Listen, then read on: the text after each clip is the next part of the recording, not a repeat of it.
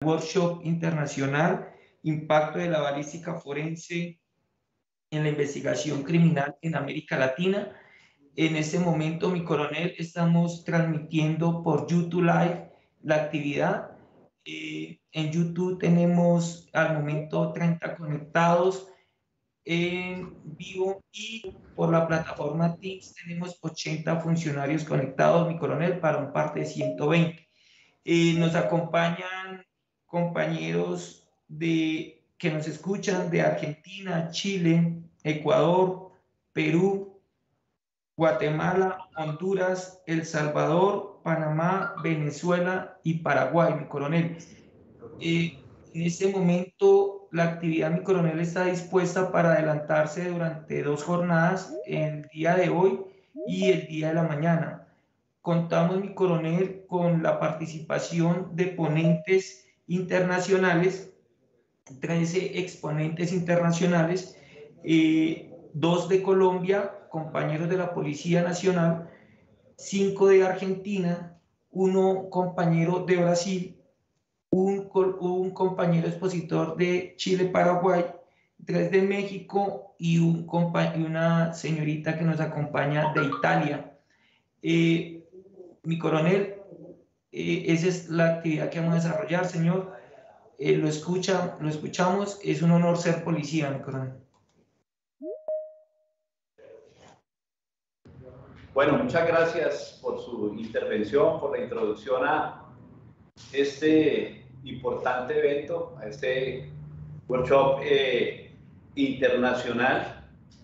dale un respetuoso saludo al señor subteniente Gustavo Vázquez Ezequiel de, Argentina, al doctor Ricardo Javier Lubiza, al licenciado Marcelino Cotier, al licenciado Carlos Iván Verón, al licenciado Carlos Alberto López, de Brasil al licenciado Casio Almeida de Rosa, eh, al licenciado Héctor Hernán Casanova Oyarzún,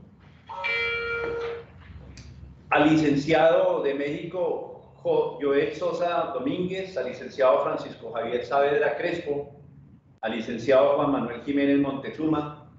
Y de Italia a nuestra licenciada Paola, Paola Corcinano Carrieri. De igual manera eh, al señor coronel Miguel Fernández, que es nuestro jefe de Policía Científica y Criminalística, al señor mayor eh, eh, Cabrera, también de, criminalística, que es la Dirección de Investigación Criminal e Interpol, a toda la comunidad técnico-científica de balística forense de Colombia y del mundo que asisten a este evento, a los señores intendentes José Joaquín Rey Melgarejo, intendente Carlos Eduardo Alfonso, y a los más de 160 integrantes que en este momento están conectados por las diferentes plataformas tecnológicas que nos conduce a participar activamente de este importante evento. Quiero darles a todos ustedes un respetuoso saludo en nombre del señor general Jorge Luis Vargas Valencia, nuestro director de la Policía Nacional de los Colombianos, de parte del señor mayor general Fernando Murillo Rego, nuestro director de investigación criminal e Interpol, quien se encuentra el día de hoy en Turquía. Se encuentra eh, en compañía de nuestro director general en una asamblea de Interpol, los 194 países que a nivel mundial integran este mecanismo de policía criminal para hacer del mundo un espacio más seguro. Eh, asimismo, pues darles un caluroso saludo de parte de quienes hablan, coronel José Libardo Restrepo Villamil, soy su director de investigación criminal, un saludo de parte de toda la institución policial, más de 160 mil hombres y mujeres, pero también y muy importante, significarles que a lo largo y ancho del país somos más de 14.500 policías judiciales que en compañía de la Fiscalía General de la Nación hacemos toda la parte investigativa y coayudamos en la persecución penal que le corresponde a este ente eh, judicial de la Fiscalía General de la Nación, presentándoles a todos los asistentes un fraterno y cordial saludo a este importante evento. El día de hoy nos reúne la apertura a este workshop denominado El impacto de la balística forense en la investigación criminal en América Latina, el cual se desarrollará durante dos días. Importante significar que la balística forense, como una ciencia de la criminalística auxiliar del derecho penal, es sin lugar a dudas la disciplina que aporta de forma directa con sus dictámenes periciales a la investigación de los delitos que afectan la seguridad nacional y ciudadana, donde se emplean las armas de fuego. Es por esto que cobra importancia el desarrollo de eventos que permita fortalecer el conocimiento de todos los hombres y mujeres que a nivel latinoamericano desarrollan esta labor pericial a través del intercambio de información y las buenas prácticas. Estamos pues convencidos que este intercambio de información permitirá mejorar cada día la investigación criminal de los diferentes delitos y crecer como comunidad técnico-científica. Finalmente, agradecemos a cada uno de ustedes, los ponentes nacionales, así como a los ponentes internacionales, en este caso, eh, participantes de los países de Argentina, de Brasil, de Chile, de Paraguay, de Italia y de México, que amablemente participan y se involucraron en esta actividad que sabemos va a ser un éxito para la comunidad forense. Muchas gracias y damos apertura formal a este workshop del impacto de la balística forense en la investigación criminal en América Latina. Quiero decirles a todos ustedes que me enorgullece mucho hacer parte de este evento y decirles, como es parte de nuestra eh, doctrina, aparte de que nuestro lema Dios y Patria es un honor ser policía. Muchas gracias a todos y continuamos, por favor, señor Intendente, con la programación del día de hoy.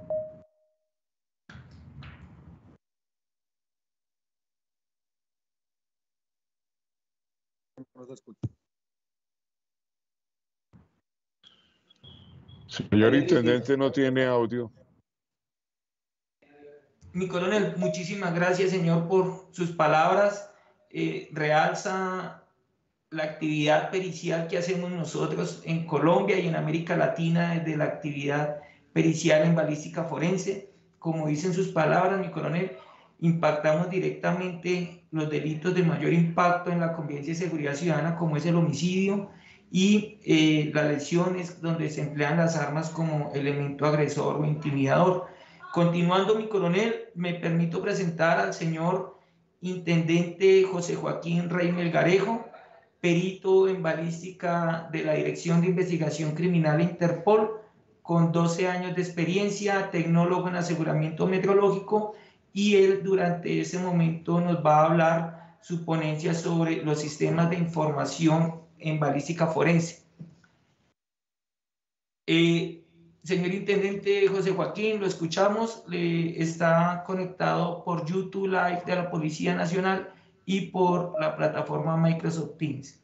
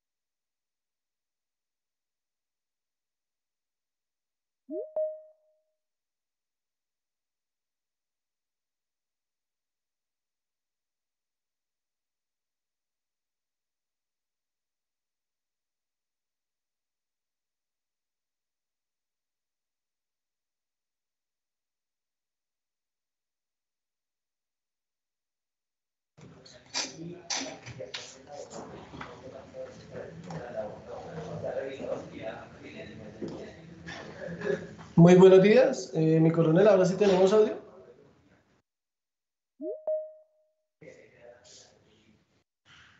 Buenos días, ¿me confirman si tenemos audio, por favor?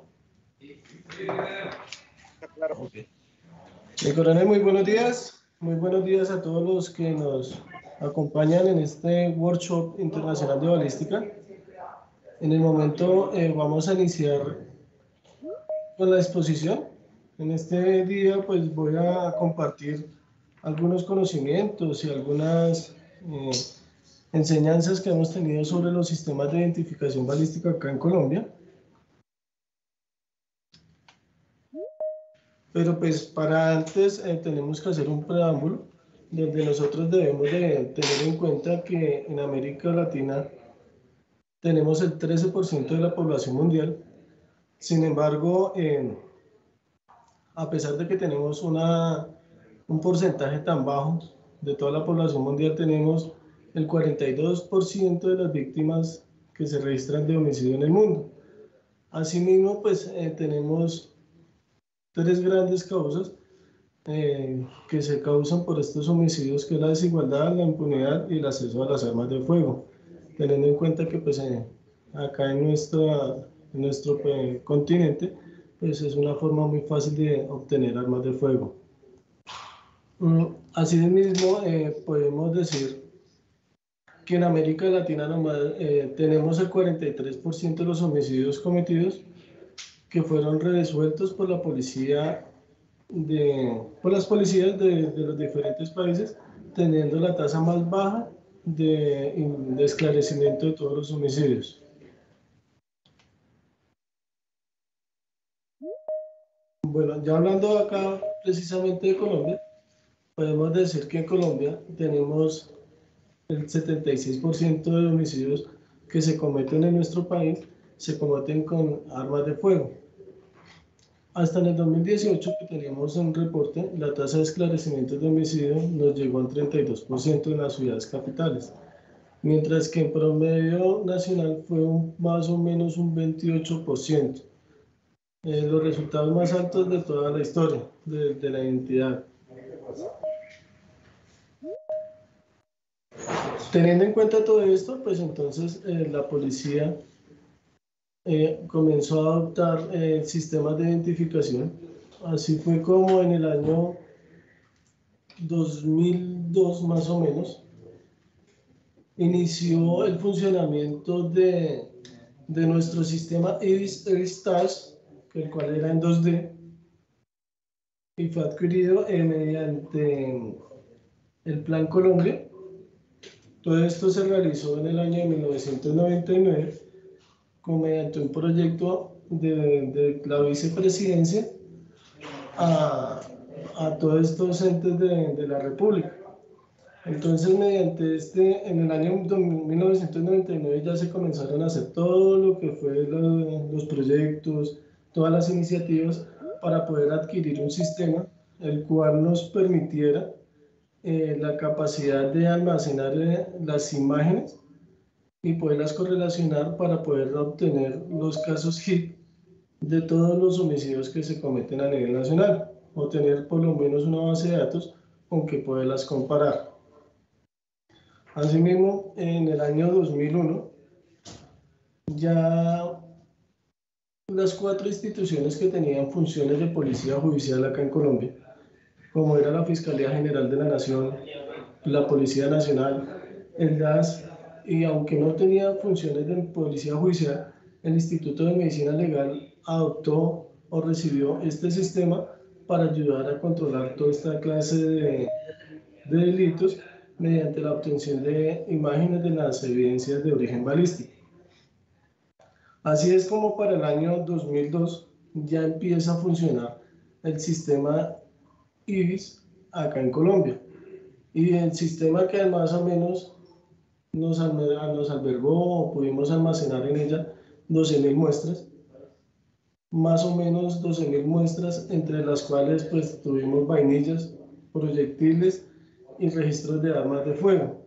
Total de en este sistema pudimos obtener 1.200 hits, los cuales eh, pues representaron eh, para poder esclarecer los delitos a nivel nacional y poder eh, ayudar a la administración de justicia.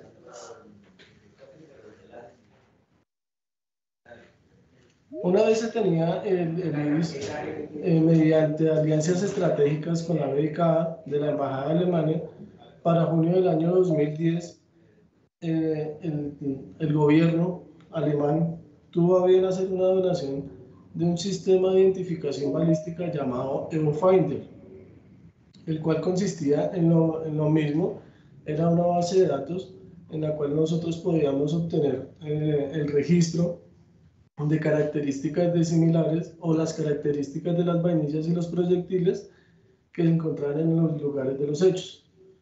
Este sistema eh, básicamente nos manejaba un sistema de escáner, el cual era, tomaba una fotografía de las imágenes, de las evidencias en 3D y podíamos obtener una mejor calidad de fotografías. Eh, alrededor del año 2011 ya este sistema por de pronto obsolescencia tecnológica y falta de recursos económicos salió de, acá de, funcionamiento de, de, la Policía Nacional de Colombia.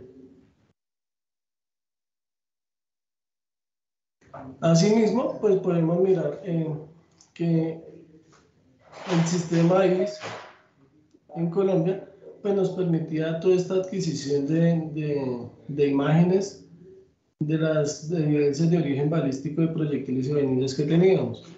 Ya para el año 2015 más o menos se inicia la adquisición por parte del Departamento de Antioquia del IRIS 3D, que este sistema ya nos permitía obtener mejor calidad de imágenes de las vainillas y los eh, proyectiles que obteníamos en el proceso de necropsia y de los recuperados en los lugares de los hechos. Además, este sistema pues, nos permitía también ya eh, adquirir las características de las armas de fuego, de las que se podían eh, por parte de nuestros compañeros de vigilancia, de las personas que trabajan en la calle, de las armas incautadas. Entonces, esto nos, nos permitía tener mayor eh, control de los homicidios.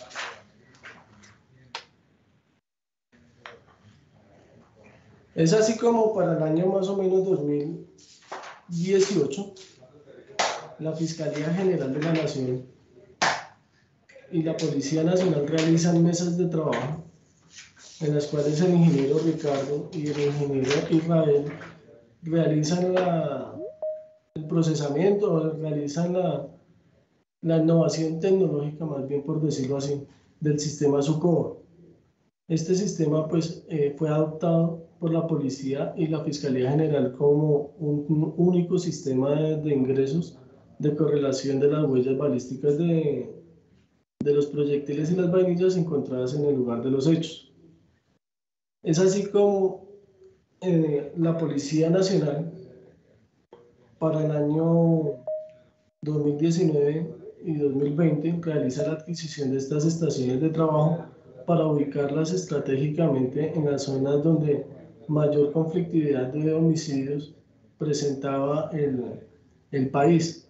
Asimismo, eh, la Fiscalía General de la Nación pone a su disposición los equipos con los que contaba en cada una de sus seccionales en cada una de sus unidades desplegadas a nivel nacional, para en el momento tener más de 45 estaciones de, del sistema SUCOBA laborando a nivel nacional. Como pueden ver, entonces podemos tener una línea de tiempo más o menos o tenemos una línea de tiempo de, lo que ha sido los sistemas de identificación balística acá en Colombia. Podemos hacer un recorderis, una, una relación general de todo lo que nos ha pasado. Y es que pues, en el año de 1996 pues ya se comienza a diseñar el IBIS. En el 2002 llega acá a Colombia y llega a ser puesto a funcionamiento en el año ya 2004, el sistema IBIS queda como única institución que cuenta con este sistema, teniendo en cuenta pues, eh, el mantenimiento y los costos de, de, sostenimiento de esta unidad, pues siempre son algo, eran algo elevados, motivos por los cuales el sistema dejó de funcionar en las otras tres instituciones y la Policía Nacional era la única que podía tener esta, esta, este equipo. Ya para el año 2010, como les contaba, eh, el ingeniero Ricardo y el ingeniero, el ingeniero Israel fueron creando una base de datos colombiana desarrollada por ellos mismos llamada CDC, la cual era el sistema de comparación balística de la, de la Fiscalía General de la Nación. Mientras tanto, en el 2013, pues ya se comienza a realizar en los trámites y todos los proyectos eh, por parte de la gobernación de Antioquia para adquirir el, el sistema EVIS, el, el IBIS Eritrash, pero ya en sistema 3D. Asimismo, pues entonces eh, en el año 2015 ya es cuando ya la Policía Nacional de Colombia y la Fiscalía General de la Nación se reúnen en una mesa de trabajo y comenzamos como a unificar ya los sistemas de identificación balística, teniendo en cuenta que pues la Policía Nacional pues en el transcurso del tiempo desde 2002 había trabajado con IBIS y la Fiscalía tenía un sistema paralelo que almacenaba también evidencias de origen balístico, pero no eran compatibles. Entonces, mediante esta mesa de trabajo se establece que eh, el sistema para trabajar policía judicial entre policía y CTI sería el sistema de identificación balística SUCOBA. Ya para el año 2017, pues ya entonces ya se creó el SUCOBA, como les venía diciendo, y en el mediados del 2018 ya la Policía Nacional inicia trabajos eh, ya acá en la Dirección de Investigación Criminal Interpol como el sistema SUCOBA. Mm, bueno, eh, como casos relevantes de, de, los sistemas de identificación balística, podemos tener un caso de operacionalización de un gente, un caso de los geólogos, acá muy reconocido a nivel nacional, en el cual podemos eh, observar o podemos, eh, los puedo ilustrar en la, en la imagen donde con un homicidio con una, con una serie de homicidios que se, que se realizaron en el, en el, departamento de Antioquia, se realizaron unas incautaciones de armas de fuego, las cuales fueron sometidas al sistema de identificación SUCOA, y estos al ser ingresados y al ser correlacionados por peritos de, de la Fiscalía General de la Nación, pues entonces nos arroja un caso HIT positivo donde podemos determinar que estas armas de fuego utilizadas en, el, en los homicidios de, estos, de estas personas ya habían estado involucrados en casos de homicidio anteriormente. Acá podemos observar pues eh, que el sistema nos, eh, tiene una muy buena exactitud para podernos arrojar casos reales donde estas evidencias ya se han, sido ingresadas anteriormente para poder dar los casos positivos. Tenemos otro caso muy relevante acá en Colombia, que es el caso de, homicidio, de un homicidio múltiple ocasionado en, en el departamento también de Antioquia. Este caso es muy conocido como el el homicidio múltiple de Andes, Antioquia, el cual eh, con el ingreso de las vainillas y los proyectiles recolectados en los lugares de los hechos realizados por nuestros compañeros, entonces se pudo determinar que estas eh, armas de fuego ya habían estado involucradas en homicidios que se realizaban en ese departamento. Entonces, eh, por, eh, ya por agilidad y por experiencia de cada uno de los peritos, el momento que las ingresan, pues podemos obtener un, una correlación HIT o como se habla ahora internacionalmente como match, donde nosotros podemos identificar que esa arma está involucrada en el mismo hecho y podemos determinar que eh, los sistemas de identificación balística pues nos, eh, nos ayudan o nos pueden acercar ayudar a dar los casos positivos o poder relacionar las armas de fuego que están cometiendo los homicidios a nivel nacional. Esto con la ayuda de, de poder ayudar a la, a la Administración de Justicia y poder em, ayudar al esclarecimiento, ayudar a aumentar ese índice de impunidad que se tiene acá en el país.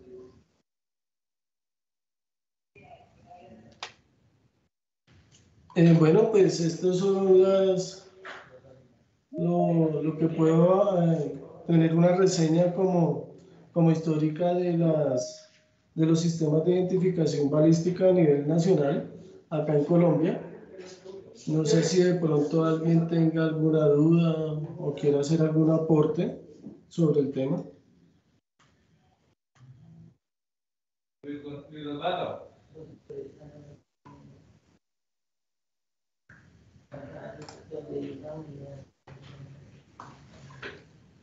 Buenos días, Dios y patria. Rey, ¿cómo está? Hágame un favor, pues yo quería, digamos, usted, desde su experiencia, ¿cierto? ¿Qué fortalezas posee el sistema SUCOA frente pues, a los sistemas de identificación balística que ha utilizado la Policía Nacional? Y digamos que pudiese mejorársele al sistema en comparación a estos mismos. Bueno, muy buenos días. Eh, desde mi perspectiva, desde mi experiencia, puedo decir que el sistema SUCOA eh, tiene una gran habilidad y una fortaleza en el sentido de que la información que nosotros compartimos entre los sistemas, bien sea de Policía Nacional o bien sea de Fiscalía General de la Nación, lo podemos mirar en, en, en vivo, en, en, directo. Es decir, si nosotros acá en Dijín realizamos un ingreso de una evidencia que nos está llegando y la Fiscalía ingresa una nueva muestra, en el mismo momento se puede correlacionar y se puede tener de inmediato un hit se puede tener una correlación. Además de esto, eh, debemos de decir que los valores de las estaciones de trabajo del sistema de comparación balística son muy buenos, teniendo en cuenta que a comparación de los sistemas de identificación que nos ofrecen las distintas casas fabricantes a nivel internacional son muy bajos. Entonces esto nos permite tener mayor, eh, mayor eh, o tener mayores equipos para tener una mayor cobertura a nivel nacional de todos los departamentos en los cuales tenemos presencia, la Policía Nacional y la Fiscalía General de la Nación. Entonces me parece un equipo muy bueno sobre los demás por este sentido. Muchas gracias.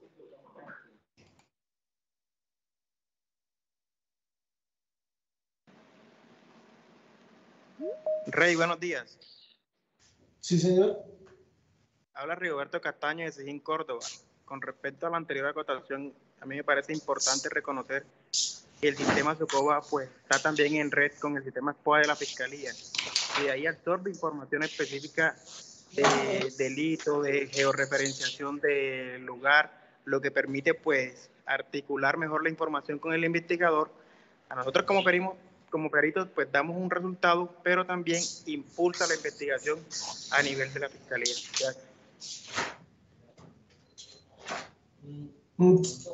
Sí, mi sargento, como usted lo dice, es un sistema muy bueno porque pues articula muchas cosas en las cuales de pronto los sistemas de identificación que tenemos o que se compran a nivel internacional no se puede articular tanta información lo que de pronto limita el accionar de nuestros investigadores y de nosotros como peritos.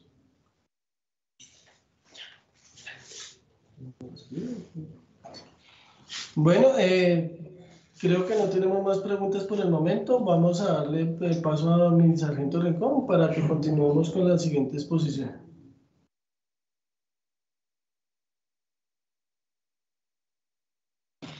Eh, muchas gracias a todos los que continúan en línea por YouTube y por Microsoft Teams. Pedirles el favor que no podemos admitir más participantes por la plataforma Teams, entonces que podemos tener problemas de conectividad. Eh, por favor, los que sigan, eh, por favor, a través de YouTube. agradecerle al señor intendente José Joaquín Rey Melgarejo, perito en balística de nuestra DIJÍN, de nuestra Policía Nacional de Colombia, por hacernos este, este historial de los sistemas de información balística en Colombia desde el ingreso del sistema IBIS Heritage a llegar a nosotros ya estar desarrollando software a la medida para nuestro, nuestra Policía Nacional y, por qué no, posteriormente para América Latina. Eh, regáleme dos minutos mientras logramos conectar al señor, al ponente licenciado Marcelino Gutiérrez de la Argentina. Eh, ya dos minutos, por favor.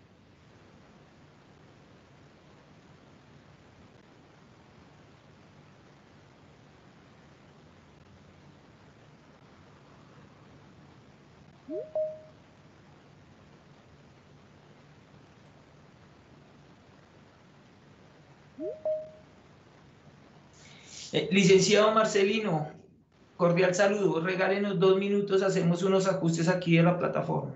Perfecto, perfecto. Me estoy poniendo todo al tanto. Muchas gracias. Sí.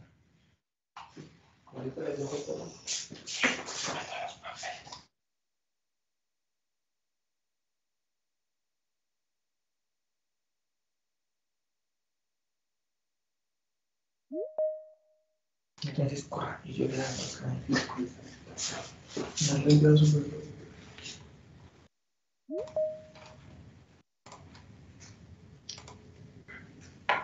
Licenciado Marcelino Cutier, eh, buenos días. Buenos días, estimado amigo, ¿cómo está? Bien, acá en Colombia son las 8 y 49 de la mañana. Tenemos tres minutos de retraso de acuerdo a lo previsto en la agenda. 9 y 45 de la mañana. Eh, me permito, eh, señor licenciado Marcelino, darle primero ante todo las gracias de parte de toda la Policía Nacional de Colombia y de parte de toda la comunidad en balística forense por su participación en este workshop que hemos denominado eh, Impacto de la balística forense en la investigación criminal en América Latina. le Cuento, señor licenciado, estamos por YouTube Live de las redes sociales de la Policía Nacional. En ese momento tenemos más o menos conectadas 100 personas por YouTube y aquí por Microsoft Teams tenemos 111 personas conectadas, lo están escuchando más o menos 211 personas. Eh, me permito presentar al licenciado Marcelino Cutier, él es comisario mayor eh, de la Reserva Activa de la Superintendencia de Policía Científica de la provincia de Buenos Aires, de la República Argentina. Él durante esta media hora nos va a ilustrar su experiencia y su conocimiento en el tema análisis de patrones semáticos en caso del uso de armas de fuego. Eh, señor licenciado, le, le entrego la, palabra para que por favor haga su presentación.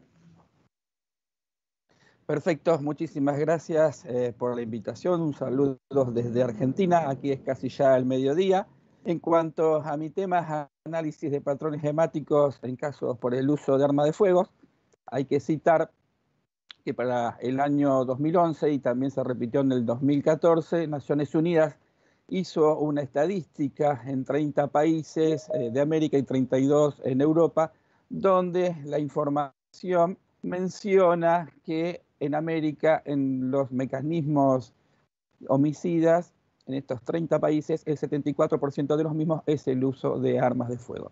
Por Europa es el 21%. En la actualidad, más o menos, está en un 75%. Es decir, que estas armas están en la calle y es así que desde el punto de vista de la información forense al perito balístico, también al licenciado en criminalística o al químico o bioquímico que va a realizar estas tareas en las lesiones de armas de fuego junto al médico legista, va a tomar información que viene de los espacios físicos, de las presencias de víctimas en las escenas, de los sitios abiertos, cerrados, inclusive sus acuáticos si han eh, arrojado el arma a cursos de aguas. Es así que vamos a obtener agentes vulnerantes y diversos indicios para establecer información de interés. La evidencia física también para procesar es algo de que hoy es un trabajo multidisciplinario. Cuando hablamos de la investigación de estos patrones hemáticos, tiene que ver con la importancia también de la gestión de la escena del crimen, ya que va a depender también de lo que observemos y de las incumbencias de cada especialidad que intervenga en estos casos de interés pericial. La posición del cadáver, la ausencia y presencia de evidencia física, la observación de las manos del cadáver, muy importante en los patrones hemáticos por armas de fuego, la ubicación anatómica de las lesiones, la distancia de disparo basadas en los signos tipificadores de disparo y las presencias de patrones hemáticos son de interés en la investigación criminal. Es así que hoy en día es un trabajo multidisciplinario, pericial, en lo que respecta a la escena del crimen o lugar del hecho, es decir, en ese espacio físico que vamos a trabajar, donde al tener un arma y que tal vez tenga la adherencia de los patrones hemáticos, hay que tener en cuenta que los demás especialistas, no solo el perito balístico, van a tener en cuenta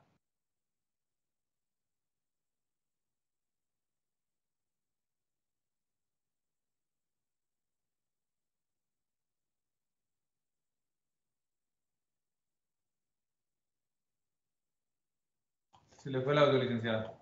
Discúlpeme, licenciado, se le fue el audio.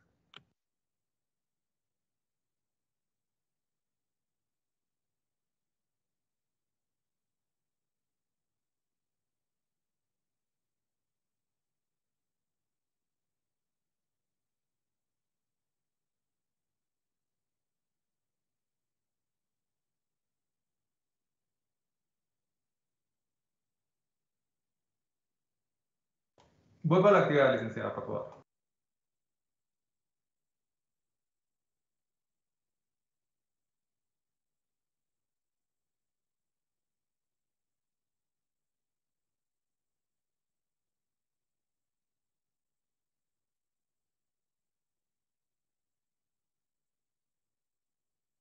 ¿Ahí se escucha?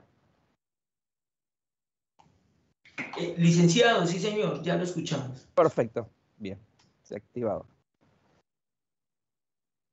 Retomo el tema, como le decía, el trabajo hoy es multidisciplinario, así que cada perito que trabaje en las escenas del crimen va a estar interesado, sea en los patrones hemáticos, en los residuos, por eso es importante el trabajo, la observación en conjunto y por supuesto tener en cuenta la lesionología médico-legal.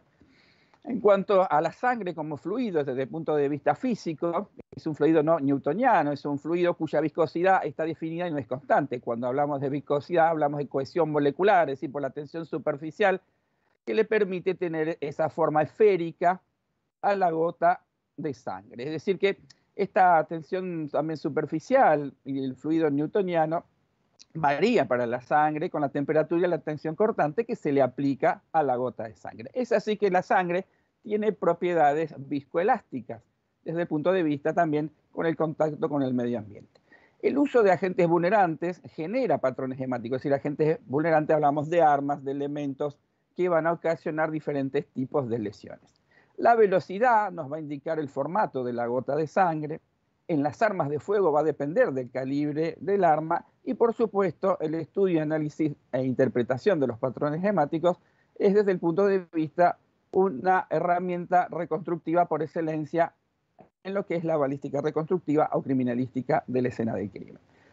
La clasificación acorde de la velocidad, productos de estos patrones hemáticos, fue estudiada por el FBI y hay clasificaciones relacionadas a eh, asociaciones internacionales. En cuanto a la velocidad, nos va a dar el tamaño de la gota y nosotros tenemos tres tipos de clase. Clase 1, velocidad baja, donde la gota de sangre va a tener un tamaño que puede llegar de un centímetro a casi dos centímetros, es decir, la velocidad es baja. La clase 2 de velocidad media, donde actúa la gravedad y otra fuerza mayor que deforma la gota, es de 3 a 10 milímetros. Y las que nos interesan a nosotros desde el punto de vista balístico es la clase 3 de velocidad alta, que es la combinación de fuerzas y presión y temperatura, donde la gota de sangre en una especie de atomización va a ser menor a un milímetro. Sabemos nosotros en la reconstrucción, en la balística eh, reconstructiva, al momento del disparo, la balística anterior, y ese empuje que tiene el proyectil a través del tubo cañón la presión, la temperatura y el intercambio con el medio ambiente van a ser estudiados por la balística exterior y luego con el orificio de entrada en la balística terminal o de efectos. Es así que acá se combina el patrón hemático proveniente de la herida, productos de la presión de los gases.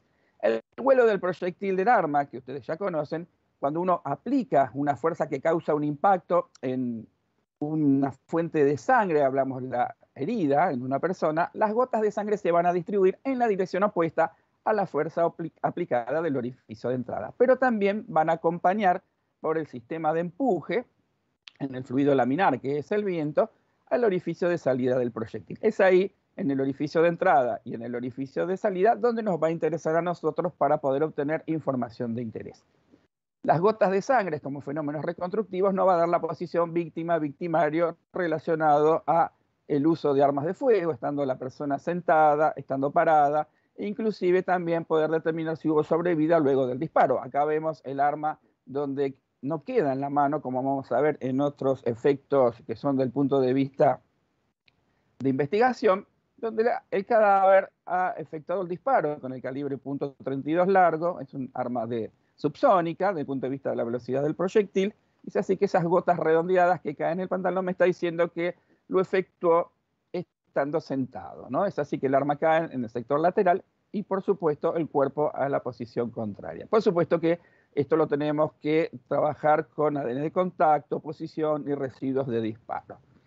A veces el arma de fuego nos va a ser utilizada como un efecto contundente y también después desde el punto de vista del disparo de arma de fuego. Es así donde la persona es atacada, vemos diversos patrones que están en el interior del garage cuando está guardando su auto o carro, como dicen en algunos lugares, y es así que acá la persona recibe, y hay un análisis del agente vulnerable, pequeños golpes que van a vincular a ese agente con las lesiones, es decir, la parte inferior del sistema de cargador o magazine con la empuñadura hace que también existan lesiones que producen hemorragias en el cuerpo humano.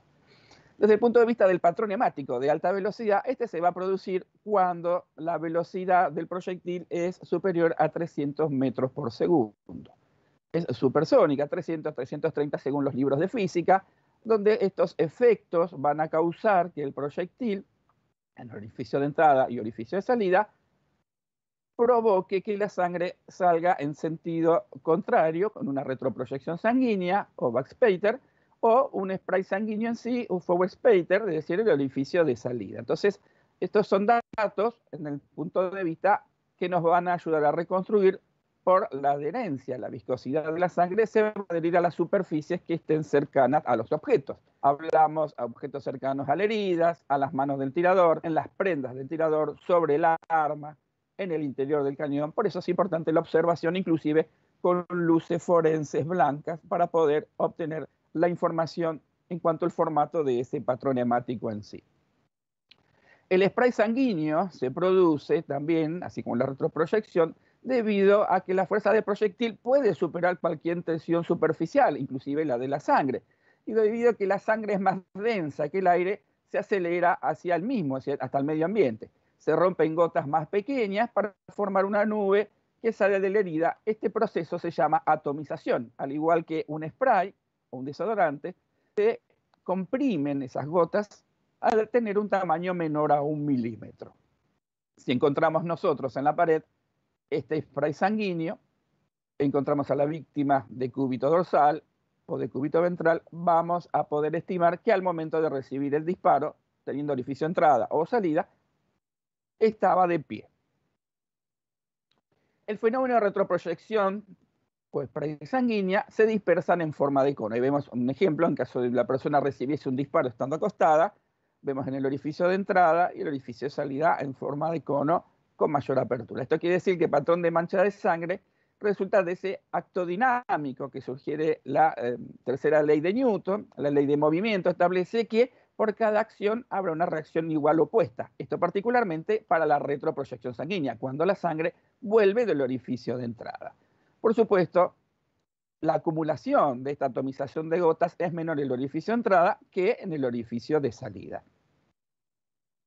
Hay unas investigaciones que se realizaron justo antes de que se produzca el efecto mundial de la pandemia y que tiene que ver con la formación de las microgotas de fluido hemático que no estaba aún resuelto. Es así que la interacción de las salpicaduras de sangre con los gases propulsores del disparo fueron establecidos actualmente por el doctor Alexander Sharim, que es profesor distinguido de la Universidad de Chicago en Illinois. Él determinó que el mecanismo físico de la salpicadura de la retroproyección, es decir, la que viene del orificio de entrada, es consecuencia de una inestabilidad inevitable desencadenada por la aceleración de un fluido más denso, la sangre, hacia un fluido más ligero que es el aire. El aire es un fluido laminar. Por ende, hace esa compresión de la gota y la tensión superficial y viscosidad la mantienen siempre en ese formato de esfera. Es así que esa dispersión de los patrones hemáticos por el disparo y particularmente en efectos de alta velocidad, hablamos proyectiles o armas del calibre .38 hacia arriba, .40, 9 milímetros, .357 Magnum, va aumentando también la velocidad. Al efectuar el disparo, el proyectil es impulsado a través de los gases que produce el arma, haciéndolo viajar a gran velocidad y formando anillos de vórtices turbulentos. Esos vórtices, que son remolinos de aire que avanzan rápidamente, tienen diferentes sentidos giroscópicos y hacen que estas gotas de sangre se mezclen provenientes del orificio de entrada y que se encuentren con los vórtices de presión provocados por la deflagración perdón, de la pólvora química.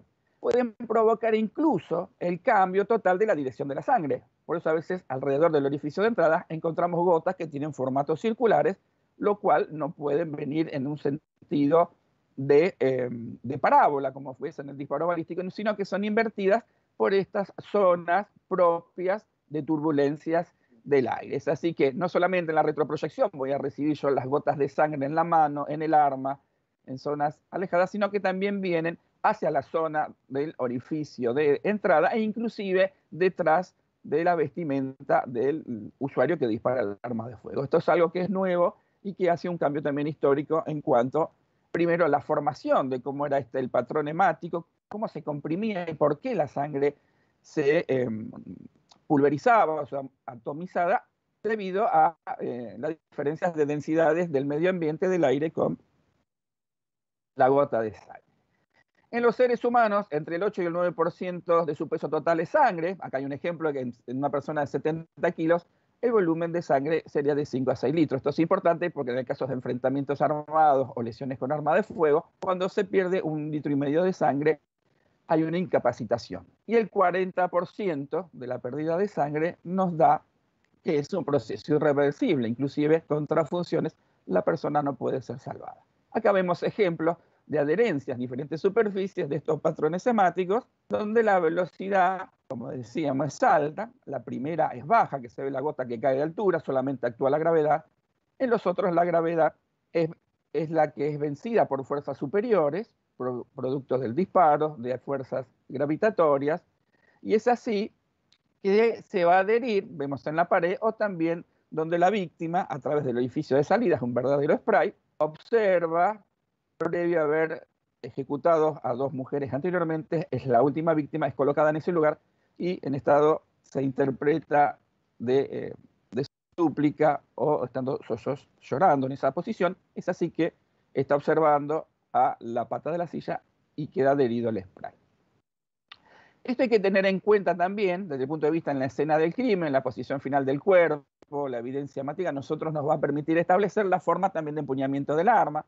Acá vemos que el arma es un calibre .32, es el que es subsónica, vemos que no hay casi spray, si hay gotas en sentido contrario, producto de la retroprocesión, esas gotas en forma eh, de signo de lágrima, pero hay algo también que es importante, por eso decimos que es un trabajo multidisciplinario, hay un signo vital que es el espasmo cadavérico tipificante de los suicidios, algo que no se puede colocar en la mano, por esto es importante de no sacar el arma, fotografiar, no mover el cuerpo hasta que se hayan eh, ilustrado todos estos sistemas de presencia mática en la periferia. Algo que tener en cuenta también en la interpretación o los malos diagnósticos es cuando las proyecciones sobre las periferias de diferentes objetos. Vemos acá una persona encontrada en estado de descomposición.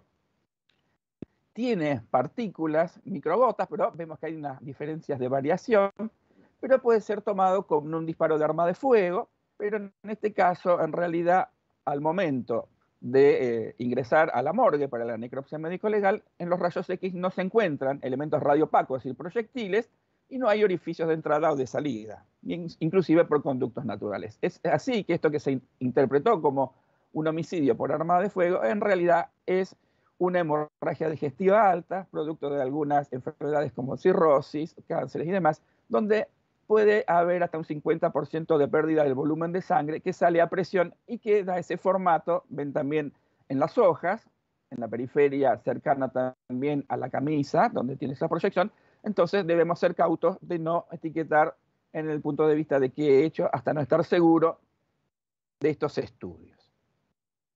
Información que es importante también es del arma, tener todos los datos de interés para poder también ver qué velocidad tiene el proyectil, ver también las zonas de adherencia. Sabemos que en el orificio salida el proyectil va a ser acompañado por estos sistemas de pequeñas gotas atomizadas y se van a ir dispersando hasta un metro veinte y hasta a veces un poco más dependiendo el tipo de arma, más si es un fusil militar ¿no? y automático. Por eso es importante observar el aposentamiento hemático, es decir, cuando tenemos velocidades y nos va a dar también cómo se ha empuñado el arma de fuego. Vemos arriba el spray sanguíneo en la zona donde tiene esas bandas para evitar la reverberación del sol, es decir, el reflejo. Hay las pequeñas gotas, ¿no? menores de un milímetro, que están como formando, hay filas, e inclusive vemos proyecciones en ángulos con formas de gotas, signo de exclamación, producto de un signo de defensa, haber visto el menor cuando otro menor empuña esta arma calibre .357 Magnum y produce el disparo. Parte de la gota vienen de los dedos y la parte superior, estando la persona, la víctima sentada, y el tirador está apuntando hacia arriba, hay una inclinación del arma. La importancia de ver la microevidencia biológica, sabemos que es menor a un milímetro, que son proyecciones de gotas de sangre a gran velocidad. Es así, vemos en la letra de una pistola, la letra del, guion, ¿no? De una pistola calibre 9 milímetros marca Taurus, de origen brasileño, como el arma tiene que estar inclinada del lateral izquierdo para que las gotas se proyecten en dicho sector. Por eso es importante verlos con tecnologías, con aumentos en la escena o luego en el laboratorio. Nosotros vamos a poder determinar la exposición final de los cuerpos en, relación a estos efectos o eh, patrones semáticos que se van a adherir a diversas superficies verticales, como las paredes, horizontales, techo y piso. Es así que la mujer queda, en este caso, en un enfrentamiento entre dos fuentes de fuego, y es así que estaba lateralizada y hace una especie de proyección, un movimiento, por tener una lesión en el cráneo y el pelo actúa en forma de pincel. Nos permite reconstruir. En cuanto a la escena del crimen, nosotros debemos hacer ese trabajo multidisciplinario, ver y establecer la posición de la víctima, el entorno, si es una escena del crimen primaria, secundaria, si hay alteraciones, contaminaciones endógenas o exógenas, la ubicación del arma de fuego, en este caso que está montada, la posición final del cuerpo, el estudio ya de patrones hemáticos una vez que la sangre está fuera, empieza a coagularse. Vemos también que hay un hematoma en la zona inferior del mentón. Es un personal policial que toma el arma de su esposo, también personal policial. Y es así que podemos hacer la vinculación indiciaria desde el punto de vista de la trayectoria, el ingreso del disparo en la boca, no hay lesiones. Si el golpe que tiene ese hematoma o equimosis es producto de colocarse el arma y pegar el arco guardamonte en el sector del, eh, del mentón. Es así que la colocación y combinación de orificio de entradas en las zonas superiores y salidas al exterior en el techo permiten establecer que se trata de un suicidio, incluido también los residuos de disparos en ambas manos, eh, producto eh, del uso de esa arma calibre 9 milímetros. La información indiciaria también es importante desde el punto de vista de armas de fuego, de animaliza, por lo que debemos hacer la medición del largo de brazos, longitudes del cañón, estatura y situación espacial, la posición de la víctima y, la evidencia. Vemos que en la zona del cuello tiene signos de residuos del disparo, lo cual nos está indicando la posición y donde se colocó el arma y tiene esas lesiones y residuos que van a ser levantados para microscopía electrónica. En la investigación criminal, la lesionología, la distancia del disparo, la determinación del residuo de disparos y análisis de patrones son información que van a surgir para el Ministerio Público Fiscal como una herramienta. Acá vemos trayectorias con orificios de salida, la persona está en esa posición sedente o sentada, recibe un disparo de un calibre .38 Special, una pistola, perdón, de calibre Emit Wesson, orificio de entrada en frente y salida en nuca. Vemos que en el piso hay una ausencia de spray, de orificio de salida. Vemos el impacto en la zona inferior. Muchos piensan que ese vacío de spray es producto de que se movió la silla, pero en realidad tiene que ver con que la silla, la pata actuó como un efecto de columna, por eso todo lo que se interponga va de esa zona de vacío y a veces hacer el formato de otra arma, del pie de una persona. Es un dato que si este cuerpo fuese arrojado en otro lugar, podemos volver a la escena y encontrar estos elementos de interés.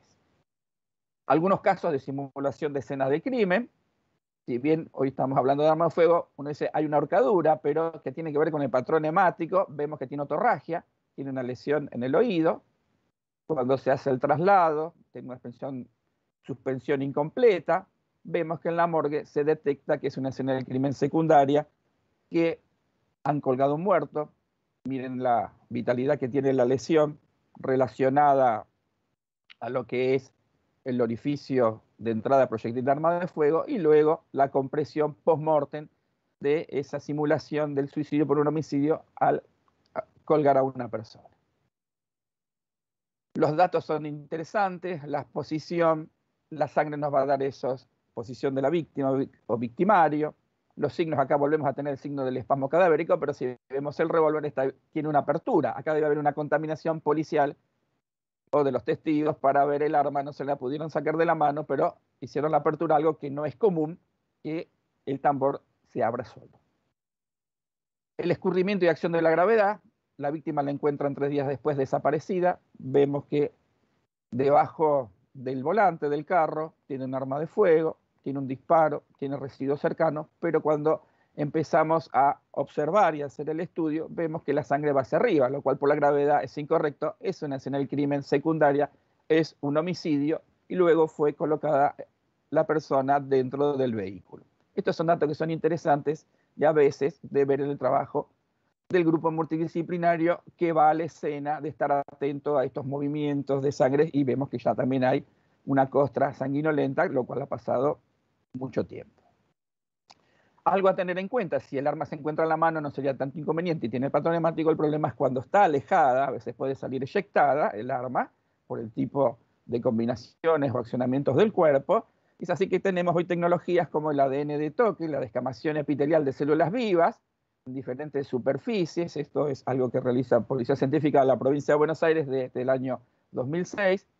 Y las zonas de manipulación del arma u otros elementos quedan normalmente, si la persona no usa guantes, esos signos o células contacto para poder establecer la información. La recolección y los envíos a los laboratorios es algo a tener en cuenta también desde el punto de vista del trabajo pericial. Sabemos que es un indicio biológico que se degrada, que es evolutivo. Hoy en día también es importante el uso del patrón hemático y más en balística forense. Sabemos productos de esas lesiones. Nosotros vamos a poder tener también en conjunción con los orificios de entradas, de salida, los impactos, los roces, inclusive los rebotes, la situación de la fuente de fuego, las trayectorias, la posición víctima-victimario, la distancia del disparo y por supuesto los resultados del laboratorio como la microscopía electrónica de barrido u otros datos que nos van a servir para hacer el informe pericial o técnica de secuencia fáctica. La buena conservación de los indicios biológicos que están adheridos a diferentes superficies o en estos casos evidencia como serían las prendas, nos van a ayudar a nosotros a, mediante la conservación de esta muestra levantada en la escena del crimen o en la morgue o en cualquier otro momento de detención, de poder secar la prenda con tecnologías y con aire frío, en lugares eh, ventilados.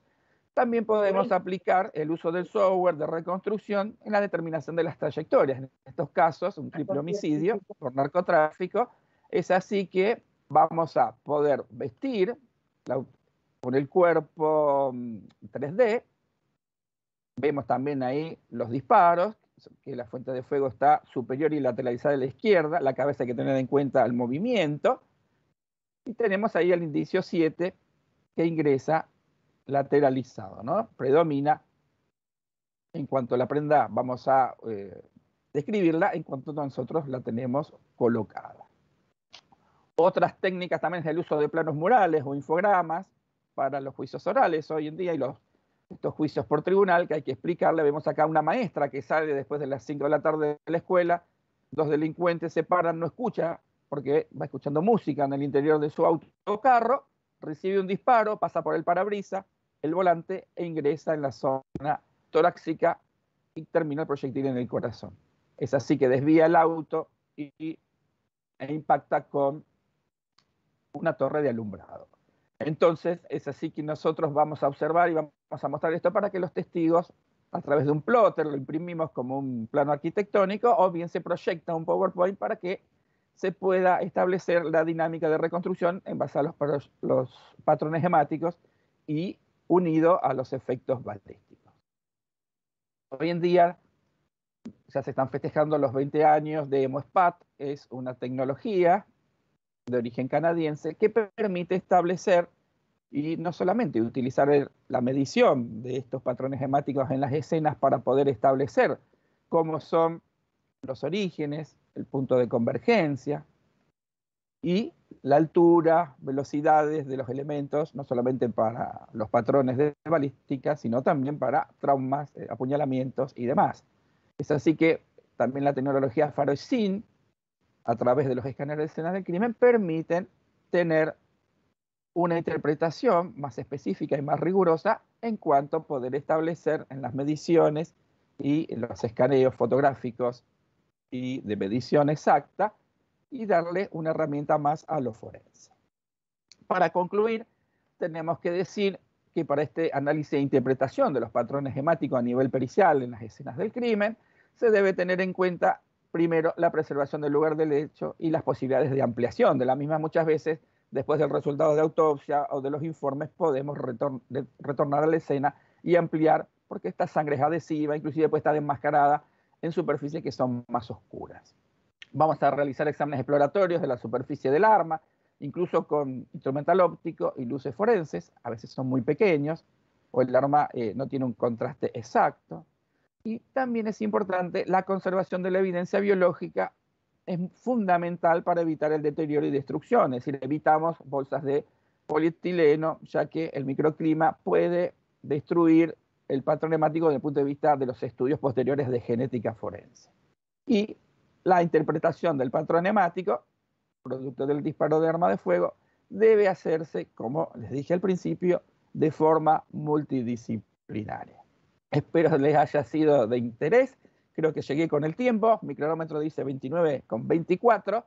Les dejo aquí mi página web y quedo a disposición para cualquier consulta. Muchas gracias a la invitación de la Policía Nacional de Colombia, particularmente al intendente Rincón. Muchas gracias.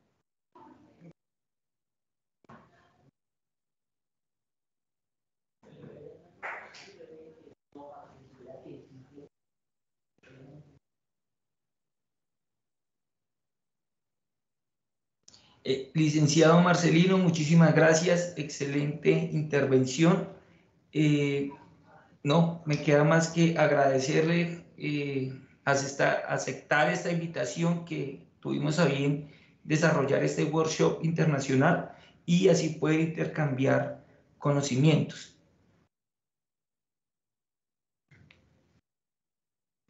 estoy acá verificando el chat de YouTube y hasta el momento no han presentado, no han realizado preguntas a la intervención. Estoy revisando el chat que tenemos con Microsoft Teams, tampoco han realizado preguntas. Eh, ya en cuestión de, de, minutos vamos a tener la intervención de otro ponente. Voy a dar aceptación a unos participantes que están en la sala esperando la aceptación.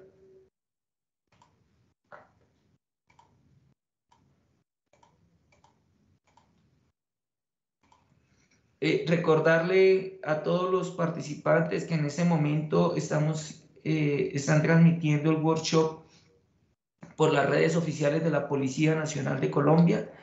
Eh, en tal sentido, se sugiere que las preguntas se realicen por el chat de YouTube o por el chat de Microsoft Teams para evitar demoras en, la actividad.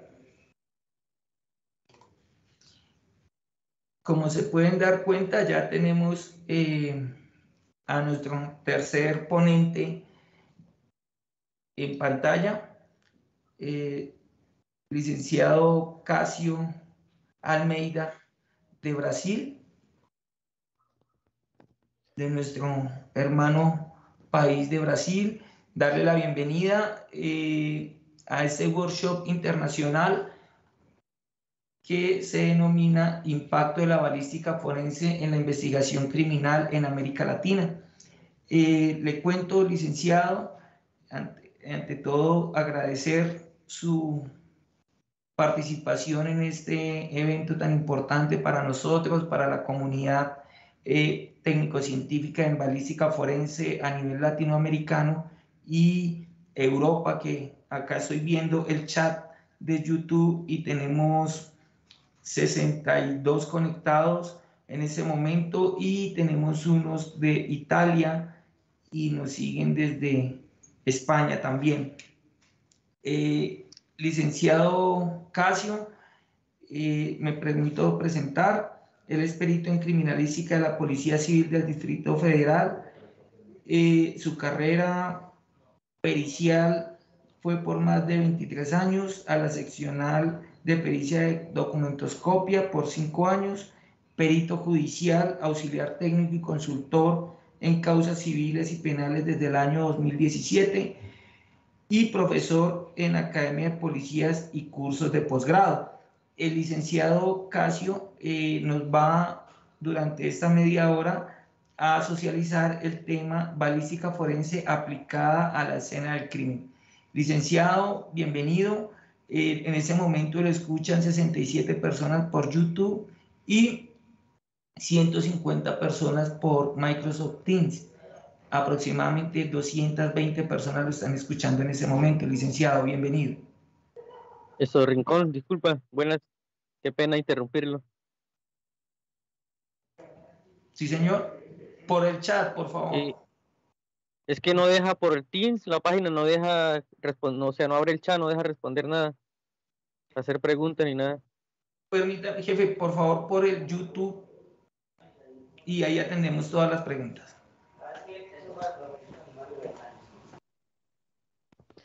Bien, buenos días a todos. Acá en Brasil ya estamos con poquito más de 12 horas, pero a la mayoría están con, con una hora a menos o dos horas como en Colombia.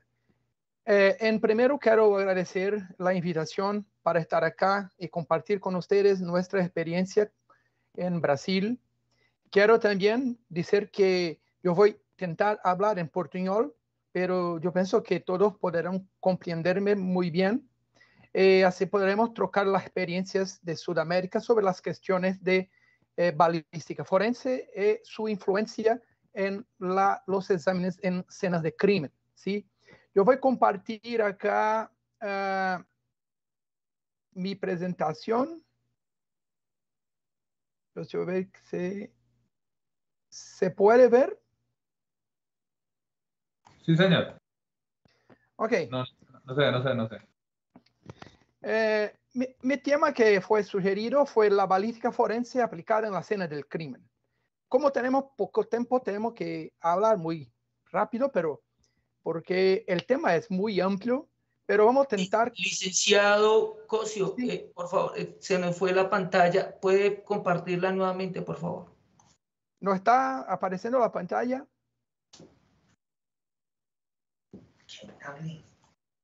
No, señor.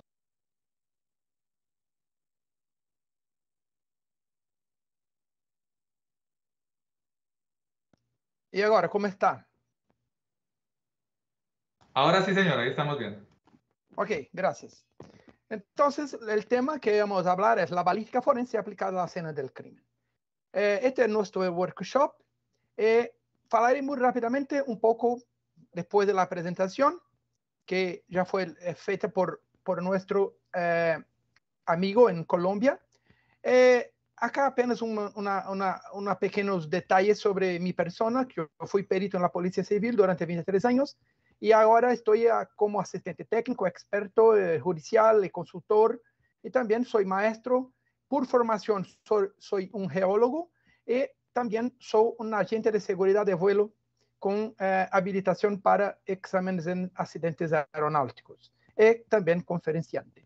Tiene un título, de, un título de especialista en la área de delito contra la persona por la Asociación Brasileña de Criminalística. Eh, tiene algunos capítulos de libros y publicaciones técnicas y soy miembro de, eh, de la directiva del Foro Brasileño de Seguridad Pública. Y en, dentro del foro también soy un columnista en un boletín que se llama Fuente Segura.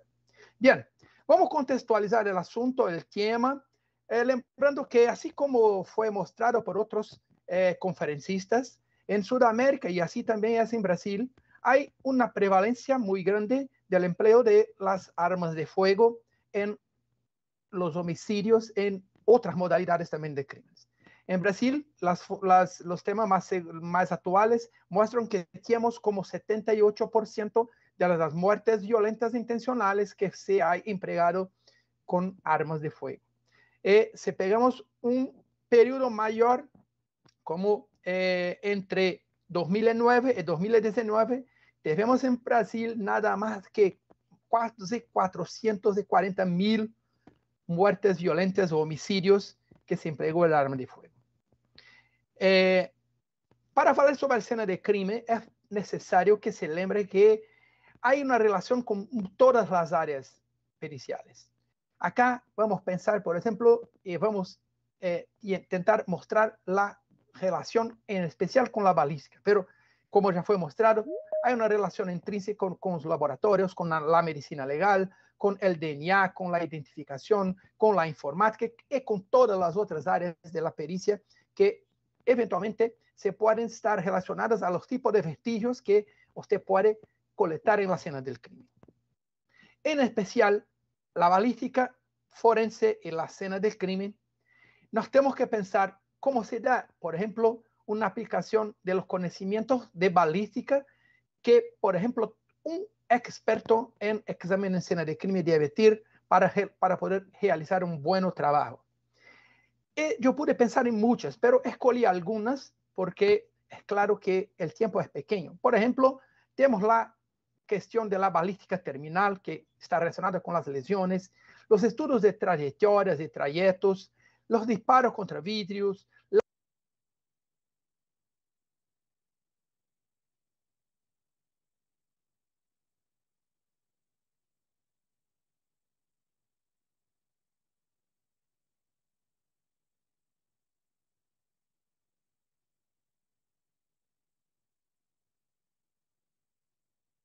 Eh, licenciado. Licenciado, ¿puede activar por favor el micrófono nuevamente?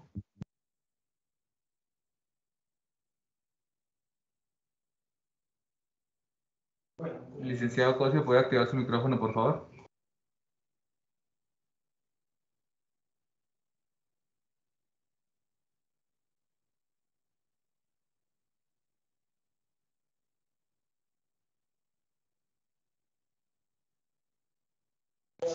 Eh, do, eh, licenciado Cosio, eh, se nos fue el audio. ¿Puede activarlo nuevamente?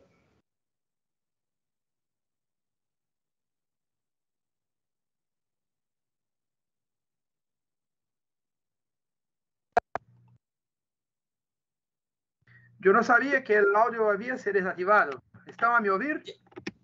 Ya, ya lo estamos oyendo. Yo voy a hablar sin micrófono, tal vez sea mejor. Eh, ahora no, está, no estoy consiguiendo activar la cámara, pero yo no sé por qué. Eh, tal vez por alguna mudanza en, en, en aplicativo, pero se pueden oír. Yo voy a voltar a compartir. Eh, vamos. Sí lo escuchamos, licenciado. ¿Y están a ver la, el, el slide de, de PowerPoint? Sí, señor, también lo estamos viendo. Muchas gracias. Seguimos. Eh, yo estaba a hablar sobre la influencia de los conocimientos de balística terminal o de efectos que son las implicaciones relacionadas a los tipos de lesiones causadas por proyectiles de arma de fuego. Entonces, estamos a, a analizar una área de la balística que es la balística médico-legal o de efectos. Hay la balística externa, la balística final o subsecuente y en especial la balística médico-legal.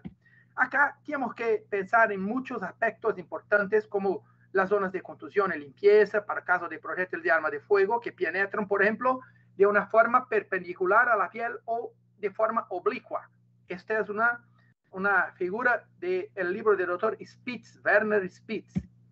Hay también que se hacer la identificación segura de las heridas de entrada, como estas dos, y que tiene las diferencias causadas por diferentes ángulos de penetración del proyectil de arma de fuego. En lo primero, estemos, tenemos con 90 grados y la segunda con una penetración oblicua en ángulo. Y las eh, distinciones de las heridas de salida, como estas dos acá, una en la cara izquierda de una víctima y una en la espalda. Y también muy importante será la distinción de la distancia de los, disparos. Por ejemplo, los disparos es realizado aquí lo que se llama de quemarropa. En la parte superior tenemos la zona de quemadura, ahumamiento y tatuajes que pueden se superpor por la distancia de la extremidad del cano de la arma. En la parte inferior, si afastamos, si retiramos arma, podemos tener que perceber que algunas de esas zonas pueden dejar de aparecer y otras permanecen como la zona de tatuaje, que es la última que se ya verificar en la piel, a piel cuando se hace el afastamiento de, de la arma. Y acá tenemos ejemplos de heridas de entrada de proyectil causadas por disparo a corta distancia, con las zonas características de ahumamiento, quemaduras y también la tatuaje. Muchas veces tenemos señales médicos legales muy importantes para los tiros encostados con la arma encostada en la superficie de la piel, como en los casos que muestro acá. En primero, eh, tenemos lo que llamamos acá de señal de un sinal médico legal eh, que se llama de signo de Rothman. Y a su derecha, un sinal muy conocido que es sinal de Puppe-Vergarten o muchas veces llamado también apenas de Puppe, que está muy claro en la región torácica de la víctima. Y también el sinal de eh, Benassi que se puede verificar en la parte ósea del cráneo y muchas veces, como el caso de la herida de la derecha, que es muy especial, es como una fotografía eh, del libro, es didáctica, pero es un local que yo fiz el examen, donde usted puede ver la forma estrelada y mismo sin el rebatimiento de, la, parte de la piel, se puede verificar en la calota la, parte oscurecida del el fumaciamiento, que es el señal de Benassi. Y acá también otro señal que caracteriza la trayectoria del proyectil en la, en la pared ósea, que es llamado de señal de Bonnet. Todos, todos estos aspectos son importantes en la parte de la balística médico-legal y también se si, si, tiene como otro elemento de gran importancia a la análisis de los patrones de mancha de sangre asociados con la producción de lesiones, como habló nuestro amigo, grande amigo de Argentina, Cotier. Y como ella ya mostró, tenemos los aspectos que se llaman de backspatter y también eh, forward specter, mostrando las, los comportamientos de la, de, de la sangre cuando asociados a disparos de arma de fuego, en especial en estos casos en disparos en la cabeza. Como un ejemplo acá de una foto de un, de un, hecho de una escena de crimen. Sobre el estudio de trayectorias de trayectos, tenemos que hablar que es importante conocer eh, en la balística la, cuestión de la influencia del, del, del, del, llamado ángulo de lanzamiento y considerar la resistencia del aire y poder distinguir los diferentes alcances que se puede tener en un proyectil. Cuando se estudia en una escena de crimen, se puede definir los trayectos que son la parte que el proyectil percorre dentro del cuerpo y trayectoria cuando está en aire o eventualmente en otro medio como agua. Pero también se hacen reconstrucciones siempre con el análisis de trayectorias como en este caso y como en este en que el trayecto fue muy importante para rechazar una posibilidad de, de cómo una dinámica fue montada en un caso en que se decía que, el, eh, que, que, la persona que producía el disparo estaba en la frente de, de, la víctima, pero la arma estaba en una posición inferior y si se coloca la, la, la víctima con, con, la cabeza en una otra posición, se tiene, se tiene el mismo efecto que fue dado por la, la definición de la trayectoria, disculpen, del, del trayecto cuando analizado en, eh, por, por los médicos legistas y descrito en su parecer. Por ejemplo, acá tiene un vehículo que fue examinado por haber sido afectado por muchos disparos de arma de fuego. Y eh, durante el examen fuimos haciendo una numeración de los disparos y análisis de trayectorias que demostró cómo eh, cuando las personas estaban en el vehículo podrían ser o no atingidas por la trayectoria de los proyectiles de arma de fuego. Eh, acá acrediten que había una, una, una, un niño de 15 años que estaba en la parte posterior de este vehículo y que de una forma sorprendente sobrevivió a, lo, a, a las trayectorias de los disparos de arma de fuego. Cuando hablamos de vitro, tenemos algunas particularidades, como por ejemplo eh, la definición de los tipos de fragmentación, de las fracturas, el entendimiento físico de cómo se da el quebramiento, incluso cuando se analiza diferentes disparos, por ejemplo, en placas de vidrio, es que permiten la definición de una cronología de los disparos basado en análisis de las uh, fracturas radiales y concéntricas.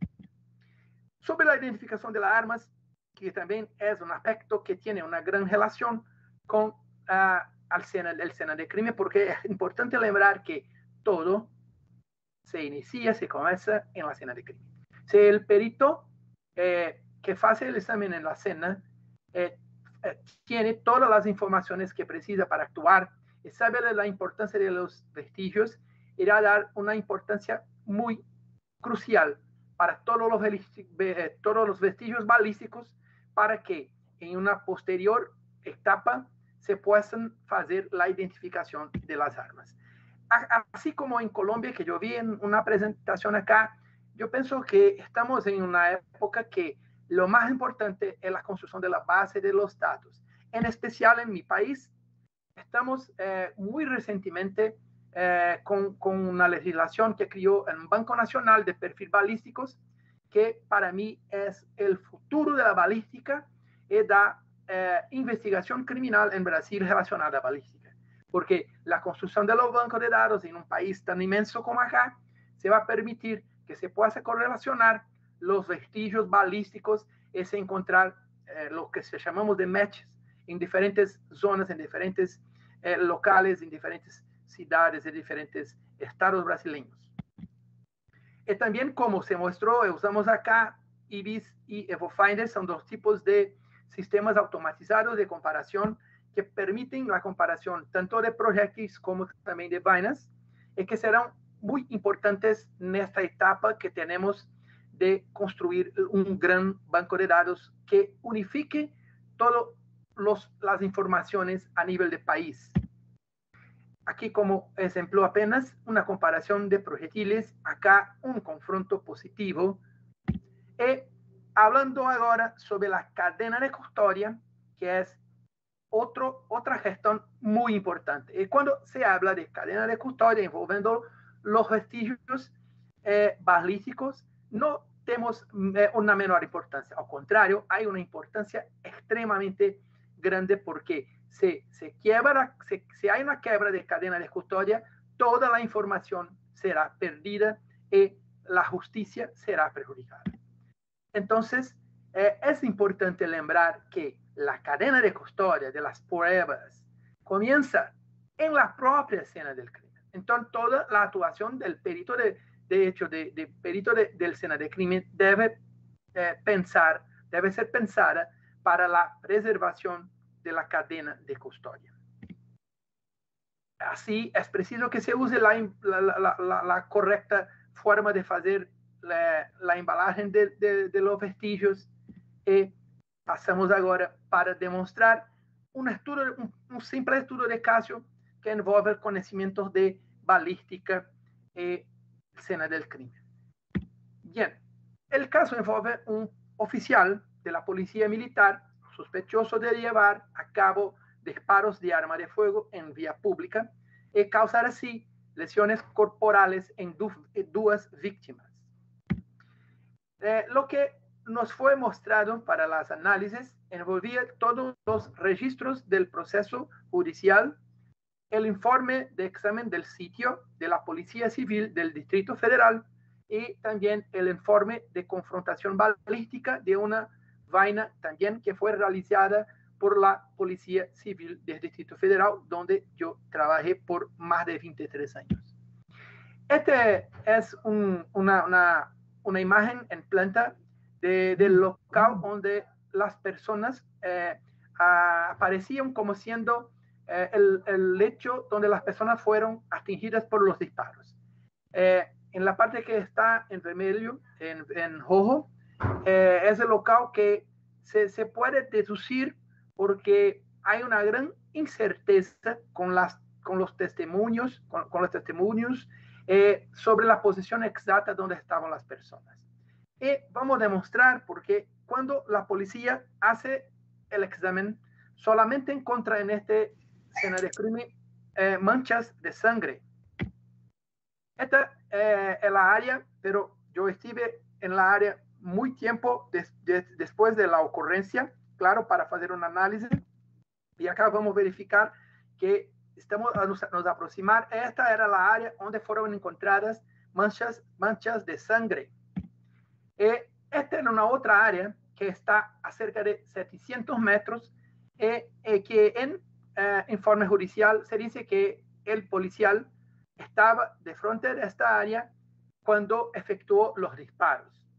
Pero hay problema porque acá primero este es un esquema, un croquis de la propia escena de crimen de lo examen oficial y ustedes pueden ver que no hay ninguna descripción de elemento balístico.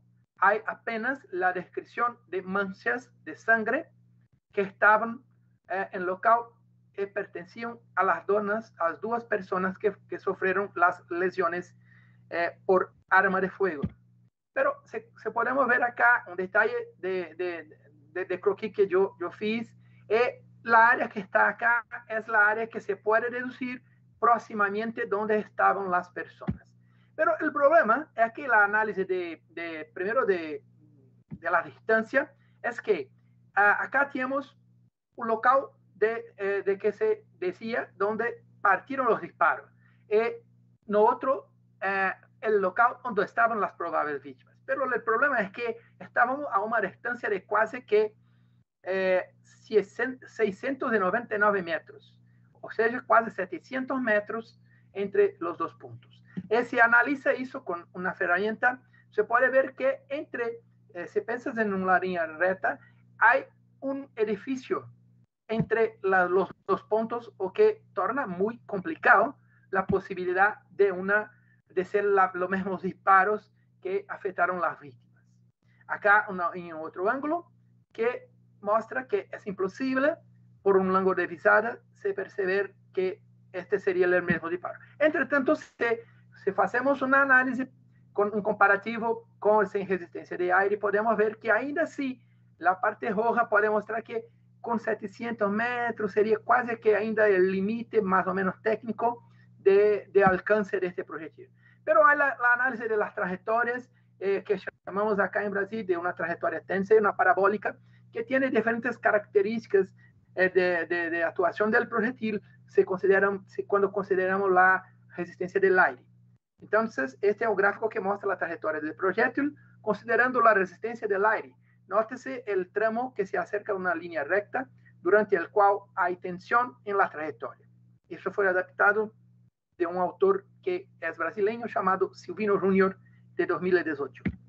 Y también se hace un análisis por diferentes ángulos, comparando las trayectorias del proyectil disparado con diferentes ángulos de inclinación para poderse analizar de una forma más eh, específica la posibilidad de que sea una trayectoria posible. Pero lo gran problema que también había en este caso es que acá en Brasil, por eso coloqué las dos formas de, de, se escribir, porque yo no sé si es lo mismo termo, porque este es un termo jurídico. En Brasil se llama de un auto de aprehensión y apresentación. Es un documento de la policía y uh, yo, por traducción libre yo coloqué aviso de incautación y presentación. Pero lo que importa es que cuando usted ve este registro en lo, los registros judiciales, se ve que eh, se dice que una faena fue recogida, recibida en la delegacia, en la policía, eh, varios días, una semana después del examen de la policía, eh, de la pericia de la policía. Y también se va, a eh, percibir un relatorio que se, hay una descripción de que una persona, acá yo no coloqué la traducción porque es el, el, el, termo del documento en portugués, pero lo voy a intentar explicar Aquí estaba descrito que una persona, un popular, estuvo en la unidad policial e entregó a los policías de plantón una vaina. E esta vaina fue utilizada después para, una, para un confronto que se resultó positivo con la arma de fuego del policial. Pero el gran problema acá estaba también en la cadena de custodia. Esas son las conclusiones que yo eh, transcribí del, del trabajo pericial que hicimos de forma eh, particular eh, como asistentes. Entonces, yo voy a reproducir las conclusiones de este caso. A la luz de lo anterior, el perito firmante concluye que colocar a las víctimas precisamente en el lugar del incidente en el momento en que se fueron golpeadas es imposible. Es falsa la hipótesis de que el disparo de arma de fuego realizado a la zona cercana a la discoteca Tribuna podría impactar a las víctimas en el lugar probable, probable en el que se encontraban, como se demostró, es decir, el proyectil de arma de fuego que hirió a las víctimas en las inmediaciones de la panadería Hollywood y UNICEF College no está relacionada con armas de fuego disparadas en las cercanías del club nocturno Tribuna. En incumplimiento de la cadena de custodia en relación a la vaina deflagrada reduce a cero su valor probatorio dando lugar, por, por tanto, a su exclusión del proceso como prueba material. Con estas conclusiones, el caso contra el policial militar fue archivado y no fue considerado culpado. Bien, eh, con 24 minutos termino mi, eh, mi, ponencia, mi presentación, dando gracias por su atención y me coloco a disposición para alguna pregunta que se pueda hacer fecha. Muchas gracias. A usted agradecerle, licenciado Casio, por, por excelente ponencia, por ilustrarnos eh, el impacto que tenemos nosotros los peritos en balística en la investigación criminal dentro del lugar de los hechos o la escena del crimen. y estamos revisando aquí, licenciado, si nos acompaña cinco minuticos más para poder atender si hay preguntas en el chat de YouTube ya le informo qué preguntas, yo se las transmito, licenciado.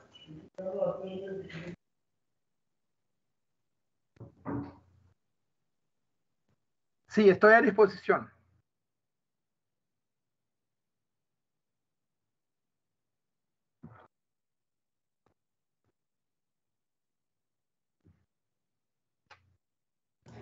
Eh, licenciado, nos pregunta Diana Isabel, ¿cuál es la diferencia entre la balística interna y externa? La balística externa se considera la parte eh, donde el proyectil está a, pasar por el aire o, por ejemplo, eh, por la agua, depende del medio, pero antes de atingir una víctima.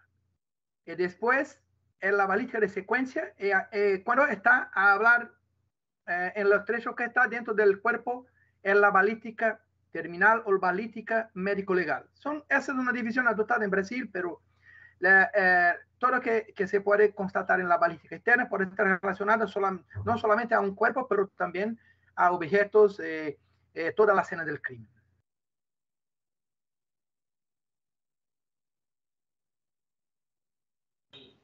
Muchas gracias, licenciado Cosio. Estamos ya a la espera de, de nuestro siguiente ponente. Estoy revisando aquí el chat de YouTube. Tenemos 60 participantes desde Costa Rica, Argentina, Guatemala, El Salvador. Eh, eh, tenemos aquí conectados a través de YouTube. Eh, dice Noel Cano, excelente disertación. Gracias. eh, yo, yo espero que puedan, pueda- yo pueda ser comprendido porque aquí, acá yo intenté hablar en portuñol, pero yo creo que fuimos bien. Eh, desde ya, eh, vuelto a agradecer por la invitación. Eh, dejo mis saludos para todos los amigos de Sudamérica, los peritos, de todos aquellos que también están a asistir nuestra, nuestro workshop. En agradecer en especial al licenciado eh, que me pasó el convite. Eh, decir que seguimos a disposición y un gran saludo desde Brasil. Licenciado, una última pregunta. Eh, Ángel Hernández, desde el chat de YouTube, dice, quiero saber si se proyectan crear un sistema automatizado de comparación balística por parte del gobierno de Brasil con el fin de dejar de usar IBIS. Sí, yo pienso que el banco de datos eh, que, que- está autorizado en Brasil, muchos eh, de las provincias ya tienen equipos eh, y usan el software IBIS. Pero eh, hay otros tipos. Entonces, si se va a usar otros tipos, yo no sé, pero la intención es unificar en todo el territorio brasileño de una forma, eh, eh, digamos que normal, que se pueda usar este tipo de software y que el análisis sea totalmente automatizado. Esa es una intención, pero acá la, lo grande desafío es el tamaño del territorio y la cantidad de informaciones que hay archivadas en todos los sectores balísticos de, todos los, de todas las provincias. Ese es nuestro grande desafío. Eh, no tenemos más preguntas, licenciado Casio, por, por el chat de YouTube, que es el que hemos habilitado para que nuestros participantes a nivel latinoamericano y de Europa nos hagan preguntas. Eh, de parte de la Policía Nacional de Colombia, de todos sus hombres y mujeres, agradecerle por su participación, por su excelente disertación en este workshop que estamos completamente convencidos que fortalece nuestra disciplina y fortalece todo el conocimiento. Eh, gracias a, a, a, las dinámicas y a la tecnología podemos compartir estas experiencias y a, tra a través de plataformas virtuales y bueno, no me queda gracias. más que agradecerle, agradecerle y agradecerle. Muchísimas gracias, gracias licenciado. Vamos a dar paso. Estar acá con ustedes. Yo deseo un gran saludo. Vamos a dar paso a nuestro siguiente disertante, eh, el licenciado Héctor Hernán Casanova de Chile, Paraguay, con su tema Balas perdidas y la complejidad en la pericia en balística forense. El ingeniero Casanova, director del Departamento de Balística y Explosivos Colcrim en Chile, quien viene a presentar exposición sobre la temática titulada Balas perdidas y la complejidad de la pericia en balística. Eh, ingeniero Héctor, le, le, comento, estamos a través de YouTube Live de la red social de la Policía Nacional. En este momento tenemos 60 participantes a través de esta plataforma y a través de la plataforma Microsoft Teams tenemos 120 conectados. Lo están escuchando aproximadamente 180 personas de diferentes países de Latinoamérica y de Europa. Licenciado, es todo su, eh, el evento, lo escuchamos. Muchas gracias, maestro Rincón. Eh, estoy muy, muy agradecido de que me hayan considerado para esta actividad. Es una actividad eh, muy, muy bonita que sea temática, solamente balística, hacía falta eh, que tuviéramos un, un, una iniciativa de, de, este tipo. Bueno, eh, como el tiempo es poquito, vamos a tratar de partir rápidamente. Voy a compartir pantalla. Em, Estoy aquí esperando que, que cargue.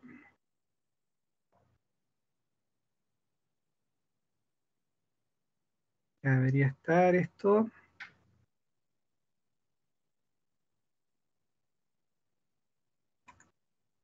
No sé si ven. No sé si pueden apreciar. Ya, perfecto. Sí, lo estamos viendo la, la- su pantalla. Perfecto. Bueno, el tema que yo les traigo es eh, eh, las complejidades de la pericia balística en caso de balas perdidas. Ya vamos a hablar sobre- concretamente de este tipo, este tipo de casos. Em, bueno, la verdad es que a cada cierto tiempo nosotros eh, se, nos van dando los titulares de los, de medios de comunicación em, distintos sucesos que están relacionados a una bala que aparece desde la nada, ¿no es cierto? Y nos causa eh, distintas eh, perjuicios, ¿no es cierto? Tanto a, la propiedad o son lesiones o derechamente a la vida, le quita la vida a una persona. Y esto es, es, es- es- es lo más lamentable. Em, gran controversia causan estos hechos cuando justamente las víctimas son eh, menores de edad o son infantes y, la verdad es que eh, eh, eh, es, un, es un tema que cada vez que tiene, tiene mm, es, difícil de manejar, ¿no es cierto?, desde el punto de vista in- investigativo y eso es lo que vamos a tratar de ver justamente en esta, en esta temática. Em, les voy a comentar un poco eh, eh, las estadísticas con respecto a, a Chile. Em, si bien yo estoy eh, en Paraguay, pero estoy muy conectado a, a- a- mi país, eh, Chile, y, y- y mi país concretamente está, está sufriendo mucho por este tipo de, de- de fenómenos balísticos, ¿no es cierto? Esta- estas balas perdidas.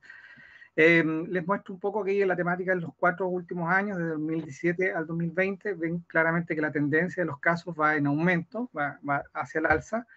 Y si nosotros desglosamos un poco este tema eh, de los casos puntualmente ah, distribuidos en, en- en todo el territorio nacional, ¿no? nos damos cuenta de que eh, si bien están, están distribuidos, pero hay una mayor concentración en lo que es la República, eh, o sea, perdón, en lo que es la región metropolitana. Eh, y esto básicamente tiene que ver por la, por la densidad de población que hay en la ciudad y porque además eh, del último tiempo lo- las organizaciones criminales han ido han aumentando y también eh, sus eh, hábitos, si podríamos decir, sus costumbres o su cultura también eh, está incluyendo en el fondo eh, mucha utilización de armas de fuego. Em, a ver, ¿qué, de alguna manera, qué es lo que, qué es lo que está pasando con, con todo esto? ¿Cuáles son los orígenes del, del tema de las balas perdidas? Justamente el, si bien pueden haber casos aislados de, personas que, vamos a poner entre comillas esto, inocentemente han, hecho un disparo al aire, eh, y puede, puede terminar en, un caso de bala perdida, eh, lo, cierto es que la mayor cantidad de casos se está debiendo a las organizaciones criminales. ¿ya? Eh, el titular de hace relativamente poco tiempo atrás fue que más de 60 menores eh, fueron, eh, fa- fallecieron por balas perdidas en los últimos cuatro años, que es la estadística que yo les había presentado su- ah, recientemente.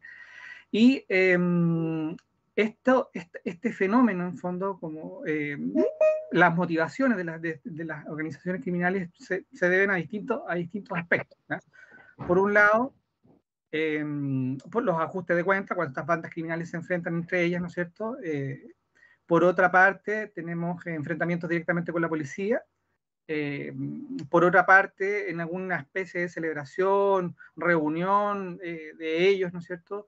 Eh, sacan las armas de fuego y hacen disparos al aire como una especie de demostración de fuerza para tratar de, en el fondo, eh, consolidar su, su dominio de algún territorio. Eh, se está dando mucho y esto se está ins- ins- instalando en la, en la- en la cultura criminal, eh, el hecho de sacar armas de fuego justamente en los funerales, en los funerales de, de- de- de un caído de ellos, de un camarada de- de- de- del mundo criminal, ¿no? Entonces, eh, hoy en día hay, son muchos los eventos de funerales que están siendo incluso hasta custodiados por carabineros para justamente tratar de controlar un poco esta situación, eh, donde, donde estas personas, estos deudos, eh, no vayan a sacar armas de fuego y vayan a, a ocasionar más muertes. Y lo que es, eh, eh, siempre ha existido eh, es eh, casos atribuibles en el fondo a, a celebraciones concretas, Año Nuevo, Navidad, o eh, fechas conmemorativas que, que- que- tengan relación a eventos muy especiales del país. En el caso de Chile, el 11 de septiembre o el Día del Joven Combatiente, esos son días que siempre quedan desmanes en la ciudad y siempre las bandas criminales aprovechan en el fondo para, para, para, hacer uso de sus armas, eh, ostentación y demostraciones de fuerza, y ahí lamentablemente tenemos que eh, lamentar eh, casos de balas perdidas. bueno, ¿qué entendemos como bala perdida? Esta parte la voy a tratar de pasar rápido porque el tiempo es muy cortito. Eh, antes de que nosotros podamos eh, eh, ahondar el, problema concretamente, quiero hacer una especie de repaso y ver cuáles son las partes de un cartucho, que esto es muy importante. Em, fundamentalmente son cuatro partes que componen un cartucho metálico, ¿no es cierto? Tenemos la bala, la vaina, la pólvora y la iniciadora. La dinámica, ya todos la, creo que ya todos la conocen, ¿no es cierto? Que el, eh, el, percutor del arma incide en la cápsula iniciadora, esta eh, eh, em, em, genera una chispa que pasa a la cámara de combustión, donde, donde se empieza a, empieza a arder la pólvora, la pólvora genera una gran cantidad de gases y esos gases finalmente terminan generando una gran presión e impulsando a la bala a través del cañón.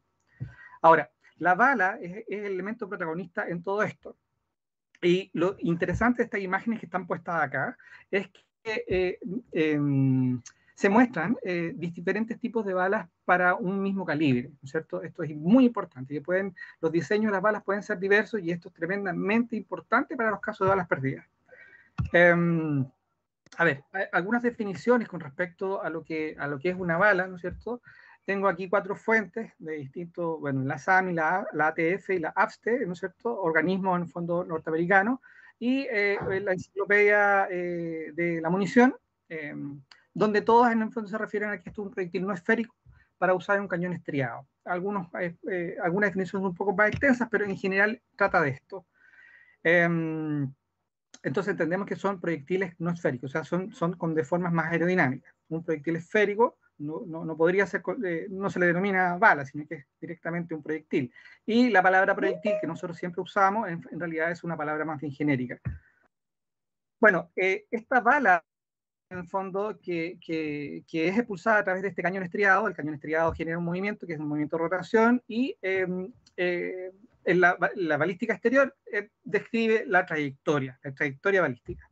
Ahora, estos movimientos, eh, si nosotros los tuviéramos que, clasificar, eh, se están definidos como diferentes, son diferentes grados de, libertad. En lo que es la traslación de la bala de un punto a otro en el espacio, eh, hay tres movimientos en el fondo que participan. Por uno, el alcance, ¿no es cierto? La, distancia de tiro, la caída, en el fondo, en el fondo, la altura que va llevando la bala en su minuto, y la deriva, que en el fondo son las desviaciones horizontales que va a tener la bala eh, eh, producto de otro tipo de, fuerza que ya lo vamos a ver rápidamente. Y eh, también están otros grados de libertad que tienen que ver con la rotación y con la precesión y nutación, que son movimientos que se generan en la bala durante, el, durante el, su vuelo, producto justamente de la rotación y, de, otras particularidades que se estudian en balística, pero pero que, que en, el caso de balas perdidas, prácticamente estos tres últimos movimientos no, no van, a ser, eh, no van a ser importantes de estudio, no son importantes de estudio. Em, los modelos de cálculo de trayectoria, en los cuales nosotros trabajamos para, para, para estudiar este tipo de casos, en el fondo eh, son clasificados como DOF, que significa Degree of Freedom, eh, son grados de libertad. Y, el, modelo eh, más completo de análisis de trayectoria son eh, modelos de cálculo que son justamente de 6 grados de libertad donde se consideran todos estos movimientos. Nosotros, eh, para fines forenses, solamente trabajamos con 2 y con 3 grados de libertad. Em, bueno, esto es un resumen de lo que es la definición de bala proyectil. El proyectil es un término genérico, el proyectil puede ser cualquier objeto lanzado al espacio, la bala es un término específico, Em, la bala es eh, dirigida al espacio a través de un cañón estriado, según las definiciones, y la bala no es esférica, ¿ya? Eh, lo que podemos deducir también de todo esto es que la bala sí o sí es un objeto que en la dinámica de vuelo presenta 6 grados de libertad. Eso es importante también tenerlo como definición. Ahora, eh, el concepto de bala perdida, em, acá tengo otras cuatro fuentes también, habla en fondo de un fenómeno que, implica que la bala va, va a golpear o, impactar en un punto diferente de donde el tirador quiso, quiso, eh, tenía la intención, ¿no? Em, esto es sumamente relevante porque al final del punto de vista jurídico, eh, si nosotros lo abordamos, estamos viendo una especie como de cuasi delito, cuasi delito de homicidio, cuasi delito de, lesiones o de daños a la propiedad, ¿no es cierto? no eh, hay una intención clara. Pero aún así, en el caso más lamentable, que es cuando, cuando una víctima pierde su vida, ¿no? Eh, esto, eh, estos casos eh, hoy en día gozan de una gran, de una gran impunidad porque en el fondo son tremendamente complicados de estudiar, tremendamente complicados de llegar al responsable final quien disparó esa, esa arma y ya lo vamos a ver por qué. Entonces la sensación en el fondo de, de inseguridad y de, ¿cómo decir?, de justicia, ¿no es cierto?, em, es muy poca por, por, por parte de, de, las víctimas resultantes de este tipo de, este tipo de hechos. Um, ¿Cómo se investigan este tipo de casos? ¿Ya? Bueno, lo primero es general, establecer los objetivos de la investigación, ya que aparecen las preguntas que son clásicas de, lo, de, de la criminalística, cuándo, con qué, dónde, cómo y quién. Eh, ¿Cuándo? Establecer el momento del acontecimiento, el con qué, identificar el calibre del, del, del armamento empleado, el dónde, para tratar de determinar eh, el lugar de donde se produjo el disparo, el cómo, conocer la dinámica de los hechos y quién, que este es finalmente lo que todo, toda investigación persigue, ¿no es cierto?, identificar al responsable del disparo. Eh, las líneas de trabajo para abordar este tipo de casos eh, básicamente se, agrupan en dos partes, ¿no es cierto? Por una parte la investigación policial y por otra parte la investigación pericial. La investigación pericial, por un lado, hace los empedramientos de testigos, ¿cierto? busca cualquier otro tipo de análisis, ya sea, eh, o sea, de información, ya sea audiovisuales, si es que las hay, eh, o cualquier otro tipo de, de, de información alusiva al caso. Eh, y la investigación pericial está encargada de responder preguntas pequeñas, pero tremendamente importantes en apoyo a la investigación policial. Entonces, el perito finalmente llega al lugar del hecho y hace un trabajo metódico, aplica metodología científica para el sitio del suceso, o el lugar del hecho, o la escena del crimen, dependiendo del país en el cual nos encontremos en la región. Eh, identificar, eh, después esto pasa obviamente al laboratorio y ahí se hace todo un trabajo para tratar de identificar el calibre de la munición empleada, determinar la distancia de disparo, otro proceso más, y eh, determinar el armamento usado, que también es otro proceso más, que son, son etapas distintas. Si nosotros tuviéramos que hacer una esquiva en el fondo del trabajo de la balística forense, eh, por una parte lo habíamos tenido lo que era el sitio de suceso, que es la exploración, la fijación y el levantamiento, eh, la medición y planimetría del lugar, ¿no es cierto?, donde se consignan todos los, todos los, los las características del, del del, del, sitio del suceso, ¿no es cierto? Y, y, los indicios balísticos que vayan quedando, muy especialmente los indicios balísticos.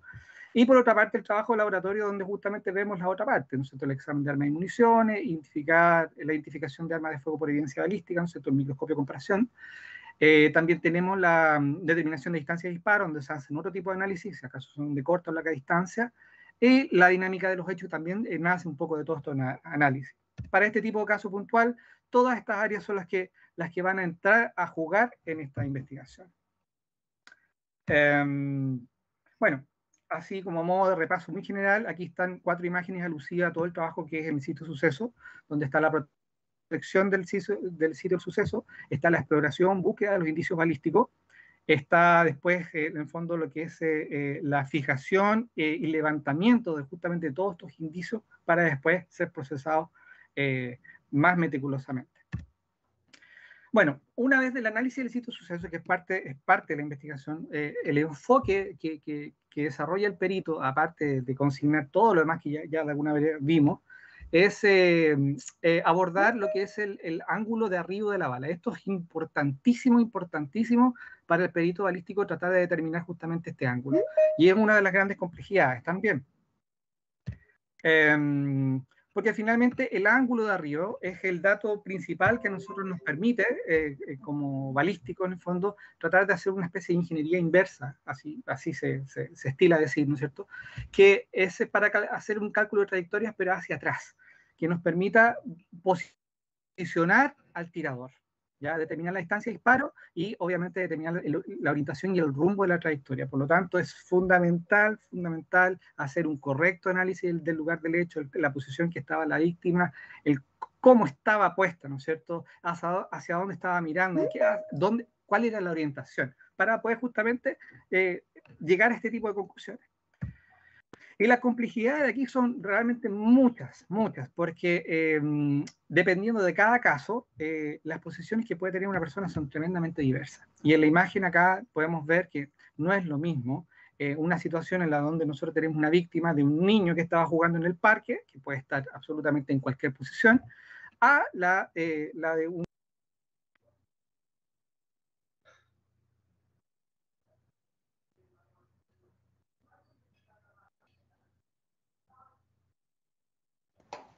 Eh, licenciado, eh, se nos fue el audio. ¿Puede activar su, su, su micrófono?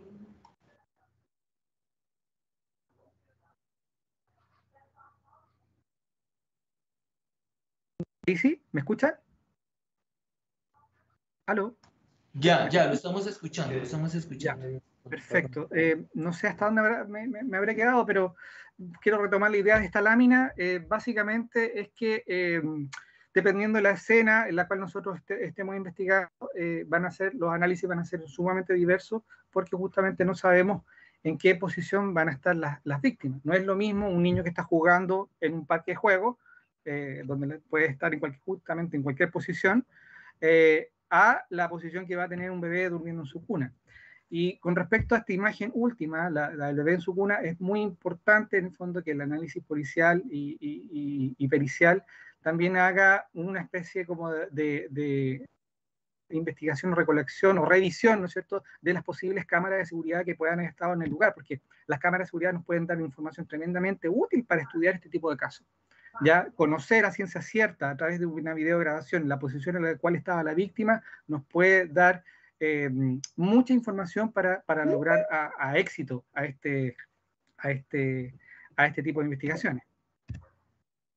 Ahora, eh, otra etapa de la investigación tiene que ver con la determinación de calibre, y aquí tenemos otras complejidades también. Eh, los análisis de determinación de calibre básicamente están en, en, consignar todo lo que son las características dimensionales de la bala, eh, y de forma, ¿cierto?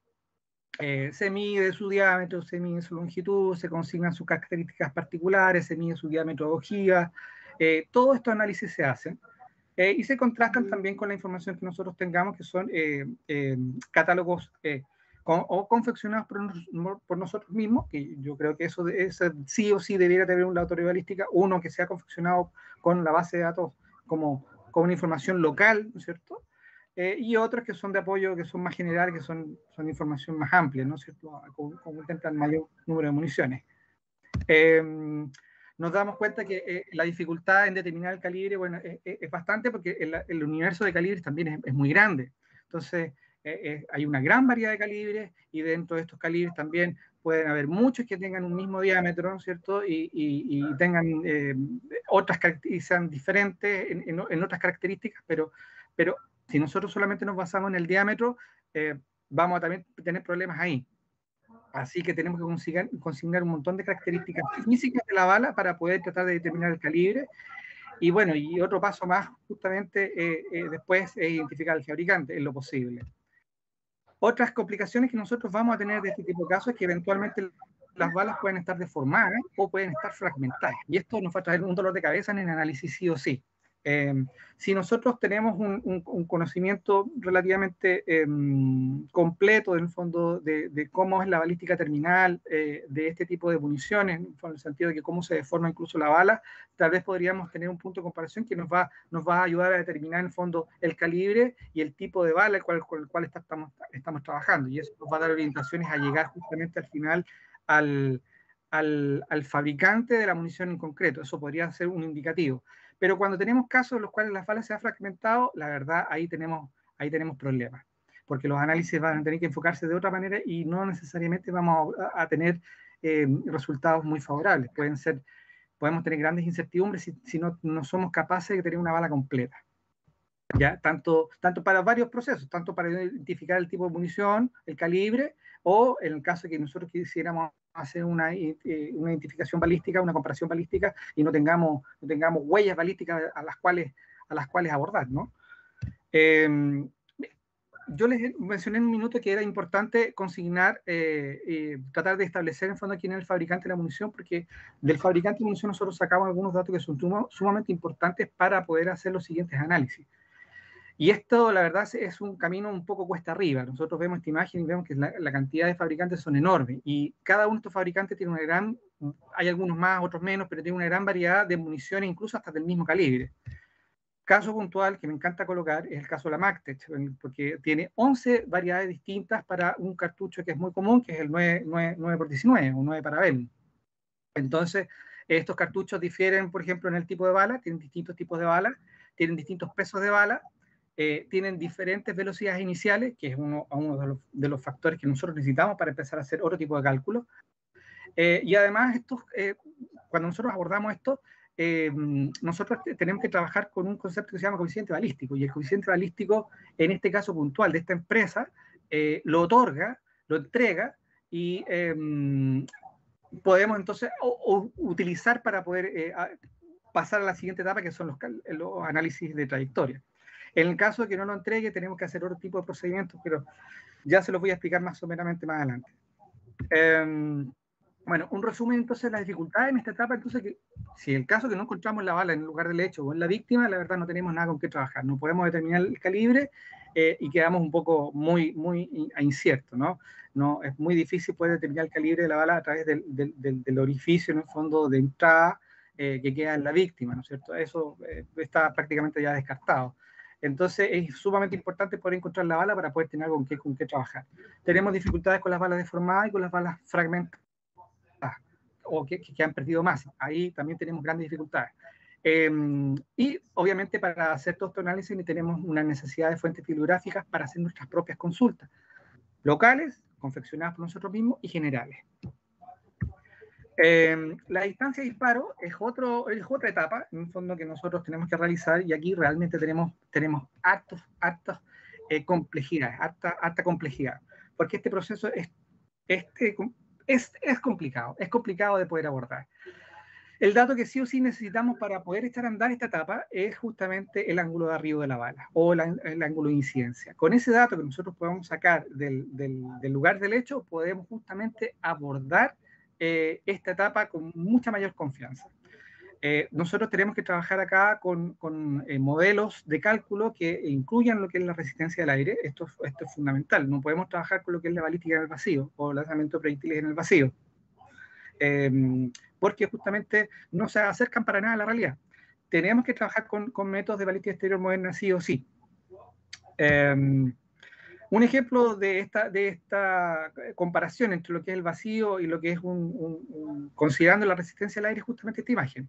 Nosotros acá tenemos dos curvas, una, parabólica perfecta, la curva roja, que fue calculada justamente en el vacío, y la otra curva azul eh, fue calculada con igual velocidad inicial y con el mismo ángulo de tiro en, em, eh, considerando la resistencia del aire.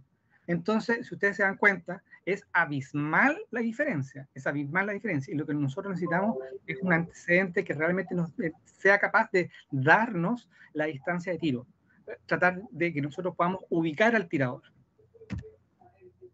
Otra de las características de, las, de las, trayectorias parabólicas, en, en, considerando la resistencia al aire, es que justamente no son tan parabólicas. Si bien se asemejan a una, a una parábola, pero la, verdad es que no. La parábola es una figura más bien simétrica. Y en el caso de la vía real, cuando nosotros consideramos una, eh, la resistencia al aire, las, las, las, trayectorias que se generan no son simétricas. Eh, el punto más alto de la trayectoria se encuentra alrededor de los 50, al 55% de lo, que es la, de lo que es la distancia de tiro. Entonces, eh, no es simétrico. No, no. Ah, se asemeja a una parábola, pero no es del todo simétrico. Otro elemento que nosotros tenemos en la trayectoria y que también son muy importantes analizar justamente son la línea de mira y la línea de tiro. En caso de balas perdidas, em, eh, la verdad es que esto pasa como un segundo plano, pero en el caso donde tenemos balas perdidas, donde las distancias son relativamente pequeñas eh, y no sabemos, no podemos determinar si los grados de intencionalidad, estos parámetros, línea de tiro, línea de mira, empiezan a tomar relevancia y nos permiten incluso eh, verificar en el fondo eh, si la persona realmente había apuntado o no había apuntado a la persona. ¿ya? Eh, ahora bien, ¿cómo nosotros trabajamos el tema del, del, del, de las trayectorias, ¿no es cierto? Trabajamos primero con una tabla de resultados que son las tablas balísticas. En este caso puntual aquí tengo una tabla balística 2-2, o sea, de 2 grados de libertad, que consideran tanto el alcance como la altura. Eh, una de tres grados de libertad consideraría derivas, ¿no es cierto? Eh, y eso implicaría que nosotros tendríamos que hacer alusión a la influencia del viento. Pero en este caso puntual partimos desde lo más simple, 2-2, donde en una primera columna nosotros, a ver si ustedes me pueden, me pueden ver, en esta primera columna tenemos la velocidad que tiene la bala, esta es la velocidad inicial de la bala, esto fue obtenido Una vez que ya identificamos la munición, sabemos, y identificamos al fabricante, esto fue, este es un dato obtenido desde el fabricante, 230 metros sobre segundo.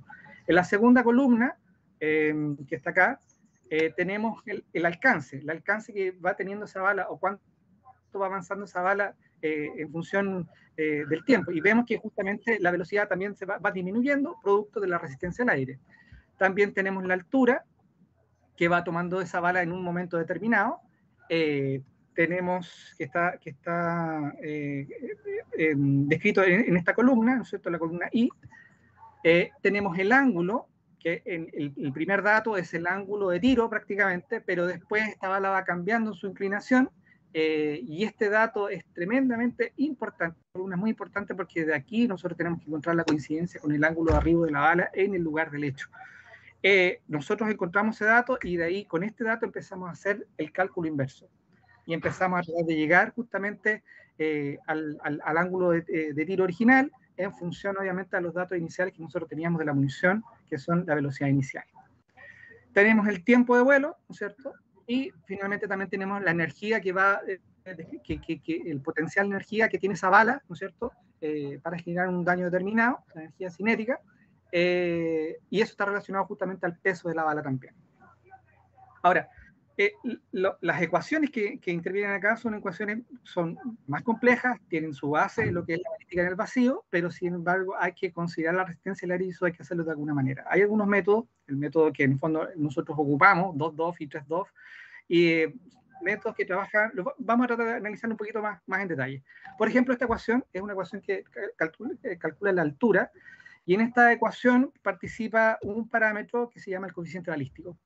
El coeficiente balístico ya, lo, ya se lo mencioné, e incluso en algunos fabricantes lo entrega eh, para, para, una munición y bala determinada. Dice, este es el coeficiente balístico. El coeficiente balístico es un parámetro que de alguna manera me relaciona el peso de la bala, su sección, eh, hace una relación con la densidad del aire, que sería mm, este parámetro que está aquí, ¿no es cierto? Eh, y hace una relación a este otro parámetro que se llama I, o coeficiente de forma.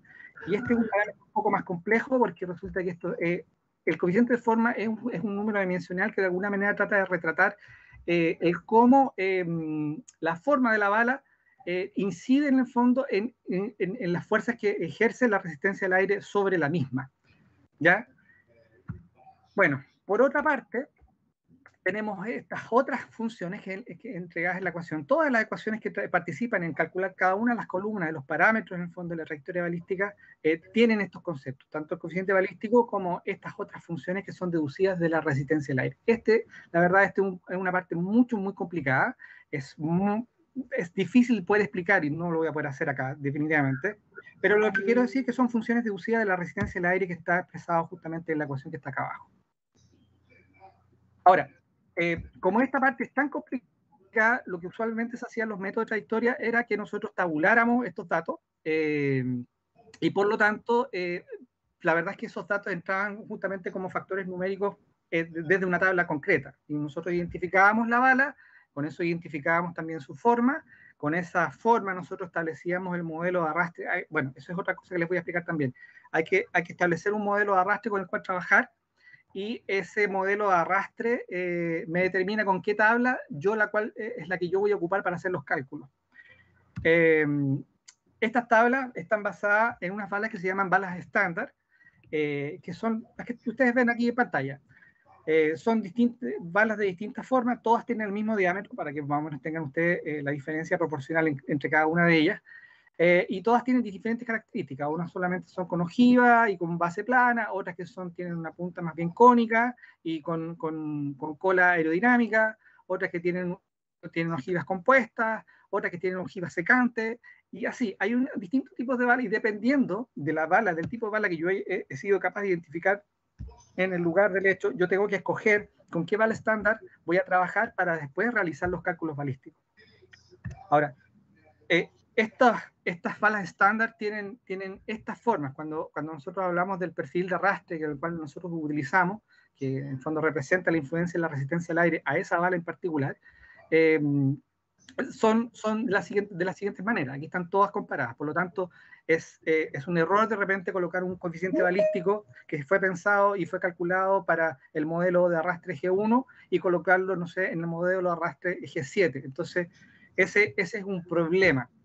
Eh, ¿Por qué les explico todo esto? Porque al final es parte de las dificultades del cálculo de, de, de distancia de tiro. Eh, donde justamente lo que nosotros necesitamos es establecer, eh, tratar de acercarnos a la realidad. O sea, cuando nosotros hacemos un, un cálculo de tiro o de distancia de tiro, lo que nosotros eh, hacemos en realidad es una estimación, porque siempre tenemos muchos factores los cuales nosotros no tenemos manejo. Por una parte, tenemos todas estas dificultades que tienen que ver con el coeficiente balístico, el factor de forma, con qué modelo, eh, con qué modelo eh, voy a trabajar. Eh, y por otro lado, tenemos, otros factores que son ambientales, que en caso del, de, del viento, y que si nosotros lo introdujéramos, o sea, utilizáramos un modelo 3DOF que utiliza viento, el panorama cambia bastante. Aquí esta imagen yo creo que se explica sola. Tenemos un punto de impacto de, un caso, esta es la trayectoria, ¿no es cierto? Este es el punto de origen. Y esta zona verde que, está acá es la zona que nosotros de alguna manera tenemos que entregarle a los investigadores policiales para, para buscar más, más, antecedentes. Porque eh, la verdad, si nosotros consigamos la influencia del viento, esta, esta, esta bala en su vuelo va a tener deriva y eso obviamente, si nosotros lo proyectamos hacia atrás, vamos a tener una amplia área en la cual se puede estar dando el punto de origen eh, del disparo. Entonces, eh, tiene, tiene su incertidumbre y eh, considerar el, la, mm, velocidad del viento por informes meteorológicos, si bien nos van a dar una aproximación, pero son solamente aproximaciones, eh, no son exactas. ¿ya? Eh, ¿Cómo está por el tiempo? Creo que nos falta un poquito, voy a tratar de apurarme con esto. Eh, bueno, en resumen de todo esto, quiero, eh, hay que identificar al fabricante para conocer los valores iniciales necesarios para comenzar los cálculos, ¿no es cierto? La velocidad inicial. Por otra parte, eh, tenemos que necesitar, eh, una vez que nosotros determinamos la forma de bala, tenemos que seleccionar el, mod el, modelo de arrastre con el cual vamos a trabajar, G1, G2, G5, G6, y determinar el coeficiente balístico.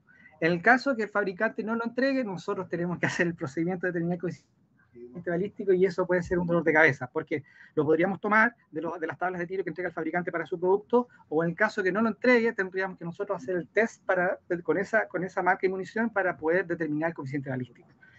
Y por otra parte, las dificultades en esta etapa es que la falta de información sobre el viento, eh, al momento del disparo, eh, aumentan las incertidumbres de los cálculos de trayectoria de a la distancia de tiro, ¿no es cierto? Eh, nunca vamos a tener un cálculo exacto, exacto, exacto, sino son estimaciones, pero estas estimaciones le van a dar al investigador policial un rango donde hacer la búsqueda de, de, otros antecedentes, ya sea empadronando gente o consignando registros audio, audiovisuales.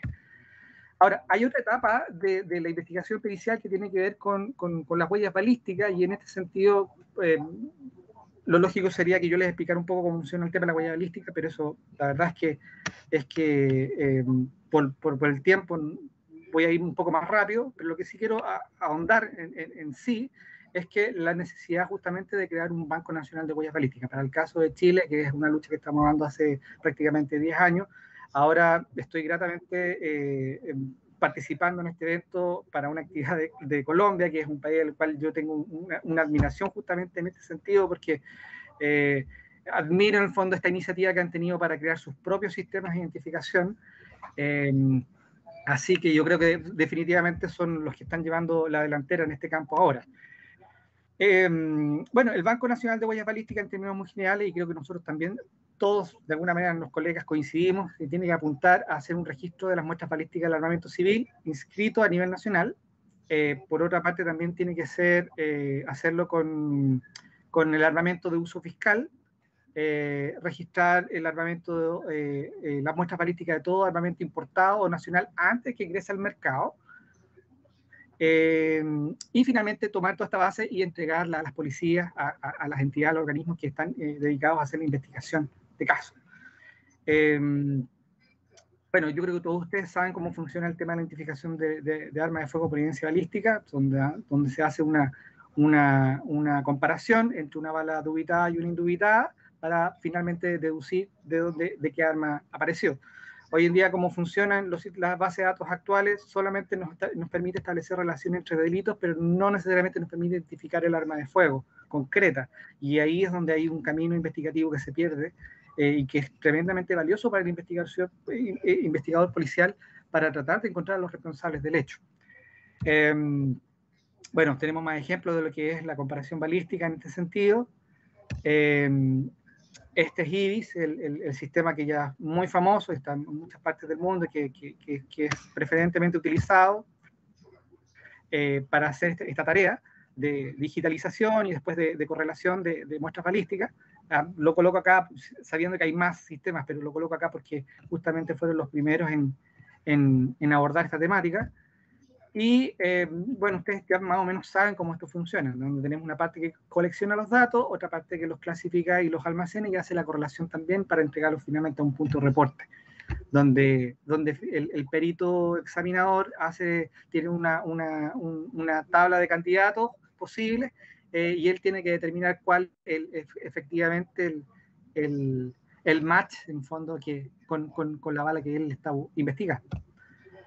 Y esto último que tengo acá es que, es que comentarles que a raíz justamente de todo el trabajo que nosotros hemos hecho en, en, en, en tratar de impulsar y promover la creación de un banco eh, de, de, una base de datos de, de, huellas balísticas, un banco nacional de huellas balísticas en, Chile, hay otros organismos que se han, eh, han, tomado el fenómeno de la bala loca, que realmente, o sea, la bala perdida, perdón, eh, pero que se entra, ha, entra.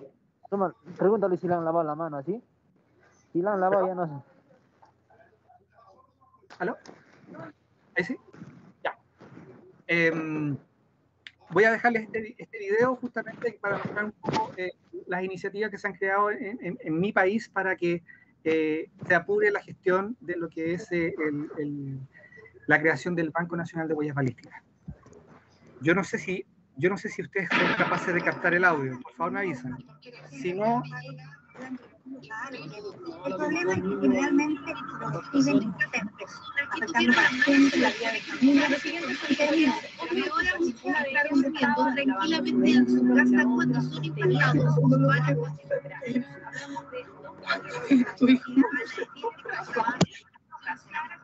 Tu hijo. Hay agujeros en el país se conocen en víctimas que son transportadas a las llamadas balas del mar, donde sus vecinos tienen un gran porcentaje de consumo.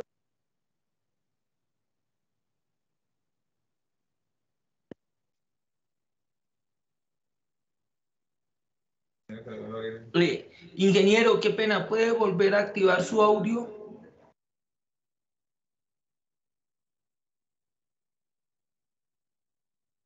Pero estaban escuchando el audio del video, ¿no? Sí, ingeniero, sino que había mucha interferencia. Ya, perfecto. Ya, ahí coloqué de nuevo el audio. Eh, voy a continuar, voy a poner, voy a continuar.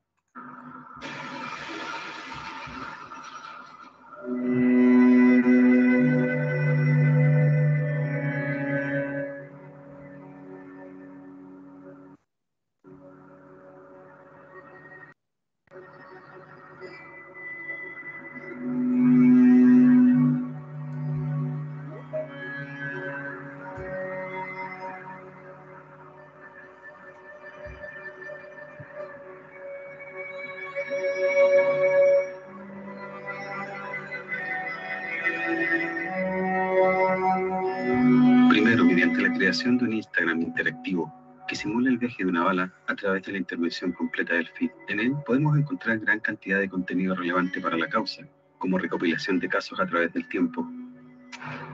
Sábado, dos niños que terminan baleados en la comuna. Argumentos técnicos desde el Colegio de Criminalistas de Chile. Hola, soy Rodrigo Marcos Quesada, presidente del Colegio de Criminalistas de Chile si no implementamos un Banco Nacional de Huellas y argumentos psicológicos abordando la experiencia postraumática. especialista en infancia y familia, ¿qué significa? Vivir en contextos vulnerables en donde abundan los. Además, el feed fue construido desde adelante hacia atrás para poder estar en constante actualización según aparecen nuevos casos.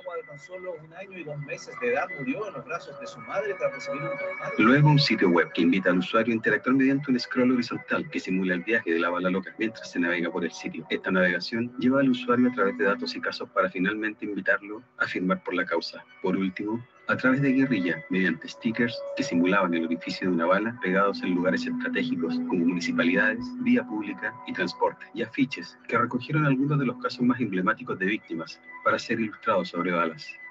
Al día de hoy, continuamos buscando presionar por la creación del Banco Nacional de Huellas Balísticas para terminar con la impunidad de las balas locas y apoyo psicológico de sus víctimas. Firma, comparte. Detengamos el vuelo de la bala loca. Bueno, ¿verdad? Bueno, y con eso quiero finalizar eh, esta exposición. Espero eh, les haya gustado y haber cumplido con los plazos de tiempo que eran bastante acotados. ¿Aló? Eh, licenciado, ingeniero, muchísimas gracias. Nuevamente retomo acá la moderación del evento. y agradecerle, ingeniero, tengo unas preguntas por el chat de YouTube. ¿Ya? Eh, me permito eh, eh, leérselas. Diana Isabel Rodríguez Gómez pregunta, ¿me puede explicar los impactos finales con trayectoria propia?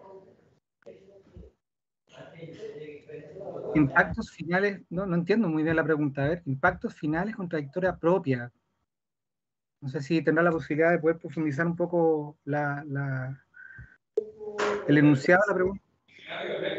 Sí, ingeniero, sí, yo le, yo le hacía la pregunta a ella por el chat que si nos podía aclarar, porque pues entiendo que no es muy, no es muy clara, pero pues no podía dejarla pasar por alto. Eh, hay otra pregunta de Ángel Hernández y dice lo siguiente, ¿bajo qué método científico, entre paréntesis, artículo científico de AFTE o de otra comunidad científica definieron el procedimiento de trayectoria? ¿Ese procedimiento ustedes lo publicaron en alguna revista científica? Si es así, ¿cuál?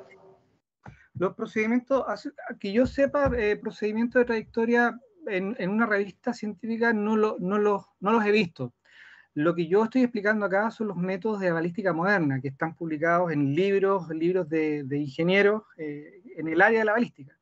Entonces, eh, mm, de alguna manera lo que nosotros hemos hecho, hemos tomado esos métodos y los hemos llevado al enfoque forense eh, para tratar justamente de resolver este tipo de problemas.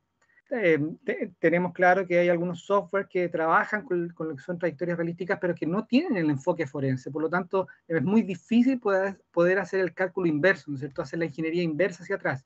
Por lo tanto, lo que nos toca a nosotros es tomar esos métodos eh, y del- del- de, los- de la información que se encuentra en el lugar del hecho, tratar de hacer ese cálculo hacia atrás. Y eso lo hacemos en fondo de manera manual. Yo no he visto por lo menos eh, software de balística exterior que tengan esa capacidad de, de hacer una, una- una- una- reconstruir una trayectoria.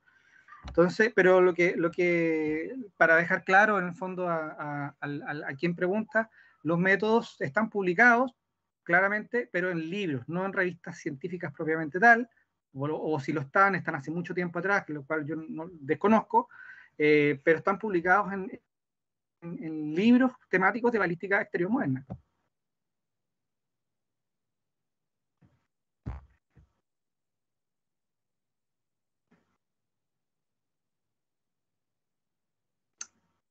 ¿Aló? Lo estamos escuchando, ingeniero, completamente. Sí, señor. Está bien, sí, lo que es que terminé de responder la pregunta. eh, creo, creo que creo que ya re- respondí cabalmente la pregunta. Sí, eh, eh, Ángel Hernández nos dice, ok, muchas gracias. Eh, ingeniero Héctor, agradecerles por, por su participación en este evento de la Policía Nacional de Colombia. Eh, nuevamente decir que es demasiado importante para nosotros poder enlazar estos lazos eh, con expertos y poder crecer nuestra, nuestra comunidad técnico-científica. Y qué mejor que contar con expertos como los que esta mañana nos han acompañado. Ingeniero Héctor, muchas gracias. Eh, vamos a darle paso a nuestro segundo, a nuestro siguiente exponente. Eh, nos pueden recordarles que nos estamos en YouTube en vivo por el, las redes oficiales de la Policía Nacional de Colombia y por la plataforma Microsoft Teams para los que nos estamos conectando. Ingeniero, muchas gracias. Gracias, gracias a ustedes por la invitación. Para mí es tremendamente grato haber participado en esta actividad. Bueno, continuando con, nuestra programación de esta jornada del día de hoy, eh, me permito presentar al licenciado Carlos Iván Verón de Argentina. Él es licenciado en investigación criminal de seguridad pública, es consultor del Programa Nacional para la Criminalística del Ministerio Público, la gestión de la escena. Eh, leyendo acá su, su, currículum es bastante amplio en, en temas de la criminalística. Ya en ocasiones anteriores yo he tenido la oportunidad de conversar con él. Lo conozco, sé su, su profesionalismo y él nos viene a compartir el tema, el rol de la balística forense en la investigación criminal. Licenciado, lo escuchamos. Eh, le cuento que en este momento estamos por YouTube, redes sociales de la Policía Nacional de Colombia. Estamos, tenemos 68 personas conectadas por esta plataforma y por la plataforma de Microsoft Teams a 140 personas conectadas. Lo escuchamos, licenciado Carlos Iván. Hola Jorge, ¿cómo te va? ¿Cómo andás? Un placer enorme eh, que hayan confiado en este humilde servidor para tal evento.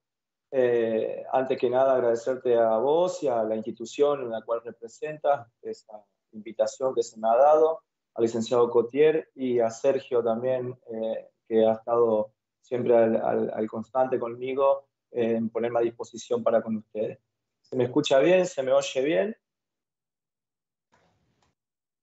Sí, licenciado, lo estamos escuchando perfectamente.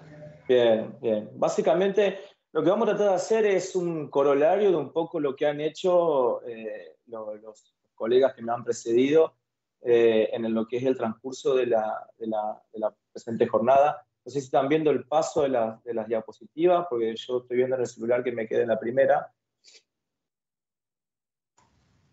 Sí, ya estamos viendo su presentación eh, por YouTube y por la plataforma Microsoft. Yo pasé a otra diapositiva. ¿Se vio el paso o no? No, no se ha cambiado. No se ha puesto en modo presentación acá lo que estamos viendo. A ver, tenemos de compartir ahora. Perdón, pero estoy con desde Teams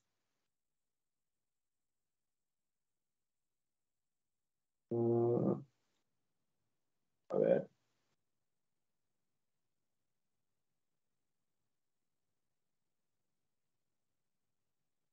Bien. A ver si voy con F5, si va y pasa. No, ustedes no están viendo la segunda diapositiva. Estamos viendo. Sí, pero ustedes están viendo una diapositiva nomás de una pantalla que quedó frisada ahí, no de la presentación. Estamos viendo la, la segunda slide de su presentación, pero no está en modo presentación, eh, licenciado. Bien, y ahí tampoco.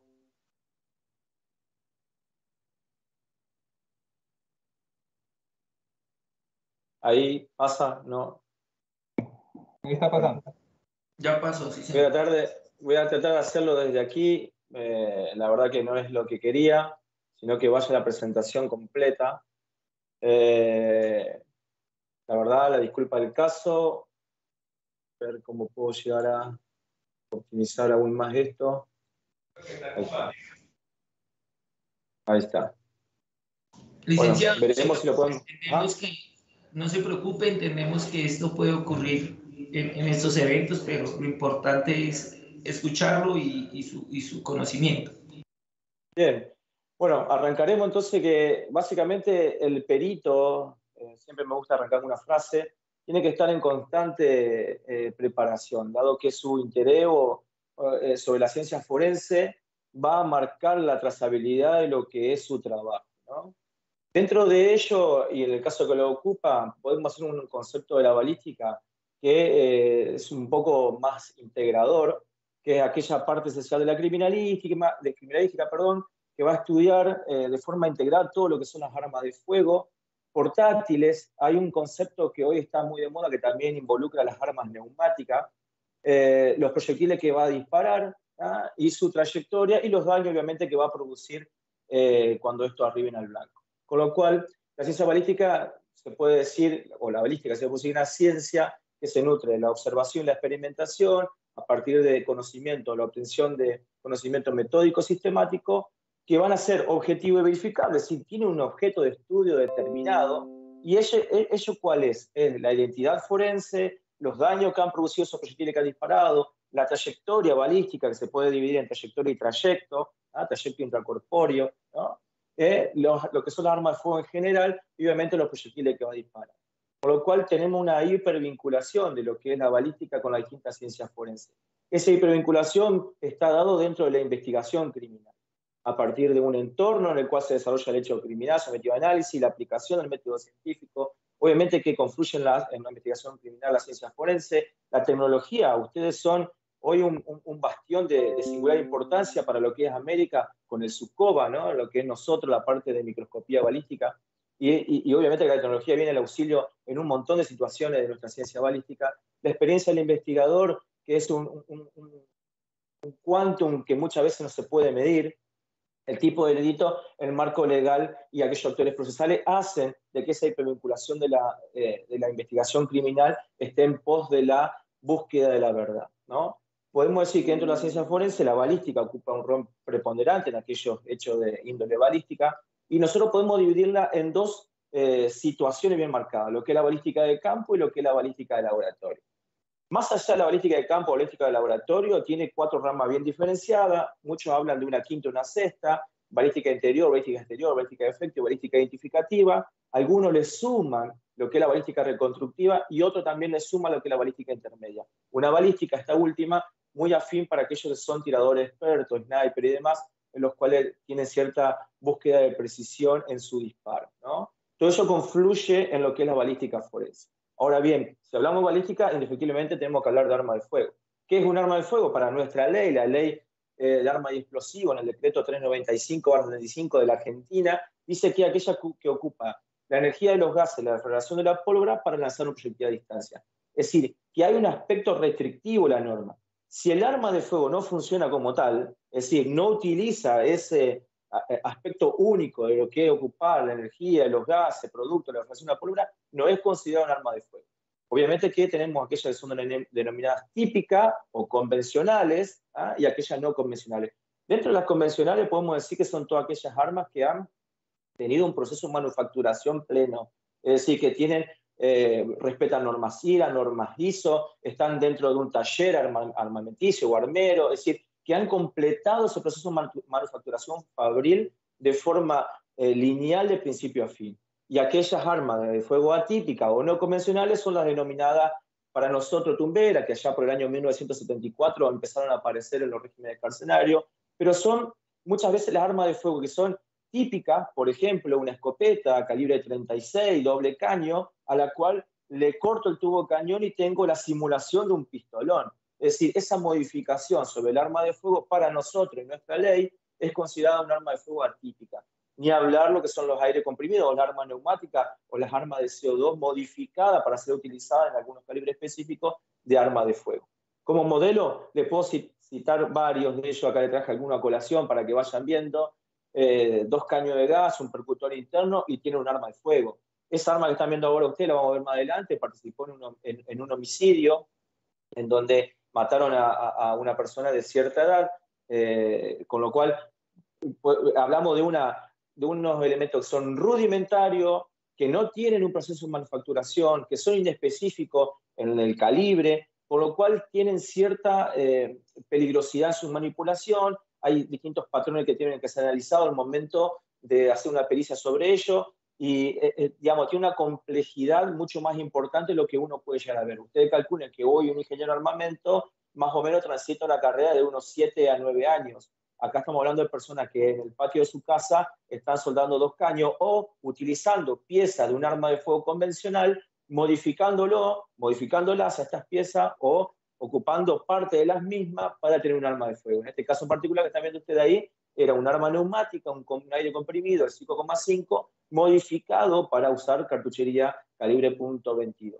Ahora, ¿qué es la investigación criminal? ¿Y cuál es el rol que va a tener la balística dentro de ello? Obviamente la investigación criminal es tratar de descubrir algo, perdón. Es tratar de realizar todas aquellas actividades propias de forma sistemática para adquirir todos esos conocimientos que me propongan una hipótesis concreta sobre una materia específica. Entonces, ¿cuál es la finalidad de la investigación? Básicamente es descubrir la verdad. Se investiga, se determinan quiénes son los participantes, con qué elementos, se recolectan y se conservan las pruebas, se identifican a los, involucrados, se aportan las pruebas al procedimiento, se trazan las distintas hipótesis, se reconstruyen las mismas, se emplea el método científico y se llega a lo que es la búsqueda de la verdad. En definitiva, lo que tratamos de establecer son buscar aquellas relaciones en las distintas circunstancias investigadas, a partir de aquellos indicios colectados, aplicando el método científico sin lugar a duda, trazando las distintas hipótesis que van a permitir la reconstrucción de ese hecho criminal. Con lo cual, la balística en un hecho de connotaciones eh, de, de tinte balístico va a tener un rol preponderante. Y dentro de ese rol preponderante se desprende como una de las ramas específicas de la criminalística. Ahora bien, no podemos hablar de investigación criminal y el rol que ocupa la balística sin la casuística. Y acá le traigo en, particular algunos casos para que podamos eh, trabajar en consecuencia. Este es un homicidio que ocurrió, yo estoy en este momento, estoy en mi despacho, estoy trabajando, eh, estoy en la capital la provincia de Entre Ríos, en la Mesopotamia de la Argentina, eh, a unos 500 kilómetros de Buenos Aires, hacia el norte.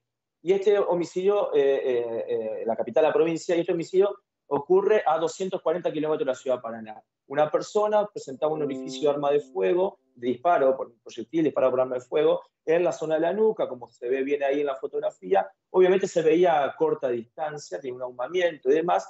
Dentro de la escena había, tenido una, había estado compartiendo esta persona con un, con un conocido, con un amigo, y eh, dentro de la escena encontramos un revólver calibre 38 largo, el cual estaba adentro de una bacha con agua constante cayendo, obviamente que para desvirtuar aquella posibilidad de toma de ADN, de de disparo y demás. En el devenir de la investigación, esta persona había estado con un amigo, habían estado compartiendo bebida alcohólica, un momento de ocio con otras personas, y eh, se determina, por en base a algunas lesiones que tenía en los brazos, eh, que podía tener alguna participación, dado que a, a Rosatelli, la, la, víctima, le habían robado una cierta cantidad de dinero, dólares y demás, que lo tenía en un mueble, entre el mueble y el techo, con lo cual para meter la mano y poder sacarlo ahí tenía que romper parte de ello y tenía escoriación en los brazos. Cuando lo estamos tratando, procesando el cuerpo del, posible imputado, que hasta la postre era un amigo que había estado ahí, se había ido y vuelve y estaba fallecido su amigo, así no había ninguna presunción en principio. Cuando estamos procesando el cuerpo, empezamos a ver la herida en los brazos y le encontramos unas virutas de madera sobre el pecho sobre el, los vellos del pecho. Esa viruta después fue procesada y nos dio eh, compatibilidad absoluta con la misma madera que estaba en el ropero que había roto esta persona y eh, que después a la postre le habían quedado residuos de la madera en el pecho al eh, imputado. Más allá de eso, se hace un allanamiento en la casa de Marcicano y dentro del allanamiento de Marcicano, acuérdense, teníamos un arma de fuego en el lugar del hecho y dentro del allanamiento encuentro en esa gaveta que está ahí un cartucho percutido en disparado. Es decir, tenía un accionamiento, pero era ineficaz. El percutor había golpeado sobre la cápsula iniciadora, la, el primer, ¿ah? la mezcla fulminante no se había iniciado por alguna deficiencia del mismo, pero le había trasladado su identidad forense. ¿La identidad forense de qué? Del arma que se había ocupado.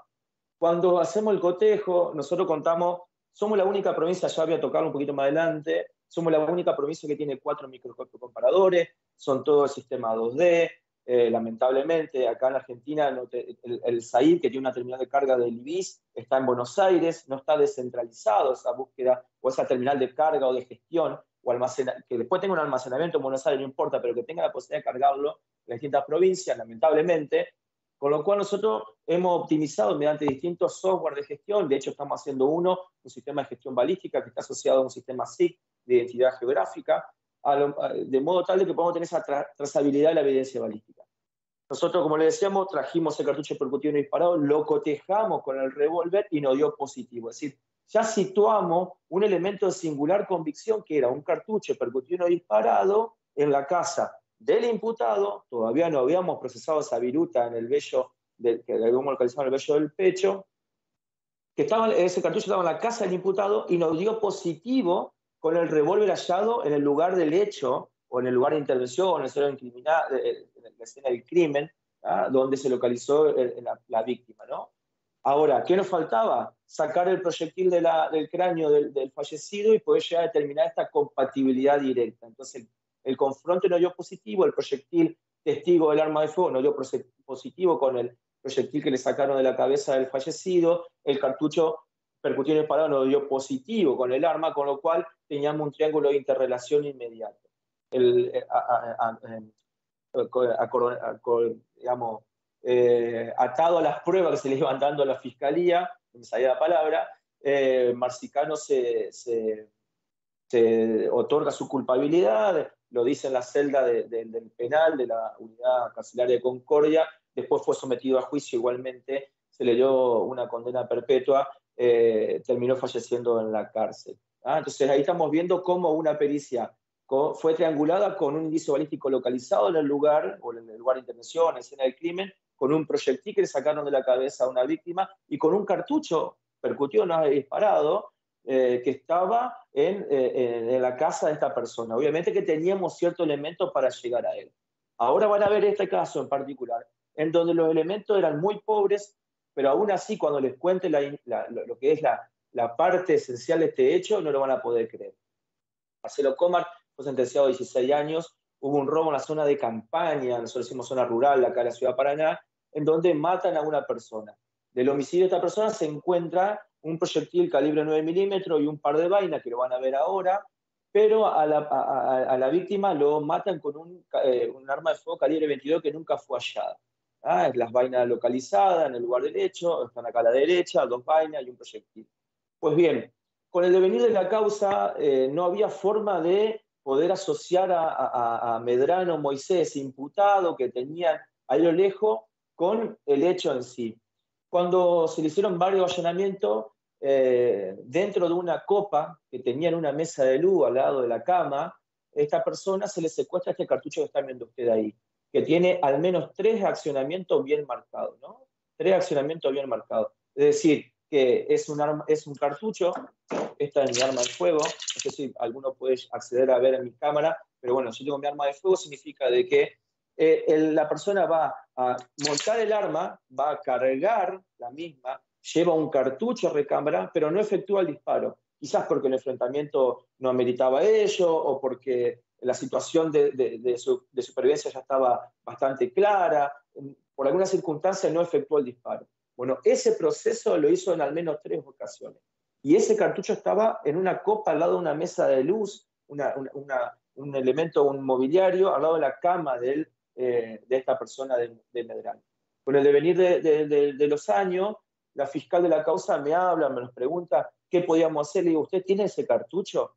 ¿Sabe qué? Ese cartucho así como está, trátelo, métalo en un sobre, tráigalo acá, no lo mueva, no, no hagan absolutamente nada, porque tenemos las vainas. Y si ese cartucho alguna vez estuvo en el arma de fuego, puede tener esas huellas de accionamiento que van a ser pasibles de ser cotejada, confrontada y a la postre determinar que hay una, eh, una, una relación de, metodológica, científica, de identidad forense entre lo que es la vaina servida en lugar del hecho y ese cartucho incriminado.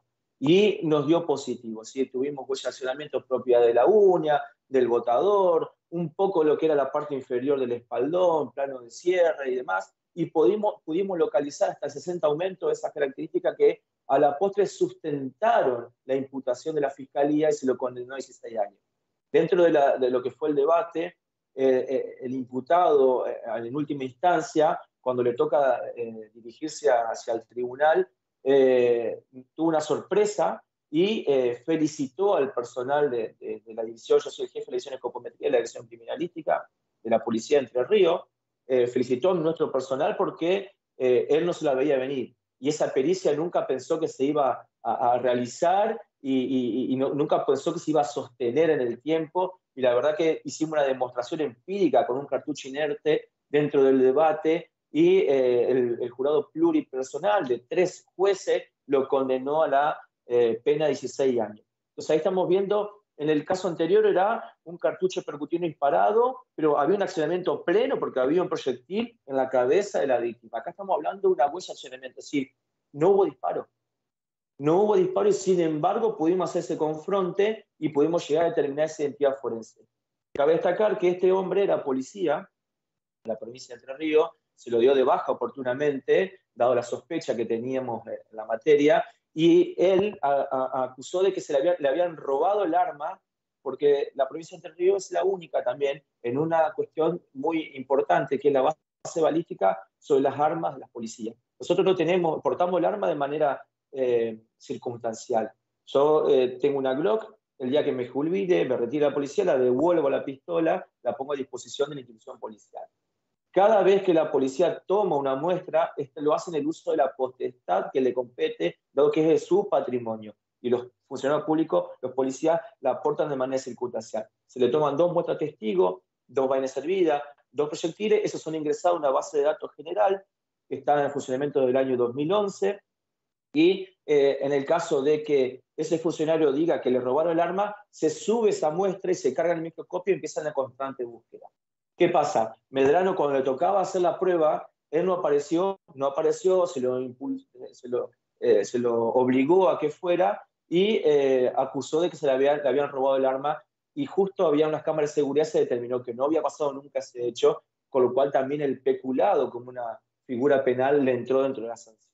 ¿ah? Entonces, eso viene a, a- a colación de que no teníamos el arma de fuego, pero sí un cartucho que lo logró unir con la vaina servida en el lugar. Este es un, un- un- homicidio de un bebé de 11 meses. Esta persona que está a la derecha eh, acordó 8 años de prisión, esto fue hace un par de años, en el 2015. Eh, esta persona se acerca a la casa de, de- de la familia Sosa eh, y, y Sosa y, y- y este muchacho era Palma de apellido, eh, y efectúa una cierta cantidad de disparos. Eh, había una desaveniencia de tinte personal entre una familia y la otra, y justo la- la- una chica pasa con un bebé en brazo ah, para tratar de guarecerse dentro de- desde una pieza hacia otra habitación, y un proyectil le perfora la, cabeza al bebé y lo mata en el lugar. Obviamente cuando nosotros fuimos, recolectamos cierta cantidad de vainas, esta persona, para, para tratar de- de- de llegar a un acuerdo abreviado con la Fiscalía, entrega esa arma que usted también ve acá, que es una FM High Power, modelo detective, es una marca de fabricaciones militares argentina, y este revólver. Cuando nosotros vemos las vainas en el microscopio, determinamos en forma muy inmediata, por marcas de clase específica, que estamos hablando de otra arma de fuego. Yo me comunico con el fiscal y le digo, mire doctor, esa, eh, busque una pistola, una Versa Thunder. Thunder 9 Pro o Thunder. En esa gama seguramente la vamos a tener. Es decir, nosotros fuimos orientando la investigación en la medida que analizamos microscópicamente esas vainas. Y el fiscal me pregunta por qué. Le digo, porque por las características que tiene, me permite determinar esas marcas de clase, más allá de la de su caso identificativa, orientar la investigación a que lo que salió utilizado era un tipo de arma en particular. Ustedes ven ahora una imagen que es traslado de la entidad forense, esa arma de fuego, y a la derecha ven todas versas consecutivas. Si uno lo, lo, lo analiza en particular, van a ver que tiene las mismas características que son propias del mecanizado, del trefilado, de la manufacturación de ese modelo. Y vamos a ver ahora que hay una, obviamente que van a hablar mucho después Javier, va a hablar sobre el AFTI, los distintos criterios, vamos a ver que hay algunos criterios ya establecidos en el GRC, pero eso es lo que nosotros tenemos que eh, eh, inculcar como peritos balísticos o como investigadores, la posibilidad, como recién lo decía eh, el ingeniero que me precedió, eh, de una huella balística, un Banco Nacional de Huella Balística que nos permita no solamente la, la identidad del arma de fuego, porque sería ya el- el- la frutilla del postre, sino orientar la investigación en la medida que busquen, como en este caso en particular, eh, una, una Versa Thunder, la cual se buscó, se encontró, la persona esta la, la, la entrega eh, para acceder al abreviado, y nosotros, yo siempre digo esto, contamos una historia a través de un arma de fuego. Esa arma de fuego había sido robada a una persona, eh, la cual había fallecido, el hijo viene, le dice, mami, eh, quiero portar el arma porque pertenecía a una fuerza de seguridad, quiero portar el arma de papi, eh, y tiene que estar en el ropero, va, la busca en el ropero, no estaba, no estaba, no estaba. La cuestión es que, bueno, hace la denuncia y el único hecho singular que había tenido esa familia es que dos semanas antes habían contratado una empleada doméstica, la empleada doméstica eh, luego se, se, se, dejó de ir a trabajar, no saben por qué, y es porque ya tenía en su poder un arma de fuego. Y esa arma de fuego es la que después se determinó que es la utilizada en el crimen. Se las presento. Esa Versa Thunder. ¿no? Entonces, como le decía, por marca de clase podemos llegar a determinar diferencias, sí, largamente. Nosotros tenemos establecido por lo menos 32 modelos distintos, obviamente que de cada marca específica, es decir, de distintas marcas, estamos trabajando con alrededor de 50 marcas distintas, eh, qué sé de Agdal, eh, de Taurus, de eh, Pietro Beretta, de Versa, de FM High Power, eh, los modelos Classic, Detective, es decir, hemos estado trabajando, ¿por qué? ¿Qué es lo que nosotros carecemos? Lo que ustedes tienen, señores colombianos, ustedes tienen un Sucoba, o lo que tiene la provincia de Buenos Aires, la Policía Federal con el, con el, con el SAIP, eh, o las terminales que puede ya tener con el Evo Finder, o mañana seguramente Javier le va a mostrar quizás lo que es el CIHUB o el Arfus ID. Es decir, nosotros trabajamos con metodología, con este análisis empírico de las muestras a partir de lo que el, GRC nos va a determinar, los distintos patrones que baja la ficha. Acá fíjense que hay una, una Glock modelo G1 o G4 en comparación con una Versa. Claramente las diferencias son radicales o bien como están, van a ver ahora, una 95 Classic con una Versa. Esta es una FM High Power, un, elemento de origen nacional, de fabricaciones militares. Ven como el trefilado del espaldón tiene curvas. Esas son características propias del mismo, de lo que es mecanizado de este, frente a lo que es Versa en ese trefilado que tiene líneas rectas, paralelas, verticales, si se quiere. ¿no? ¿Lo podemos cambiar? Sí, lo vamos a cambiar. ¿Y podemos mostrar otro? Sí, podemos mostrar otro. Esta es una Pietro Beretta FS 92. Entonces, podemos llegar a establecer una multiplicidad de características propias de lo que son las marcas de clase que me van a permitir, permitir orientar esa investigación. Y a partir de esa orientación de la investigación, yo le voy a determinar al fiscal o a quien tenga a su, a su cargo la, la, la investigación una información de singular importancia, que es decirle, escucha, tenés que ir por este lado. Es decir, te voy acotando el paquete de búsqueda de esa arma de fuego. ¿Cómo se determina la identidad forense de un arma de fuego? Y se determina a partir de la visualización microscópica de las características que va a dejar en, en, en los factores de análisis propio de la percusión, del accionamiento, por distintos principios criminalísticos, como son el de producción, el de intercambio, el de identidad, sin lugar a duda, el principio físico de acción-reacción, tercera ley de Newton. Es decir, tenemos muchos principios criminalísticos que vienen al auxilio de lo que es la determinación analítica de la entidad forense. Algunos dicen personalidad al arma de fuego, yo le escapo ese concepto porque no es una persona, pero sí es una cosa que le va a transmitir su, su identidad. ¿no? Una imagen tomada con boroscopio de esa misma arma de fuego, un tubo cañón, obviamente que el tubo cañón tiene toda esta característica propia de su identidad, por ahí sería eh, muy extenso si nos ponemos a hablar de lo que es la manufacturación de tubo cañón y demás, pero sí le traigo acá eh, lo que es el tubo cañón poligonal mejorado de una Glock G5.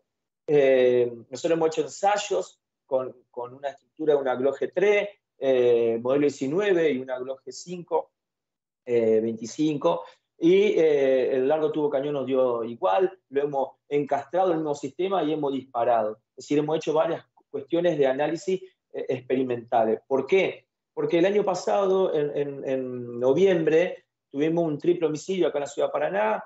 La verdad que fue un hecho de cierta connotación pública. Eh, para que ustedes se una idea, eh, Paraná tiene, nosotros tenemos alrededor de mil intervenciones al año, más o menos, tenemos jurisdicción en toda la provincia. Eh, lo que sí tenemos alrededor de 30 homicidios al año, con un, un, una resolución del 99% de los mismos. Eh, la verdad que es es un trabajo concatenado en la parte de investigación, de homicidios, de investigación en general, y nosotros de criminalística que aportamos nuestro granito de arena. Como dato de color, con respecto al nuevo tubo cañón mejorado, poligonal de la Glock G5, podemos decir que está recuperando alrededor de un 30% más de esos gases utilizados en lo que es la velocidad inicial que le va a trasladar el proyectil y con ello el alcance. Nosotros estamos probando una Glock G19 en alrededor de 310, 315 metros por segundo, cuando estamos hablando de una, de, una Glock G5 340, 360, 370 metros por segundo, como esta característica. Porque ese tubo cañón poligonal se lo está brindando. Un aprovechamiento aún mayor. Y eso, señores, es parte también de lo que es la balística dentro de la investigación criminal. Esta es la percusión de la Glock G5, seguramente ya la conocen. Cambió el diseño de lo que era rectangular o, es, o ese rectángulo que se veía del oído bien marcado, esa percusión centralizada. Ahora tenemos un oído más elíptico, parece una pera. ¿ah? Eh, no pierde obviamente algunas características propias de lo que es el diseño estructural, en lo que es lo, ergonómico, lo que es eh, la estructura genérica de la misma, pero sí ha ganado en algunas cuestiones como el grip y demás que son muy afines a, lo que es el tirador.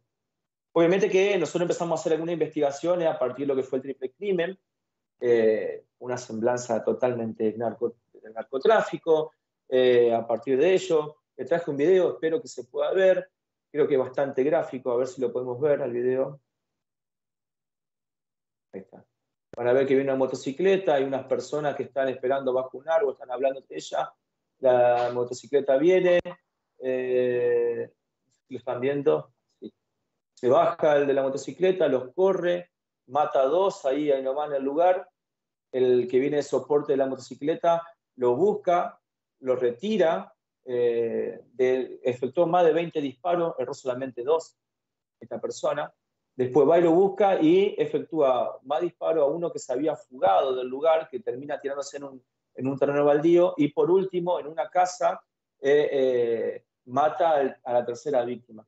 Obviamente cuando encontramos las vainas, nosotros lo primero que dijimos a, la fiscalía es eh, el arma que, utilizaron, justamente una Glock G5 en este caso en particular, obviamente que eso fue el puntal específico para que la investigación camine. Ahora, ¿qué es lo que nosotros necesitamos como balístico en una investigación criminal? Eh, eh, brindarle a la, a la, misma la investigación criminal la mayor cantidad de datos, ya sea de balística interior, exterior, de trayectoria. Eh, obviamente que tendrá su vicisitud en cuanto a los rebotes directos, indirectos, a la distancia de disparo, el tipo de arma. No es lo mismo un arma convencional a una no convencional y todas esas modificaciones que puede haber que ya dijimos, que ahora se voy a citar. Obviamente que Interpol trabaja con su IB, tenemos IBISA, por acá traje algunos software de lo que son aquellos que eh, le permiten esa base de datos y esa trazabilidad de la evidencia balística. Pero necesariamente tiene que haber una coordinación, una metodología de trabajo en procura de tener todo un mismo objetivo y que tengamos la posibilidad de ese acceso a la tecnología. Hoy en la Argentina se está dando el Seminario Nacional de eh, Policía Científica, de Criminalística, eh, y en balística se expuso sobre el, el SAIR, que es el Sistema Automático de Identificación Balística con el que cuenta la Argentina. Eh, lamentablemente, si no hay una, una, descentralización y que todas las provincias tengamos acceso a esa, a, esa posibilidad de cargar nuestras muestras, es muy complicado de forma logística. Ustedes tienen muy articulado, tienen más de 45 terminales de Sucoba, si no me equivoco, dentro de lo que es el, país. Yo he hablado con Jorge en su momento, estando en Buenos Aires, con intenciones de, ver la posibilidad de traer una terminal para acá. Obviamente que la pandemia nos truncó nuestro, nuestro sueño y bueno, empezamos a trabajar con este software de gestión eh, descentralizado, obviamente, con software de gestión de trazabilidad balística, poder asociarle distintos puntos de inflexión, eh, información en los hechos y a partir de eso hacer una trazabilidad de la evidencia. Eh, pero un cotejo o la posibilidad de que un cotejo balístico sea automatizado, ya lo dijo Todd Wheeler, te saca ese 18% de margen de error que tenemos nosotros, los operadores de, de, microscopio con una visualización 2D. Todd Wheeler fue muy específico al determinar esta posibilidad del margen de error en, esa, en, nuestro, en nuestra pericia.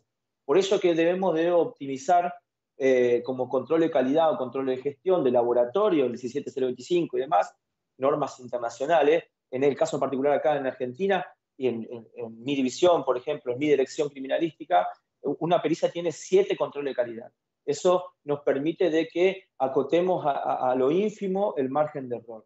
Y siempre en causas complejas, importantes, hace un meeting, una reunión entre distintos peritos involucrados y con, la, con lo que tiene la cabeza de gestión de la división o de la dirección, procura de brindar una información eh, lo más pulida posible, sin, eh, eh, sin vicios posibles en unidad, sin problemas con respecto a las formalidades, pero también a las cuestiones de fondo del conocimiento.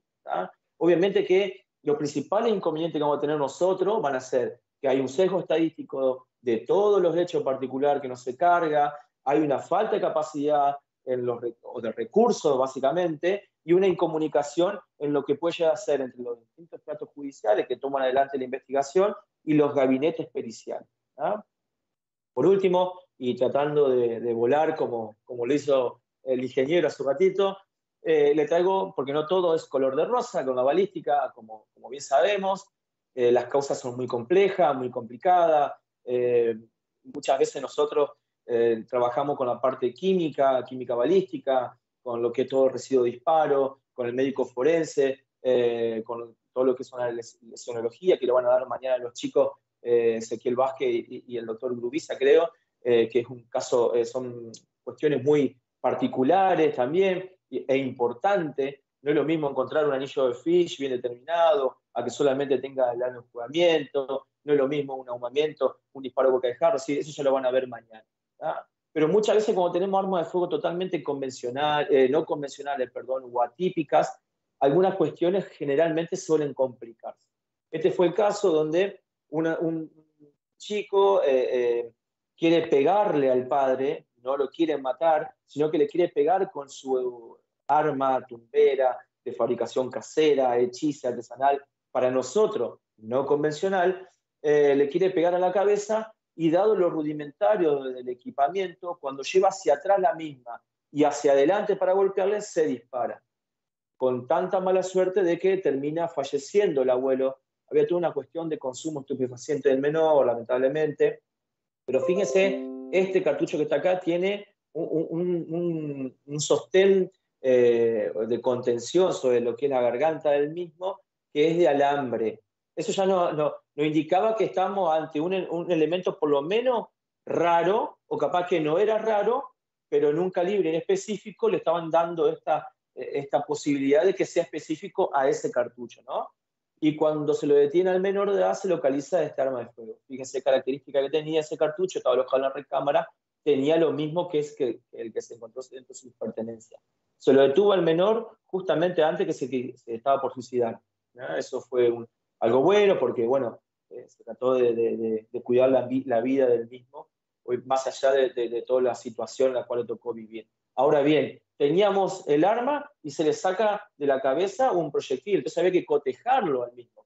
Y así, bueno, hicimos todo análisis, un montón de análisis experimentales sobre el arma de fuego, fíjense el percutor que tenía una aguja muy prominente, porque no es original, digamos, entonces dentro de esa no originalidad, usted calcule que esto está eh, medido, establecido por ingeniero en armamento, como le, como le dije hoy, y esto está hecho por una persona con un caño de gas, esto es un caño de gas por el cual se traslada gas, eh, gas natural comprimido. Pero bueno, del proyectil de, la cabeza de la, de la, persona, le sacan eh, este proyectil, perdón, de la cabeza de la persona y tenía que ser cotejado. Entonces, bueno, hicimos distintos disparos testigos hasta que logramos determinar esa característica propia de un paso, hicimos alrededor de 5 o 6 disparos, del paso que era el choque del proyectil en ese bamboleo, si se quiere, por la diferencia de diámetro, lo que era del proyectil a lo que obraba como tubo cañón, hasta que tuvimos una zona de contacto eh, hábil que nos permitió cotejar y tuvimos esta determinación. Es decir, que cerramos de que ese elemento, esa arma de fuego no convencional, había sido utilizada en el homicidio de esta persona. ¿ah? y le acercamos a la postre de la Fiscalía el elemento de singular convicción a los fines de determinar, más allá después de la determinación analógica de recibo disparo. En el apartado de la identificación de otros elementos que hoy por hoy, por lo menos en nuestro país, en México, pues hemos estado este, conllevando, ¿no? que son la, la aplicación de artefactos explosivos improvisados para comisiones delictivas.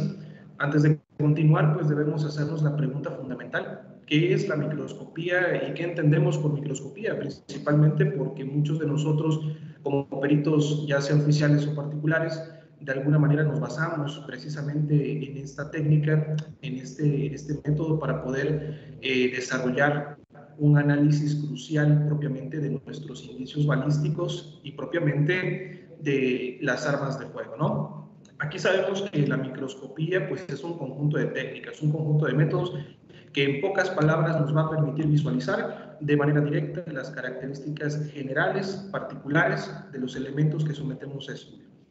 Y dentro de esos eh, métodos que contempla la microscopía como una herramienta de identificación, encontramos preponderantemente la microscopía óptica, la confocal, la electrónica de barrido, que hoy por hoy es una de las más viables precisamente para realizar análisis microscópicos de características cuantitativas de elementos no deflagrados, productos de un disparo por arma de fuego.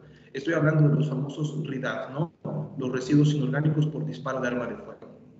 En esta particularidad, lo interesante de rescatar eh, de la microscopía, pues es que nosotros como peritos en balística eh, utilizamos esta herramienta o esta técnica con el fin de poder obtener información eh, macroscópica y microscópica, principalmente la microscópica, a efecto de, de, poder analizar elementos de clase, elementos de subclase, elementos como marcas, marcas particulares o individuales que conformen a esos criterios que nos permitan de alguna manera corroborar ¿no? la procedencia de la marca, la procedencia propiamente del elemento balístico y, por qué no, de las herramientas que fueron utilizadas para la elaboración de ciertos elementos este, eh, delictivos. ¿no? Partiendo de esto, lo interesante es conocer el concepto de herramienta. Y aquí me permito colocar dos conceptos fundamentales que me parecen bastante importante mencionar, sobre todo porque debemos aterrizar de dónde provienen esas marcas y sobre todo cómo se desarrollan en este sentido.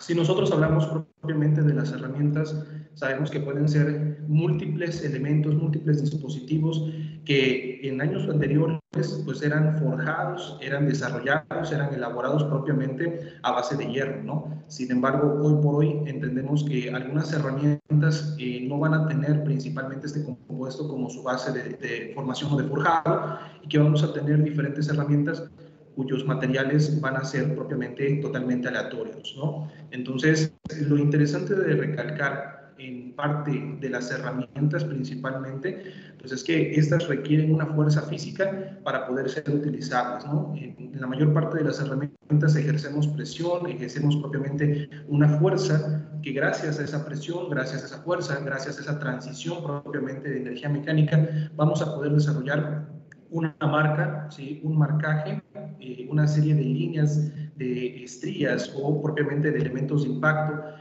que nos van a proporcionar información clave para establecer el origen propiamente de esa herramienta utilizada, si es que tiene relación propiamente con un hecho delictivo. Estas marcas de herramienta podemos nosotros conceptualizarlas y propiamente me permito colocar este concepto que de alguna manera traté de, encuadrar precisamente por la connotación de lo que tratamos de estudiar. Características físicas que pueden ser macroscópicas, que podemos visualizar de forma muy general sin la necesidad de la de un material óptico como lo que es un microscopio, pero también es importante entender que vamos a tener características microscópicas donde sí vamos a necesitar el apoyo de la microscopía a partir de las técnicas ópticas, confocales o electrónicos de barrido, dependiendo de la necesidad del perito por querer estudiar estas estas marcas, ¿no? Y sin embargo, cuando nosotros aplicamos la microscopía, evidentemente es para analizar esas marcas pequeñas, esas marcas diminutas, que nos pueden orientar sobre todo a determinar el origen o la procedencia de esa marca, principalmente cuando hablamos preponderantemente de elementos balísticos. Esta fotografía que nosotros tenemos aquí a la vista eh, nos muestra eh, preponderantemente un casquillo que creo que se nota ¿no? a la vista de esta diapositiva las marcas que se efectuaron propiamente en el culote del casquillo, propiamente, ¿no? Un daño considerable, que esto fue desarrollado precisamente porque el casquillo se atoró en la recámara del cañón y que propiamente el cañón presentaba un efecto de cobrización en su interior, generando un marcaje en el contorno del cuerpo del casquillo y para poder extraerlo se tuvo que hacer eh, apoyo o se tuvo que apoyar precisamente de una herramienta eh, muy poco convencional para extraer el elemento balístico. Entonces, aquí nosotros tenemos un ejemplo muy claro de cómo estas marcas, de forma muy general, se pueden apreciar sin la necesidad de la implementación de una técnica microscópica. Sin embargo, si nosotros queremos individualizar el origen de esa marca, forzosamente debemos apoyarnos propiamente de la microscopía para poder individualizarlas. Esto nos lleva propiamente a la identificación de las marcas de herramienta, ¿no? Y me permito compartir eh, un concepto de quien para nosotros en México pues es un referente eh, nacional y también internacional en la balística forense, el maestro Octavio Cibrián Vidrio, y que propiamente nos habla de que es un análisis empírico comparativo. Y hago énfasis en estas dos palabras, empírico a partir de la experiencia, de la formación, del adiestramiento que tenga el perito a efecto de poder ubicar, de poder clasificar esas marcas y sobre todo el adiestramiento, la preparación y el estudio que tenga el perito para poder utilizar esas marcas a efecto de realizar un examen comparativo que permita determinar en este sentido el origen de esta marca de herramienta. Como es prácticamente un área de oportunidad para todos los peritos en balística y sobre todo hablo aquí por mi país donde eh, algunos compañeros ya se están especializando en su mayoría en esta parte, hablamos de que la, la, examinación, la identificación de las marcas de herramienta forzosamente podría catalogarse como una ciencia, una ciencia que requiere de una metodología, de una técnica o de técnicas derivadas que permitan en este sentido el dar respuesta a la identificación propiamente de las armas de fuego y de herramientas que han sido utilizadas para la manufactura, la elaboración de ciertos dispositivos que tengan relación con un hecho delictuoso. Esto nos lleva propiamente a entender que existen dos proposiciones fundamentales que considero la mayoría de nosotros hemos escuchado o hemos manejado a efecto de poder realizar una comparativa en el campo. Hablamos principalmente de que la mayoría de los procesos de fabricación de herramientas de cualquiera de estos instrumentos implica forzosamente la transferencia de las marcas rápidamente eh, cambiantes, ¿no? que estas marcas pueden ser transitorias, que pueden cambiar dependiendo de los procesos a los cuales los elementos, tanto balísticos como eh, ciertas herramientas, se llegan a someter. Y esta característica pues nos da la, la, la idea de poder entender que existen marcas que se pueden llegar a efectuar o, este, elementos que se pueden llegar a efectuar por desgaste de las herramientas, por un exceso, una excesiva fuerza o compresión de, la misma herramienta sobre el producto y dependiendo también del tipo de material donde se desarrolle esa impresión o esa marca. ¿no? Hablamos también de ciertos residuos metálicos o metalizados que pueden llegar a generar una marca totalmente diferente entre ciertos patrones microscópicos y que puede llegar en algún momento a generar una variabilidad en la comparativa, buena microcomparativa. La mayor parte de las marcas de herramienta que nosotros hemos podido eh, ubicar o analizar en su mayoría, ¿no? ya sea dentro de elementos balísticos, principalmente pues tienen una relación proporcional con el desgaste propiamente del cañón, hablando específicamente de los campos y de las estrías, otros por corrosión hacia el mismo material o principalmente por un maltrato, un descuido o una falta de mantenimiento sobre eh, el soporte o sobre el material del cual estamos trabajando. Cuando hablamos de esta clasificación de las marcas de herramienta, inmediatamente debemos eh, entender que estas marcas, ya sea propiamente para la transición de elementos eh, prácticamente concordantes hacia elementos balísticos, hablamos propiamente de eh, ciertas marcas de impresión y de compresión. Un ejemplo muy referenciado que podemos tomar en consideración pues es la transición de la marca de placa de cierre, de obturador o del espadón de cierre de la, del, del, arma de fuego, principalmente de las pistolas o de las armas que tienen cerrojo, hacia lo que es la base del casquillo, que sería el culote, ¿no? Donde podemos apreciar esta característica de la marca propiamente del obturador. Hablamos también por compresión, que otras marcas pueden desarrollarse a través de la presión ejercida por la transición de la energía potencial, hablando desde el martillo percutor hacia la aguja percutora sobre el plano principalmente del primer o del fulminante que forma parte del elemento balístico, en este caso de un cartucho. Otras marcas que se pueden clasificar eh, por estriado rayado, principalmente una de las que nosotros conocemos con mayor abundancia, son la transición de las marcas de eh, el estriado del tubo cañón hacia los proyectiles disparados por armas de fuego, donde sabemos perfectamente que vamos a encontrar campos y estrías y que estos elementos, como ya vimos en ponencias anteriores, nos pueden dar información propiamente referente sobre el cañón, el tipo de cañón que se utilizó, la dirección propiamente del ánima correspondiente y eh, aplicando propiamente apoyo de la guía GRC, pues podemos establecer en algunas características pues el tipo de arma, eh, fabricación y modelo que se pudo llegar a utilizar eh, en relación a las características microscópicas y metalúrgicas que se aprecian en el cuerpo propiamente del proyectil.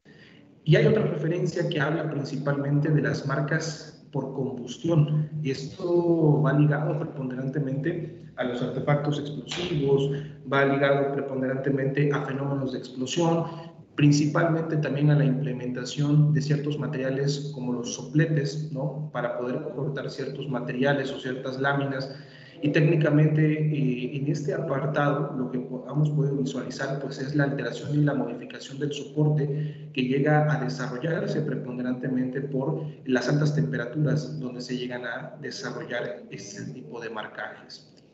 En el caso de las marcas de interés forense en elementos balísticos, pues propiamente recordando lo ya mencionado, elementos eh, relacionados a los campos y las estrías ubicados principalmente en los proyectiles disparados por armas de fuego, hablando propiamente de las marcas de obturador, las placas de cierre, como las conocemos aquí en nuestro país, principalmente pues la transferencia de las marcas por efecto de la presión o de la compresión entre un plano más resistente a un plano menos resistente que permitirá una transición de marcas negativas a marcas positivas. ¿no?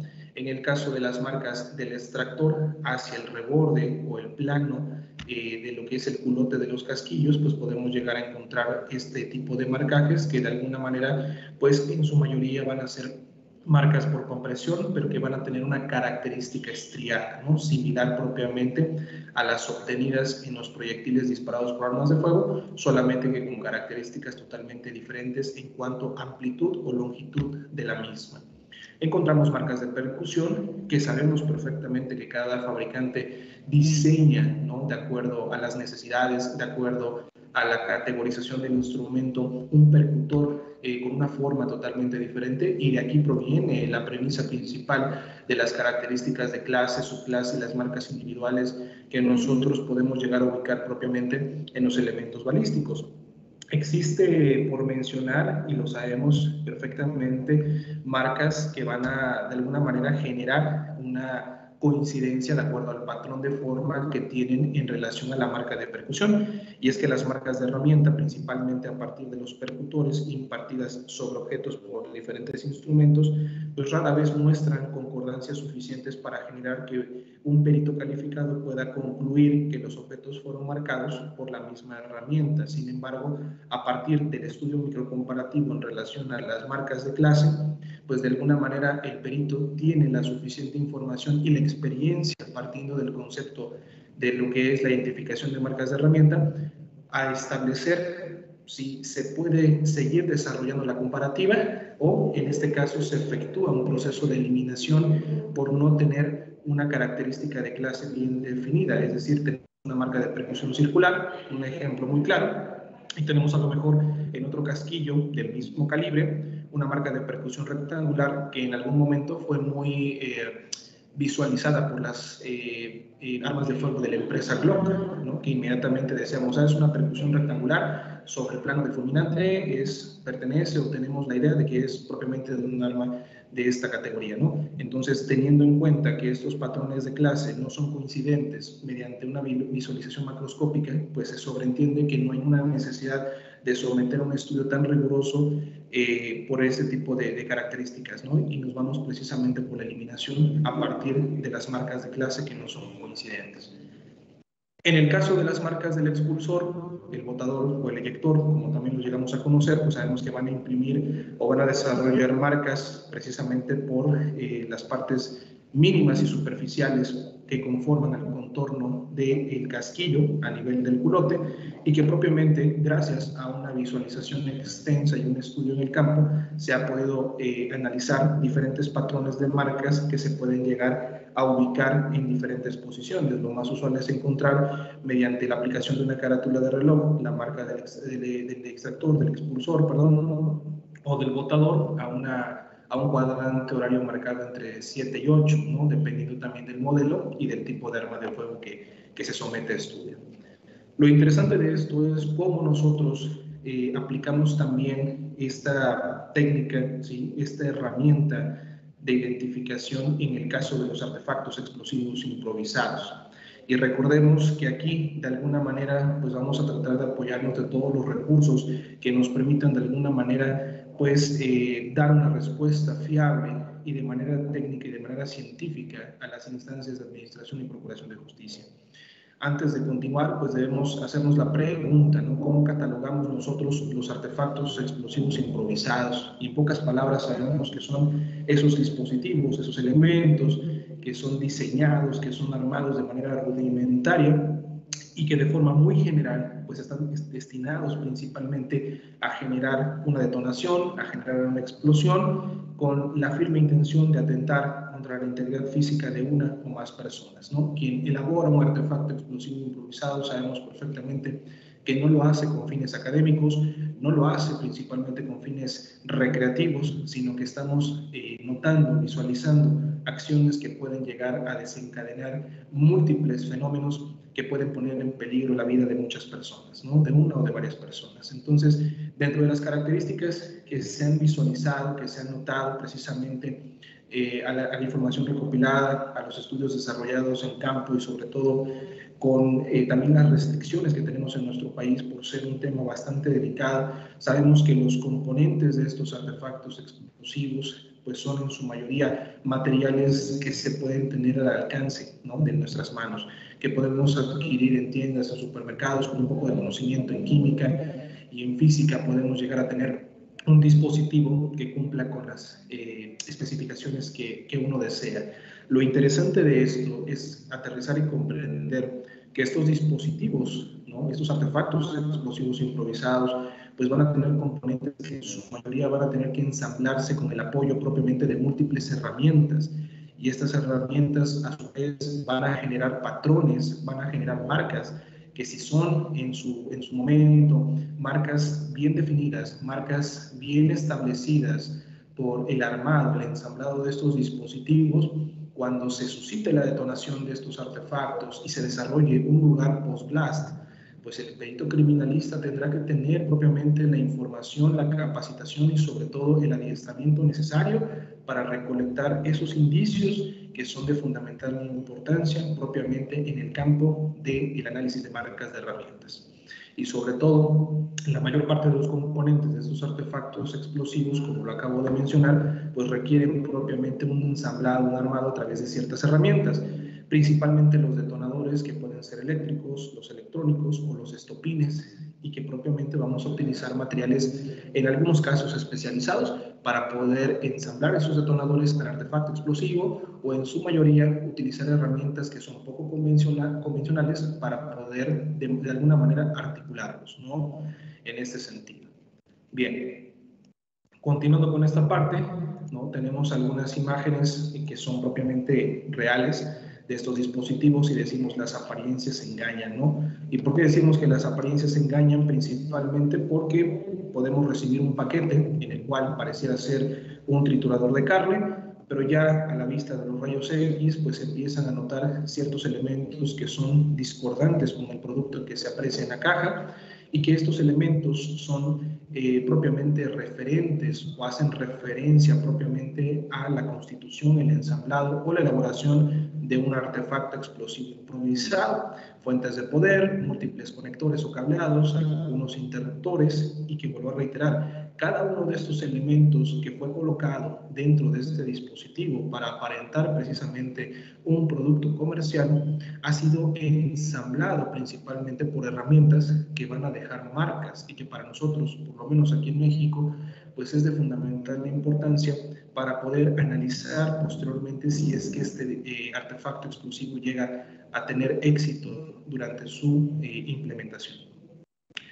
Hemos tenido también algunas referencias sobre la implementación de este tipo de latas, ¿no? algunos eh, dispositivos que son caseros en su mayoría y muy rudimentarios, donde sobresalen lo que parecen ser cerillos electrónicos y eso también es importante de mencionar porque todo, todo lo que se utiliza para elaborar un artefacto explosivo improvisado de manera muy meticulosa, pues ha dejado una que otra marca que pueda de alguna manera pues apoyarnos en el análisis comparativo de las herramientas de las cuales se sospecha que fue ensamblada. Y técnicamente en este sentido, porque nosotros hemos utilizado ese tipo de, de, materiales para las instrucciones propiamente en materias de incendios y explosiones de manera científica, pues se han encontrado este tipo de dispositivos donde sobresalen los cerillos electrónicos que lejos de fungir como un sistema de inicio, prácticamente es un sistema de detonación a distancia mediante la colocación de cables dipolo y una fuente de poder de 9 voltios, ¿no? Todo por transición de corriente eléctrica de, una, de un bajo voltaje, pero que es fundamental para activar o detonar materiales explosivos como la pólvora negra, que es la carga principal que se ha llegado a utilizar y que se ha llegado a encontrar en ciertas notificaciones por amenaza de bomba. Esta es otra vista previa propiamente de los fósforos eléctricos o de los cerillos eléctricos, lo que genera mucha curiosidad y sobre todo quien ha tenido la oportunidad de ensamblarlos hacia un dispositivo explosivo, a lo mejor con fines académicos, principalmente para el adiestramiento y el análisis criminalístico del lugar post-blast, no me dejará mentir.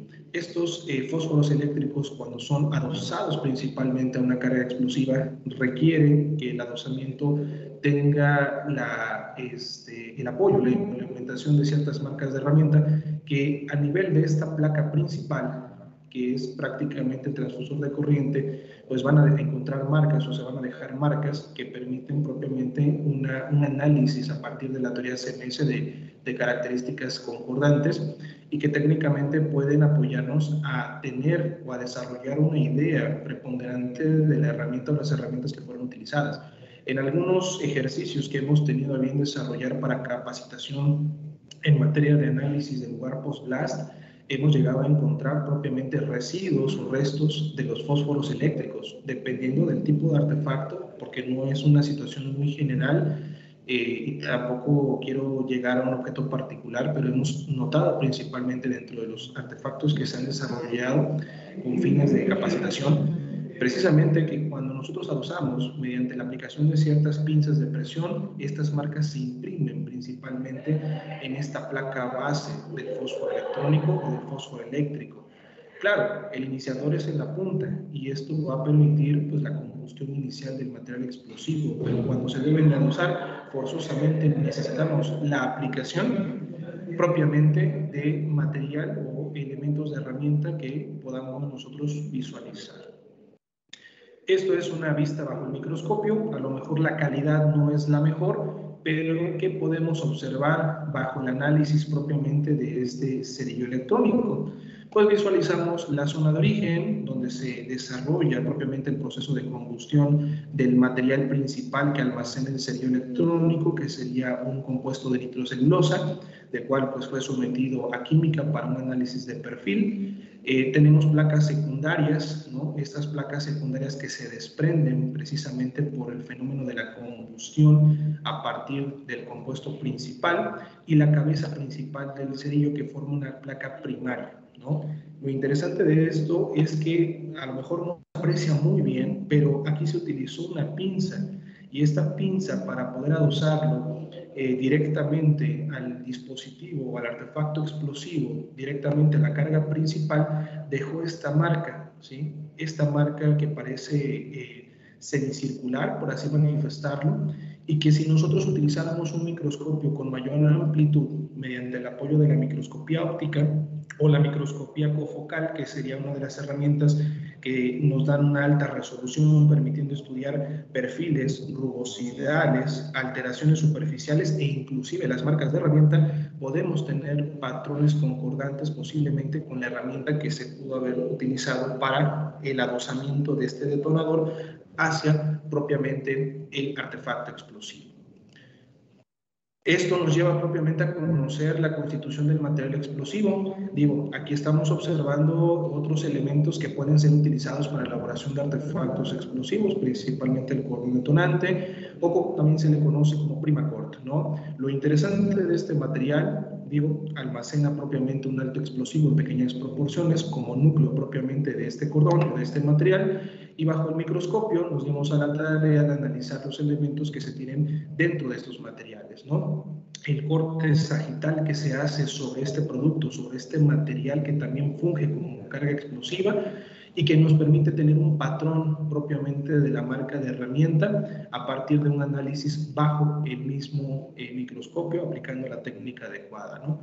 En este sentido, observamos las microfibras de PEN, pentrita, un alto explosivo en pequeñas proporciones, la cubierta plastificada técnicamente que se aprecia y que permite de alguna manera que el material sea... Eh, impermeable de alguna manera, que, no, que la humedad no pueda traspasar con facilidad hacia la carga principal o a la carga base y que propiamente es factible para ser utilizado en eh, situaciones donde se requiere sumergir ese tipo de materiales. Claro, por prevención en algunas circunstancias para eh, ciertas capacitaciones y no incurrir propiamente en el daño, la alteración, la modificación del material explosivo, pues muchas veces este material se sella mediante la aplicación de cinta de PVC o cinta termostática, ¿no? la cinta de aislar que conocemos comúnmente.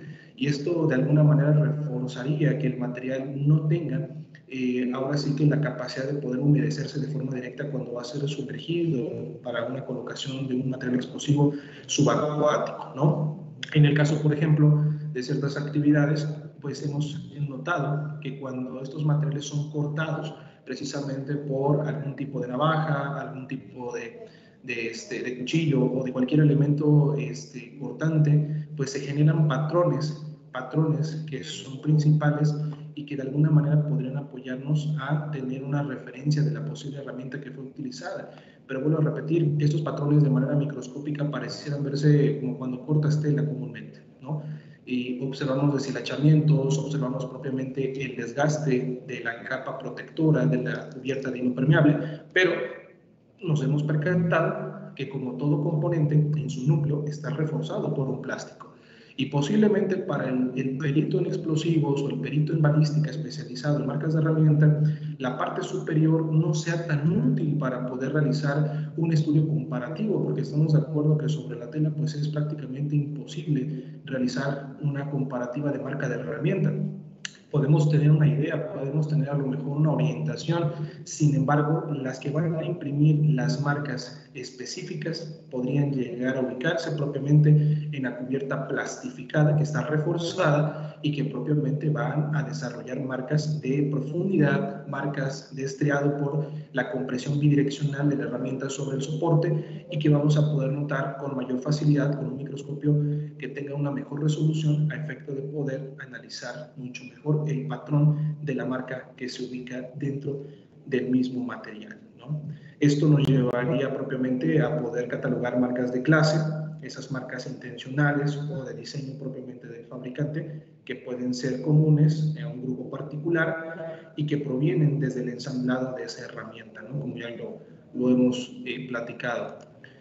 Dentro de la generación y elaboración de estos artefactos explosivos, ¿no? de los que se han tenido también notificaciones, pues siguen habiendo latas, pero un poquito más sofisticadas, en las cuales pues se aprecian propiamente detonadores del tipo eléctrico, que estos forzosamente deben ser adosados a cables bipolo de corriente o de continuidad eléctrica, que funcionan muy sencillamente con fuentes de poder de, de, de 9 volts, y que técnicamente para ser adosados propiamente a estos cableados, ¿no? Necesitan ser engarzados por un engarzador que prácticamente tendría la forma o la característica de una pinza, pero que ese tipo de elemento va a imprimir una marca. ¿no? Aquí estamos observando mediante estas flechas las referencias que nos hacen alusión a la fuente de poder, al detonador con las características explosivas y la carga principal que ah, mediante la aplicación de los rayos X pues nos dan propiamente una referencia de, de acuerdo a la coloración a una carga principal eh, similar a la pólvora, ¿no? con otros compuestos combinantes. Estos detonadores, de los cuales vimos en esta placa radiográfica, pues nos dan la idea propiamente del patrón de continuidad que tiene la marca cuando lo imprime sobre el soporte bajo el cual fue implementado o utilizado y técnicamente vamos a encontrar estas marcas algo similares a las estrías propiamente en los proyectiles disparados por armas de fuego.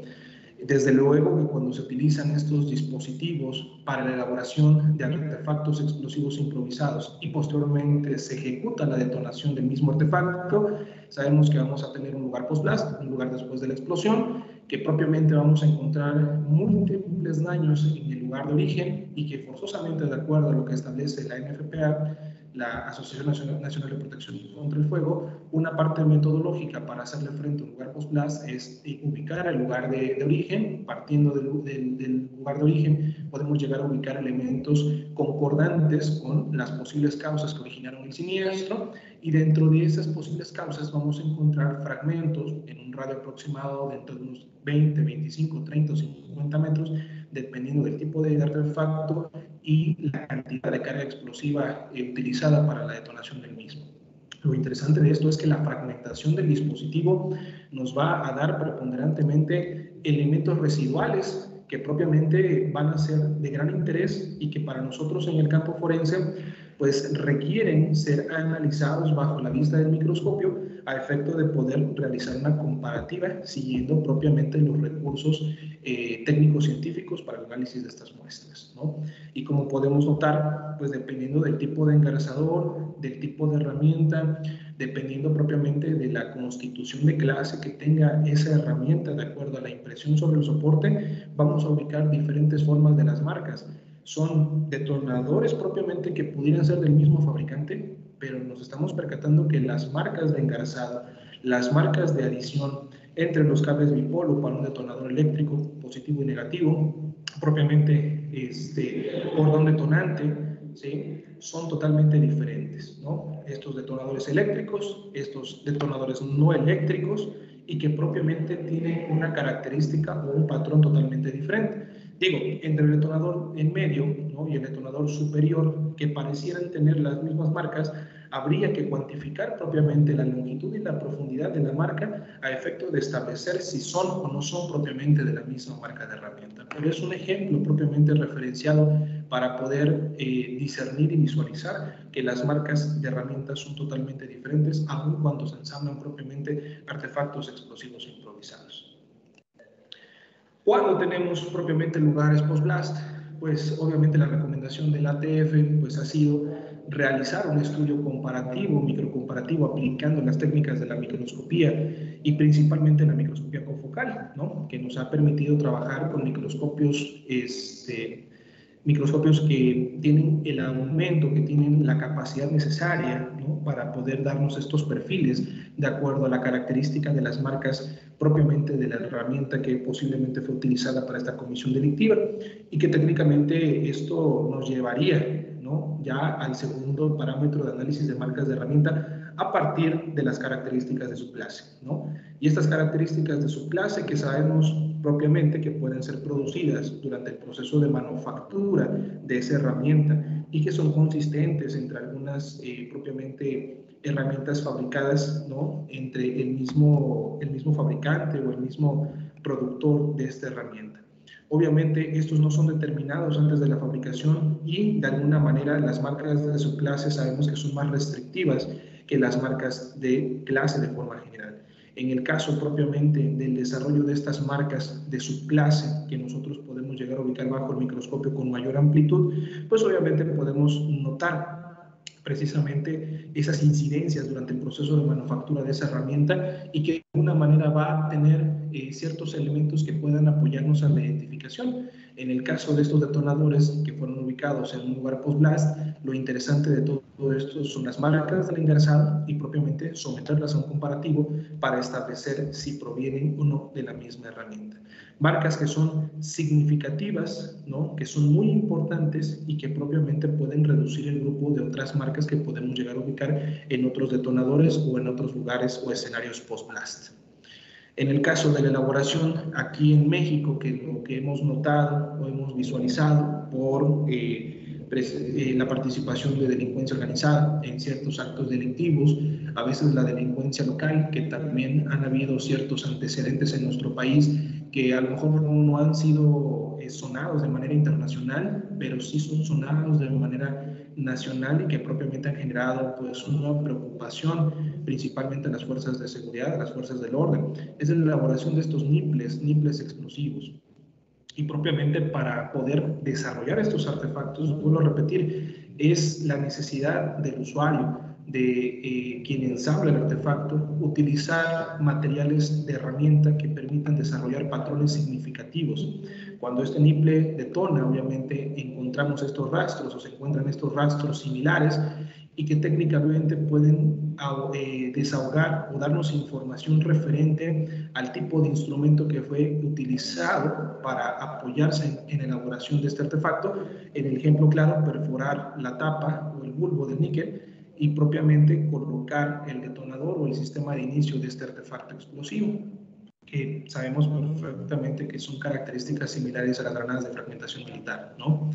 Algunos dispositivos que tienen características similares y que vuelvo a repetir, en el ensamblado vamos a encontrar ciertas marcas que son relevantes, que van a ser referenciadas a las herramientas y principalmente estos niples que aquí en México se han llegado a utilizar para, por ejemplo, eh, detonar en el caso del año 2013, si no me equivoco, un Exibus, ¿sí? prácticamente también la colocación de un niple bomba para poder detonar un cajero automático, extraer dinero, y entre otras circunstancias que se han tenido, pues también notificaciones de estos dispositivos.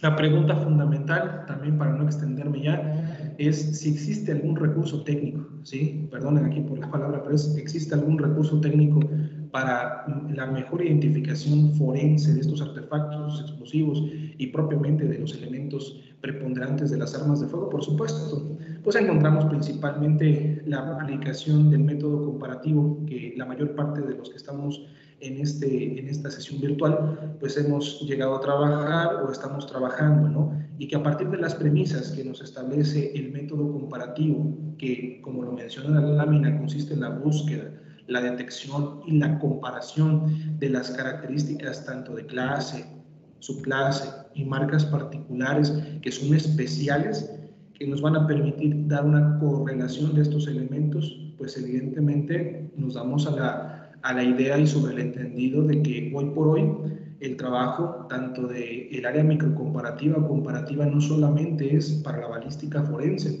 sino también precisamente para la identificación de los artefactos explosivos derivado del estudio de la ciencia, de la técnica, de las marcas de herramientas, de la identificación de las marcas de herramientas.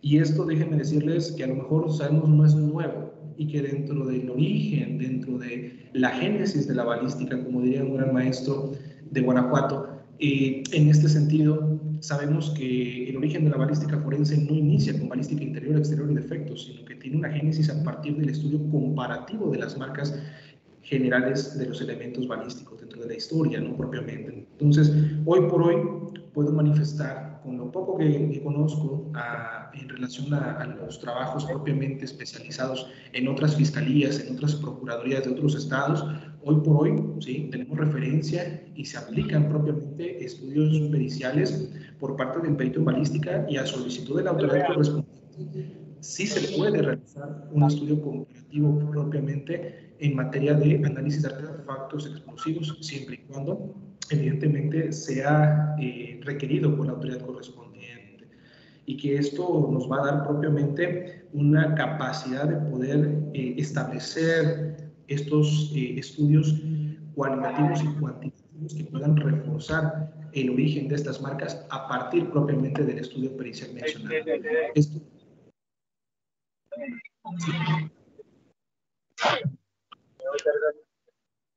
Esto nos lleva eh, preponderantemente a la teoría de la AFTE, ¿no? Ya para finalizar, ¿no? La teoría de la AFTE que nos establece los tres principios de identificación balística y que también versan sobre las marcas de herramienta a partir de la identificación a partir de la y a partir de la concordancia basada en experiencia científica. La identificación de, balística, la identificación microcomparativa de las marcas de herramientas se basa preponderantemente en esta coincidencia de patrones. Y propiamente esta coincidencia de patrones no depende de la memoria. Sabemos que se realiza en tiempo real, a visualización de perito sobre el microscopio, utilizando propiamente materiales especializados que nos den la pauta de observar estas marcas.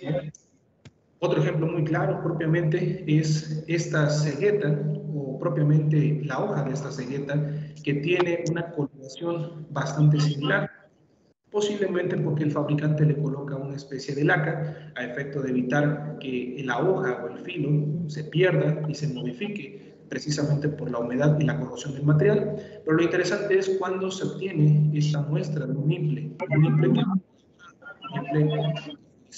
precisamente para fines de elaboración de artefacto explosivo. Vemos estas líneas consecutivas, ¿no? que a lo mejor por la calidad de la imagen no podemos hacer en este momento, pero lo interesante es analizar el patrón de arraigado, ¿no? principalmente por la acción de corte del soporte de la hoja hacia el soporte y la transición propiamente de la pintura de esa imagen sobre el plano donde se realiza propiamente el.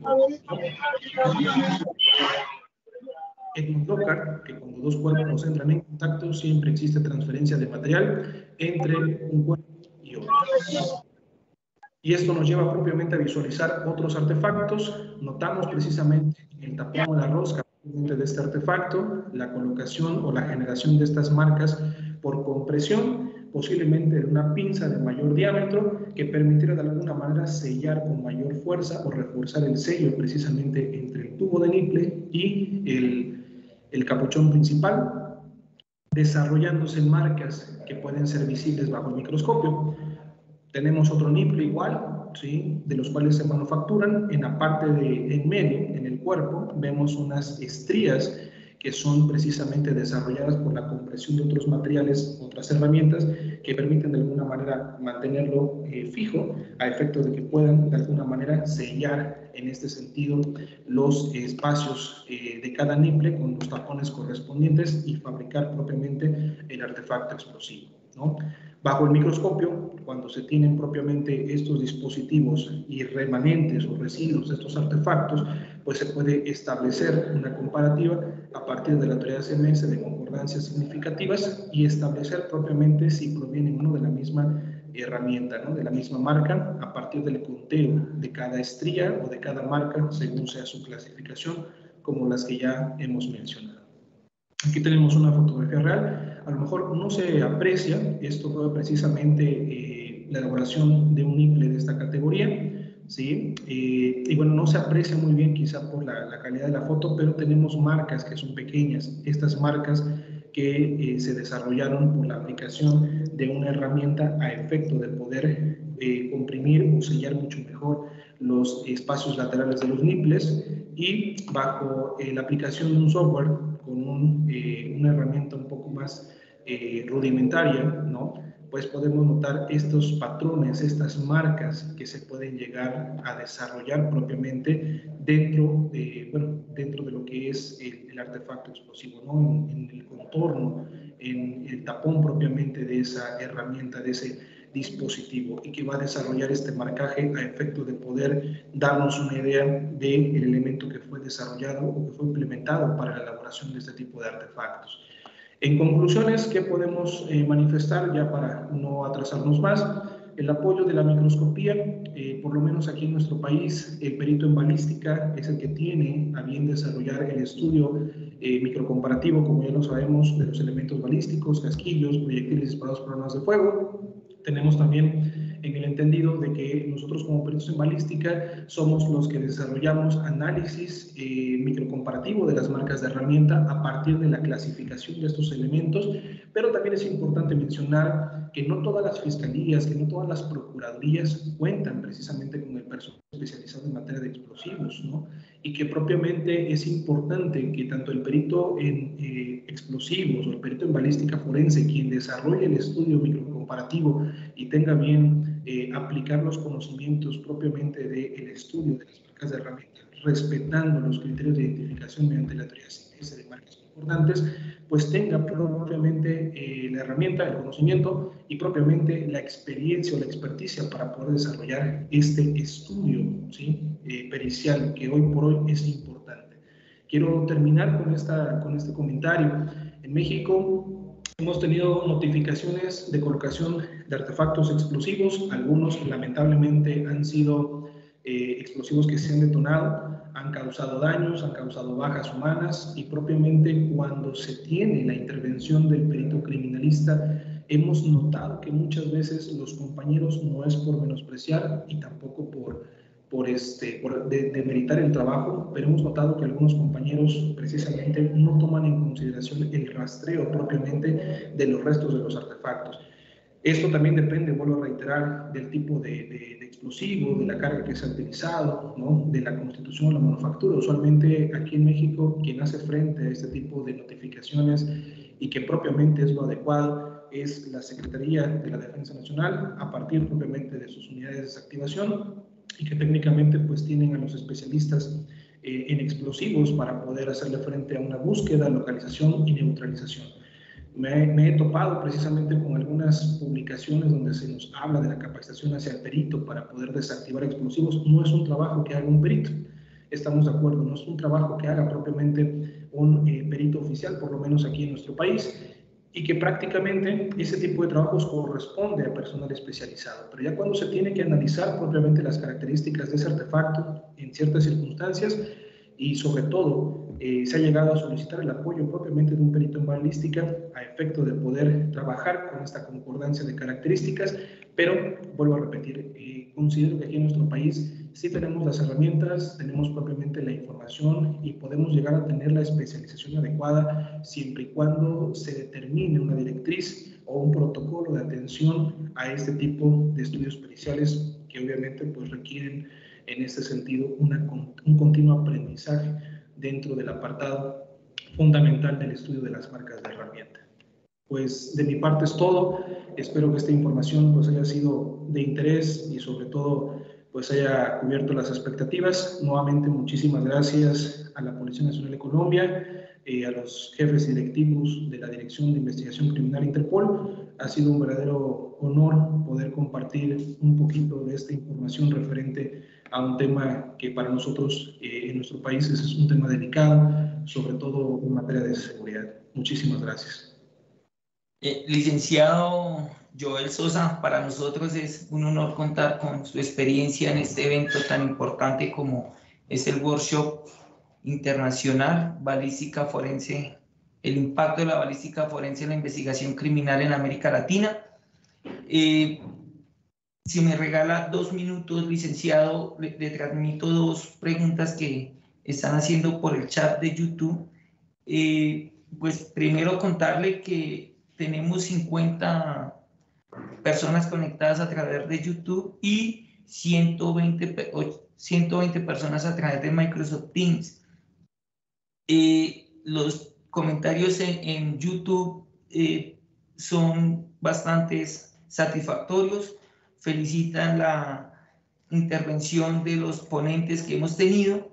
Y hay una pregunta de Miguel Ángel Hernández que dice, ¿estos criterios de individualización de características son los mismos de AFTE o son un método propio de laboratorio? Ok, perfecto. Bueno, pues en este aspecto, la mayor parte de los criterios de identificación forman parte de la AFTE, ¿no? y también de la comunidad de científicos examinadores de armas de fuego, es SBON. Prácticamente se trata de homologar los criterios que permitan a nosotros el poder desarrollar una comparativa con mayor eficacia y sobre todo basándonos en las premisas que ya habíamos comentado, ¿no? a partir propiamente del desarrollo de las marcas, de acuerdo a su tipología, su clase. Entonces, puedo manifestar que hoy por hoy eh, la mayoría de los que nosotros estamos eh, trabajando de manera científica, a lo mejor de manera reiterativa como peritos oficiales o peritos particulares, según sea nuestro caso, eh, nos basamos propiamente en los criterios de identificación de carbón y propiamente de la AFTE para poder analizar estas marcas de herramienta. Licenciado, muchísimas gracias. Eh, no, no tengo palabras para expresar el agradecimiento a usted y a su equipo de trabajo. Sé que ya hemos, en varias oportunidades nos hemos encontrado en eventos de estos y bueno, conozco su, su calidad profesional y técnica y el apasionamiento que tiene por la disciplina en balística forense. Licenciado, muchas gracias. Gracias a ustedes. Muy buena tarde. Gracias. Eh, a todos los que aún continúan, continúan con nosotros a través de YouTube y de Microsoft Teams, eh, vamos a dar inicio a nuestra última ponencia el día de hoy. Recordarles que mañana iniciamos a las 9 de la mañana con otras ponencias y vamos a finalizar sobre el mediodía, hora de Colombia, con la intervención del señor coronel Miguel eh, Fernández, quien es el jefe de Policía Científica y Criminalística en Colombia.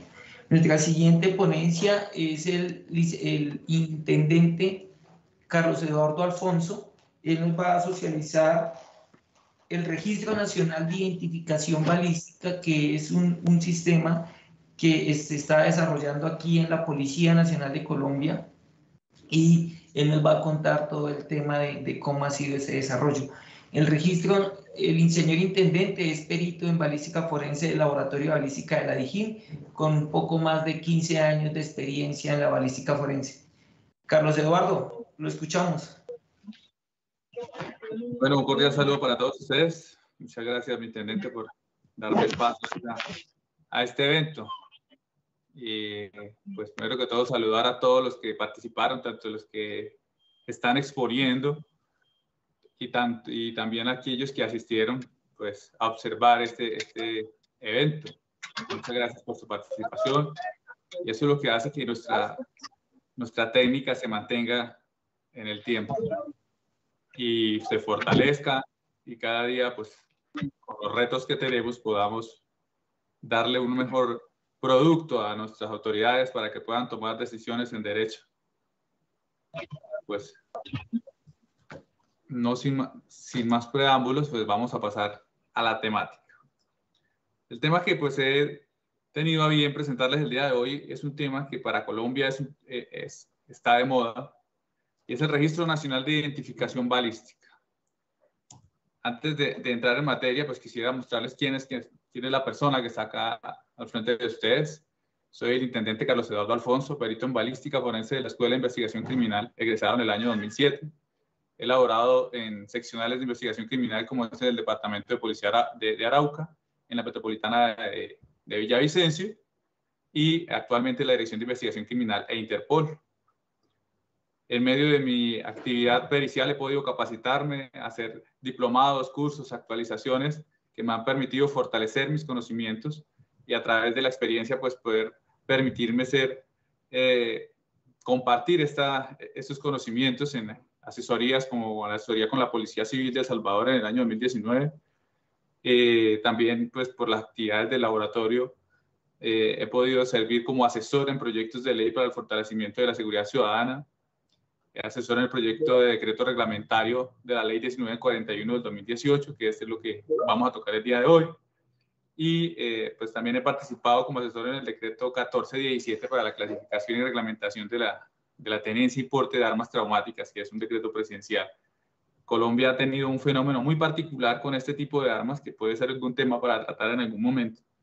No sé si de pronto en el resto de América Latina sucede, pero en Colombia hay un fenómeno particular con este tipo de armas y el Estado tuvo que a través de un decreto empezar a regularlas y pues a la par se está trabajando en un proyecto de ley para fortalecer todo lo que tiene que ver con las armas menos letales. Y pues en la implementación del Registro Nacional de Identificación Balística, que es lo que vamos a hablar el día de hoy. Antes de entrar en materia, quisiera de pronto exponer más que todo aquellas personas que están acá dentro de este, dentro de este evento y que de pronto no tienen mucho conocimiento y es importante contextualizarlos. Entonces quisiera hablarles un poco de qué es la balística forense y uno de los términos que, generales de la balística forense es que por, es, es, aquella que se encarga del estudio de la dirección, ¿no? Ok, permítame que me están informando que no ven mi pantalla, entonces quiero volver a compartir.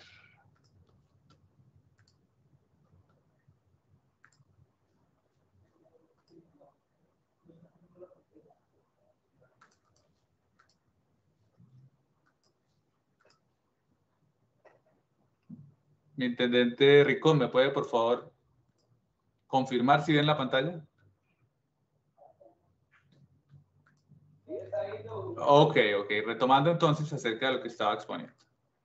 Vamos a hacer la contextualización entonces. Vamos a empezar con la contextualización rápidamente, algo muy general, que la balística forense, pues, en términos generales, es, eh, tiene por objeto el estudio de la dirección y trayectoria y efectos producidos por proyectiles disparados por un arma de fuego teniendo en cuenta dos aspectos importantes como lo son la identificación que regularmente se hacen en un laboratorio y la parte reconstructiva, que es, esa criminalística de campo, ¿no? Dividimos en tres grandes partes la balística. Generalmente se divide en tres grandes partes, que es la balística interna, la externa y la final o de efectos. Y es aquí donde nos vamos a centralizar, en esta balística interna.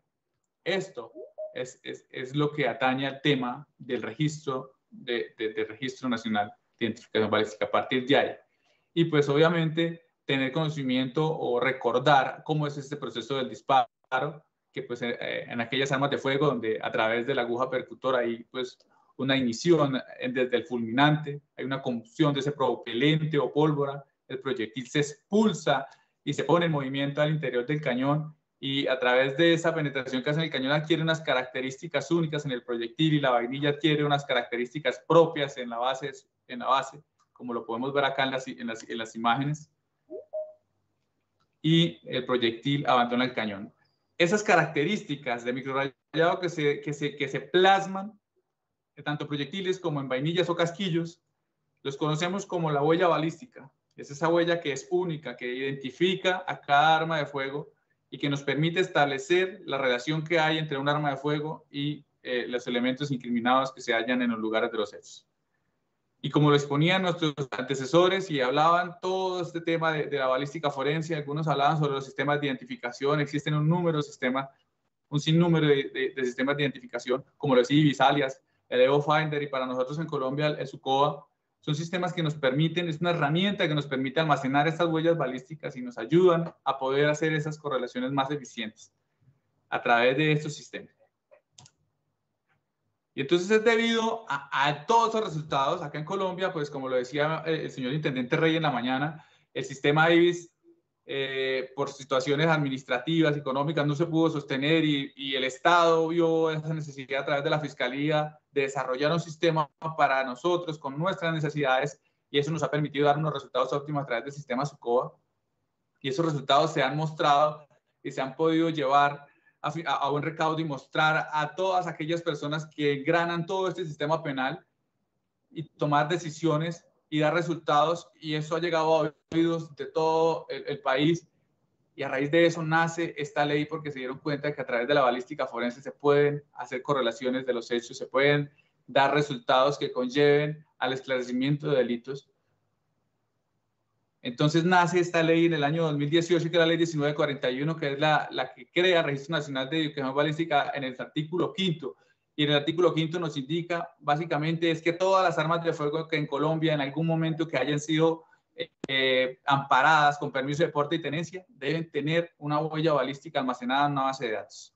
Y que, y que esa base de datos debe ser administrada por el Ministerio de Defensa Nacional y que la base de datos de la huella balística criminal debe ser administrada por la Fiscalía General de la Nación. Y aquí quiero de pronto aclarar que la Fiscalía General de la Nación ha tenido el sistema de información de huella balística, pero no haya tenido esa, ese estatus de estar en una ley, hacía parte de nuestros procedimientos internos de balística. Pero esto, al elevarse la ley, pues nos hace dar mucha más fortaleza, mucha más fuerza y pues engranar todo ese sistema operativo.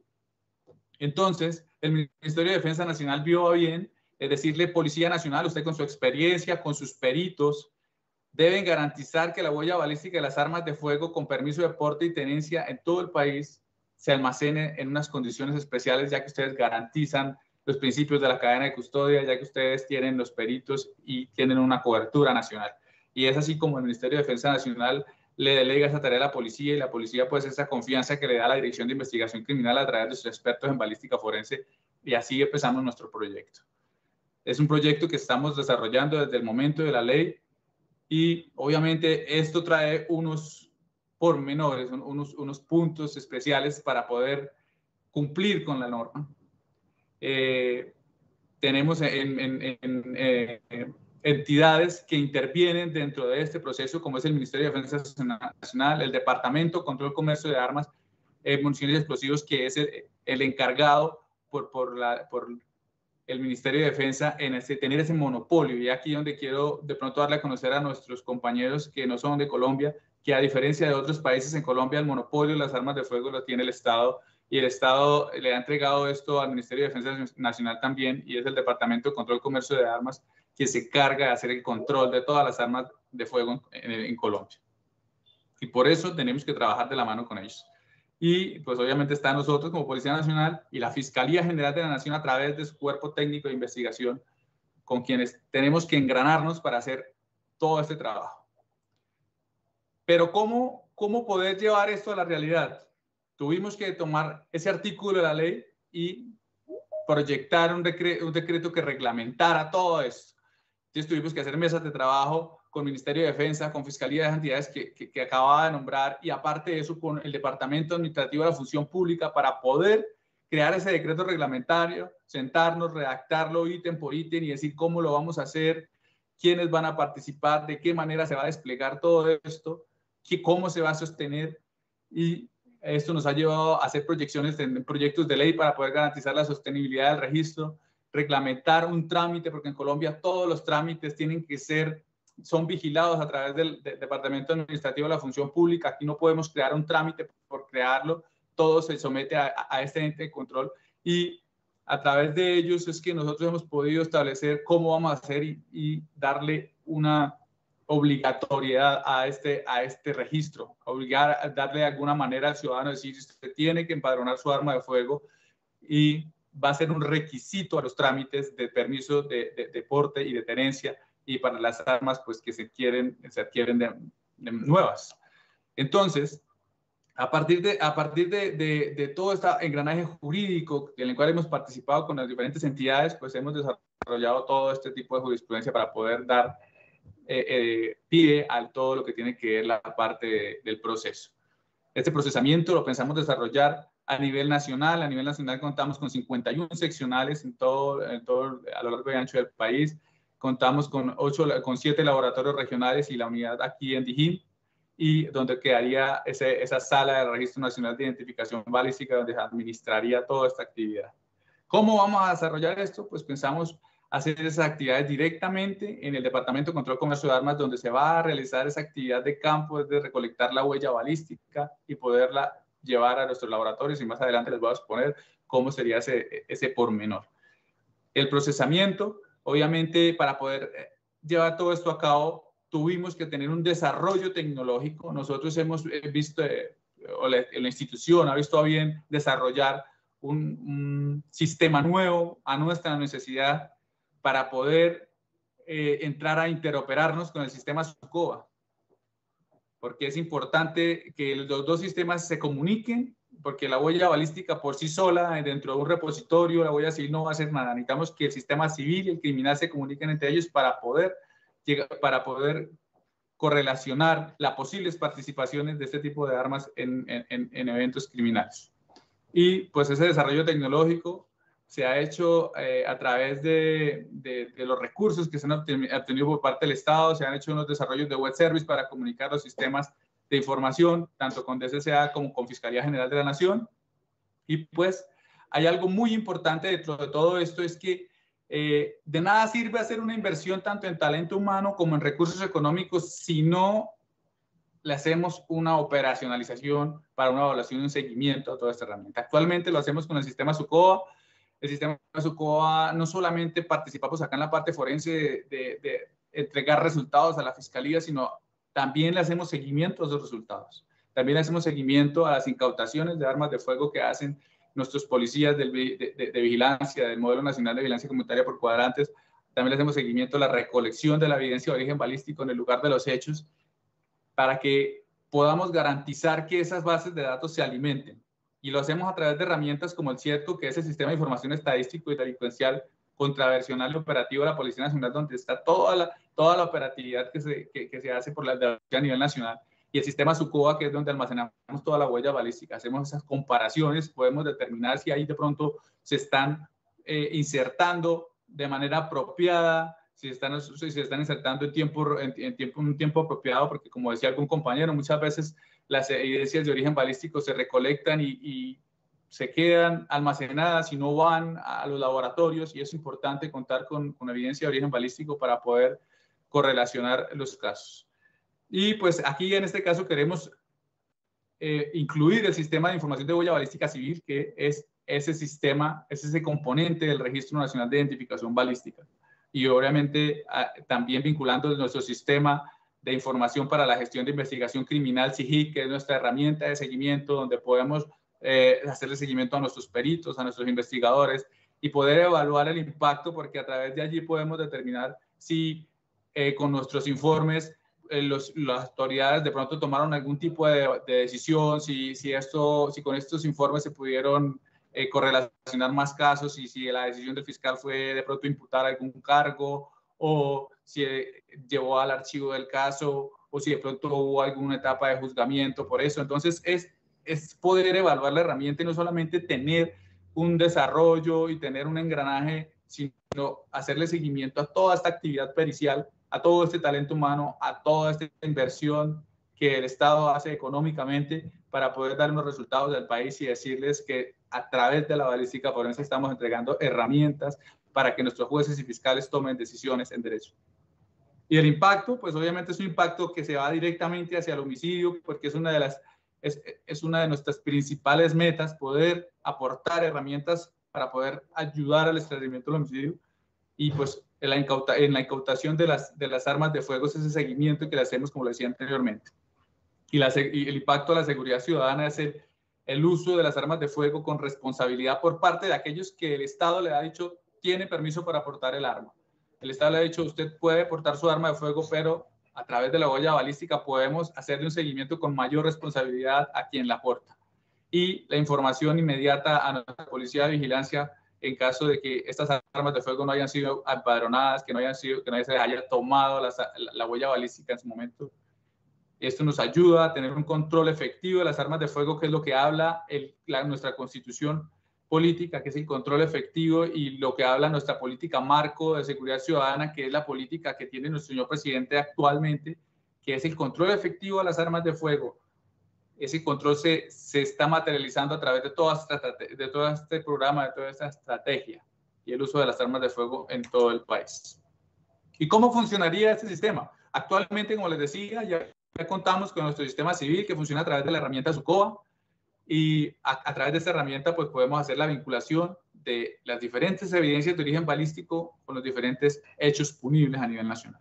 Pero no teníamos una herramienta civil una herramienta desde la huella balística civil que nos pudiera ayudar a vincular cuáles de las armas legalmente obtenidas en el país participan en, conductas punibles. No teníamos, no teníamos esa, esa relación real. Teníamos de pronto ese, esa registraduría, por decirlo así, de las armas de fuego, decir a quién le pertenece el arma, cuál es la marca, cuál es el modelo, cuál es el número de serie, pero no teníamos ese almacenamiento, ese repositorio de la huella balística, que es muy importante y que el Congreso de la República, a través de todos, todas las asesorías que se han brindado, lograron eh, ponerse de acuerdo y decir, es importante darle una fuerza de ley a esto, porque hay que ponerle cuidado a, a todo lo que tiene que ver con el manejo de las armas de fuego. Entonces dijeron, hay que tomarle huella balística a las armas de fuego de uso civil y aquí, a partir de eso, se empieza a hacer todo este despliegue para la creación del sistema. Entonces, el Registro Nacional de Identificación Balística está compuesto por dos sistemas, el sistema de información de huella balística criminal, del que estábamos hablando, y el sistema de información de huella balística civil, que es el que se está desarrollando y el cual va, se va a comunicar a través de sistemas de, de web service con el, con el Departamento de Control Comercio de Armas, quienes nos van a compartir la información básica de las armas y de quienes y de los titulares de estos permisos, tanto de las personas naturales como jurídicas, y cuando se, se en, el, en el evento que se pueda dar algún tipo de correlación positiva entre las huellas balísticas del civil con el criminal, a través de nuestros informes de investigador de laboratorio, a través de la operacionalización y el seguimiento que le hacemos a toda nuestra actividad con Fiscalía, pues Fiscalía tomará sus decisiones y, y, tomará decisiones al respecto con, con, las armas de fuego, porque como les decía, en Colombia el monopolio de las armas de fuego las tiene el Estado.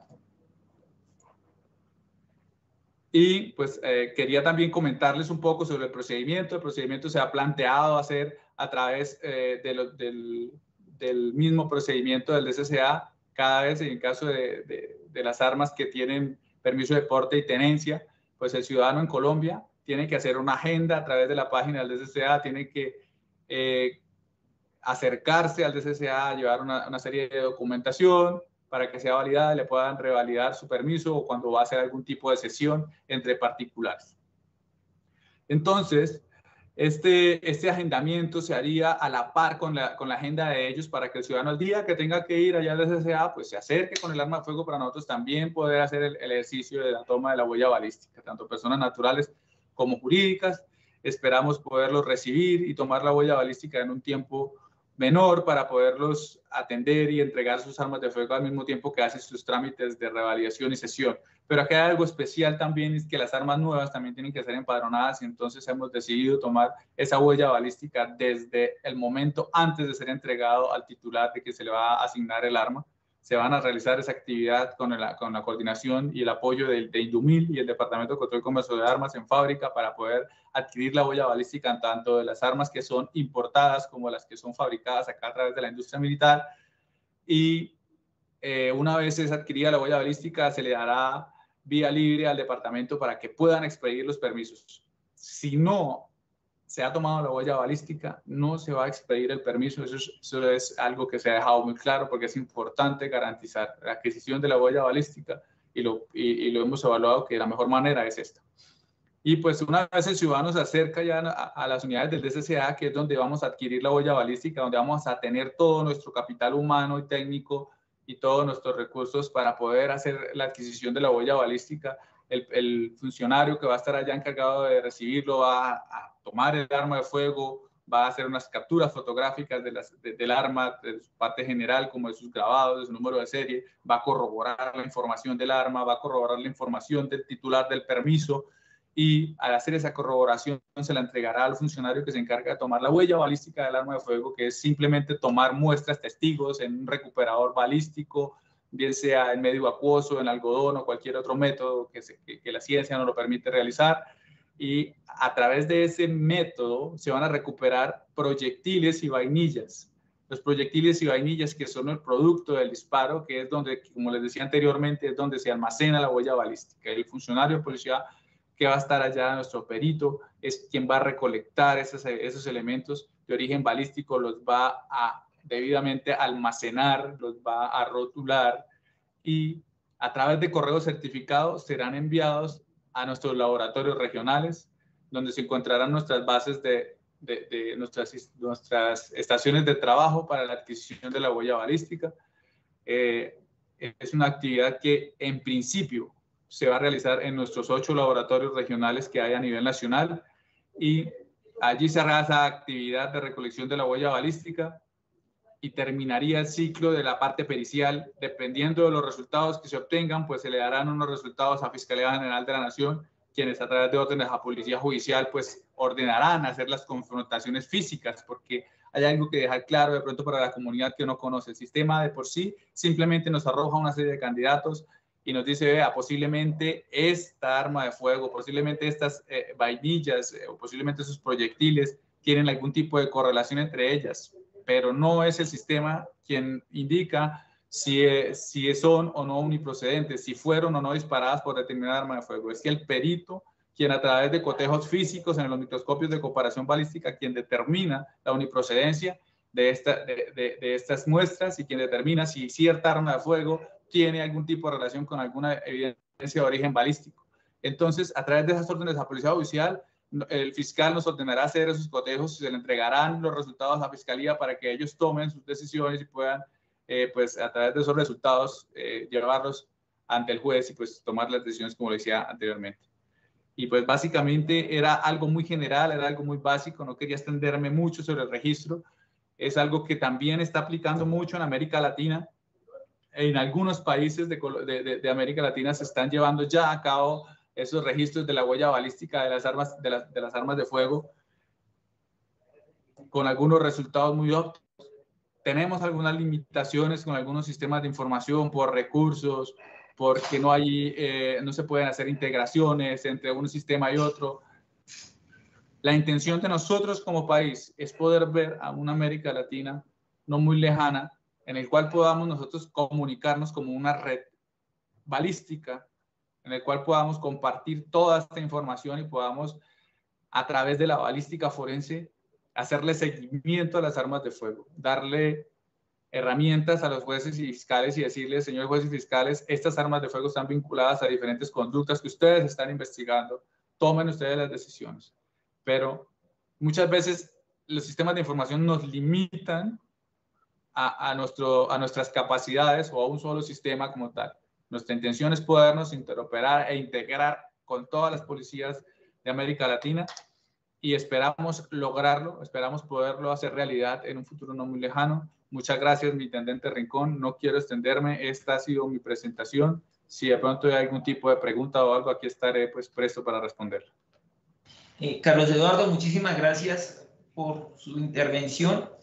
Eh, muy significativa para poder socializar los proyectos que tenemos nosotros como Policía Nacional y como país para un control efectivo a las armas de fuego hay varias preguntas. Eh, sabemos que este tema es bastante importante, bastante novedoso en América Latina, toda vez que somos una institución que estamos desarrollando tecnología, bases de datos eh, para almacenar huella balística. Se las voy a leer. El señor Ángel Hernández pregunta si las armas, eh, pregunta, ¿la Fiscalía a través del SUCOBA puede acceder al Registro Nacional de Identificación Balística para consultar armas? Esa es una pregunta. ¿las armas traumáticas serán ingresadas al Registro Nacional de Identificación Balística? ¿A partir de qué fecha entra en operación el Registro Nacional de Identificación Balística? ¿El almacenamiento físico de los patrones del arma donde se va a almacenar? Las personas naturales y jurídicas entregarán algún certificado de empadronamiento o solo con el permiso es suficiente? Esas son las preguntas. Bueno, con respecto a la pregunta, a la primera pregunta que realizaban, si el sistema SUCOBA va a tener integración con el registro. Y, pues eh, efectivamente el sistema SUCOBA es el sistema con el que actualmente la Fiscalía hace la recolección de la huella balística de las armas de fuego vinculadas a algún proceso penal. A, partir de ahí, podemos deducir de que este sistema SUCOA es el sistema que emplea la Fiscalía para el sistema de información de huella balística criminal. El sistema SUCOA es, una, es un sistema, es una herramienta tecnológica, pero ella puede llegar el día de mañana y mudar. La Fiscalía puede decir, ya no quiero utilizar SUCOA, voy a utilizar un sistema nuevo, otro sistema que desarrolle, un sistema que sea comercial. Entonces, por eso no nombramos dentro de todo el proceso un un nombre con un nombre en específico, ¿no? Entonces, en teoría, el sistema tiene que ser integrado con cualquiera de los, de, los sistemas. El sistema civil se tiene que integrar al sistema de la, de la, que tenga la fiscalía. Si la fiscalía tiene el sistema SUCOA, nuestro sistema tiene que integrar al sistema de ellos porque así lo indica la ley. Con respecto a la siguiente pregunta, ¿me la recuerda, por favor? Que no recuerdo. Si las armas traumáticas se van a ingresar a este registro. Las armas traumáticas, en el momento, hasta el momento, eh, no está previsto ser tenidas en cuenta. Estamos esperando toda esta evolución de normatividad, como les decía, hay unos proyectos de ley en curso eh, y a través de eso, pues eh, es muy posible que sí se tenga que realizar, es muy posible que sí, porque la ley es clara y dice que todas las armas de fuego con permiso de porte y tenencia tienen que tener su huella balística registrada. Entonces, a partir de que las armas eh, mm, conocidas comercialmente como traumáticas se empiecen a expedir este tipo de permisos, a partir de ese momento vamos a tener que adquirir la huella balística de esas armas, pero dependemos de las órdenes del gobierno nacional. Y eh, no sé cuál es la otra pregunta. ¿A partir de qué fecha y el almacenamiento dónde se va a hacer? Bueno, la fecha para el registro de la huella balística de las armas de fuego con permiso de porte y tenencia depende de la firma del decreto reglamentario. En este momento se encuentra en trámite todavía. Estamos a la espera de la firma del señor presidente de la República del decreto reglamentario. Una vez se en firme eh, la, la firma, pues tenemos aproximadamente 14 meses para salir a producción. Sin embargo, nosotros ya estamos adelantando todo este desarrollo que les comentaba. Ya tenemos un buen trabajo adelantado y nosotros pues tenemos previsto que para el otro año por más tardar a mediados del otro año ya estemos realizando esta actividad, pero dependemos todo también de, la firma del decreto reglamentario. Y el almacenamiento de estas huellas balísticas en principio se va a realizar en nuestros laboratorios regionales, van a haber lugares acondicionados para garantizar la seguridad y custodia de las huellas balísticas civiles, así como lo hacemos con las huellas balísticas criminales. No sé si hay alguna otra pregunta. Hay otra pregunta que dice que cuál es el margen de error en el registro de las huellas balísticas. Lo pregunta Adam Antonio Muñoz Moreno. Claro. Los sistemas de información como todo, pues obviamente tienen sus, sus márgenes de error, ¿no? Quiero poner en conocimiento que el sistema de información civil que se está, en este momento está en desarrollo. Y este desarrollo, detrás de eso hay un equipo de trabajo, hay una empresa que se contrató por parte de la Policía Nacional y detrás de este, de, de, este desarrollo hay un equipo y un talento humano muy profesional. Tenemos una serie de desarrolladores expertos en inteligencia artificial, expertos estadísticos, expertos en programación. Tenemos un equipo muy, muy sofisticado, de alta calidad, con muy buenas especialidades, con especializa, especializaciones en diferentes universidades reconocidas, con una muy amplia experiencia Además de eso, también contamos con peritos en balística forense que, han, que, se pensionaron y que actualmente trabajan con la empresa ayudando a toda la asesoría funcional y esa actividad pues obviamente se engrana con nosotros porque aquí trabajamos de la mano en ese desarrollo con el grupo de telemática, la oficina de telemática de la Policía Nacional y el laboratorio de balística a través de, de nosotros como expertos en balística. Estamos haciendo todo ese trabajo articulado y la idea es que se pueda adquirir la huella balística con un alto nivel de certeza. Sin embargo, como yo lo aclaraba desde un comienzo, el sistema simplemente arroja a los candidatos. Quien da la y determina qué uniprocedencia hay es el perito. El perito simplemente observa a los candidatos y, a través de ellos puede llegar a decir si hay alguno o no, hay un candidato, pero solo el cotejo físico es el que determina una correlación positiva, lo conocemos como un hit, para poder determinar la uniprocedencia y la correlación entre las muestras balísticas. Entonces esperamos de que, de que este, de que este eh, nivel de correlación sea muy alto. Estamos trabajando en ello y, y pues esperamos que sea así. Es lo que buscamos a través de todo este desarrollo. Hay una última pregunta, Carlos Eduardo. Dice, ¿Medicina Legal de Colombia tiene acceso al Registro Nacional de Identificación Balística? Actualmente Medicina Legal es un instituto que no hace ingreso de las huellas balísticas en la parte criminal. En el sistema civil, pues no se tiene previsto hacerlo. Sin embargo, eh, quiero poner en conocimiento que Policía Judicial, tanto del CTI, tanto de la Fiscalía, eh, llámese Cuerpo Técnico de Investigación como Policía Judicial de la, de la Dirección de Investigación Criminal, nosotros estamos en la obligación de garantizar la inserción de todas esas muestras. Entonces, si medicina legal en ese momento no tiene la conectividad a ese sistema, a través de los investigadores, eh, los fiscales están expidiendo las órdenes a policía judicial y a través de convenios interinstitucionales estamos trayendo todas esas muestras de lo criminal para poder incluirlas dentro de la base de datos, porque como lo decía, el éxito de esta actividad está en la operacionalización, en el seguimiento tanto de las muestras que se encuentran en el lugar de los hechos, así como las que son halladas y recuperadas en procedimientos de necropsia. Carlos Eduardo, muchísimas gracias eh, por su intervención.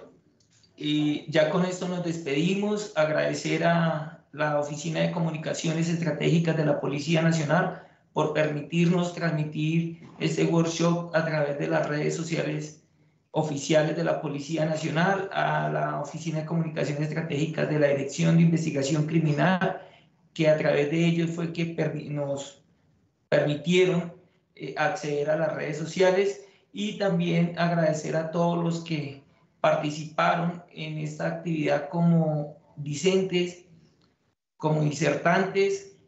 En esta actividad llevamos cinco horas de workshop. Mañana invitarlos a las nueve de la mañana por este mismo canal de, la, de YouTube de la Policía Nacional y por Microsoft Teams. Mañana tenemos siete expositores. De igual forma, tenemos una compañera balística desde Italia que nos va a hacer su, intervención y nos va a aportar conocimiento a nuestra agremiación y a nuestro cuerpo técnico científico en balística forense. Muchísimas gracias a todos y mañana a las 9 de la mañana los esperamos.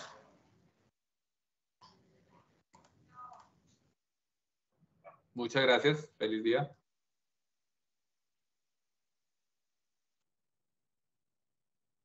Gracias, muy amable. Muy amable, ok, gracias.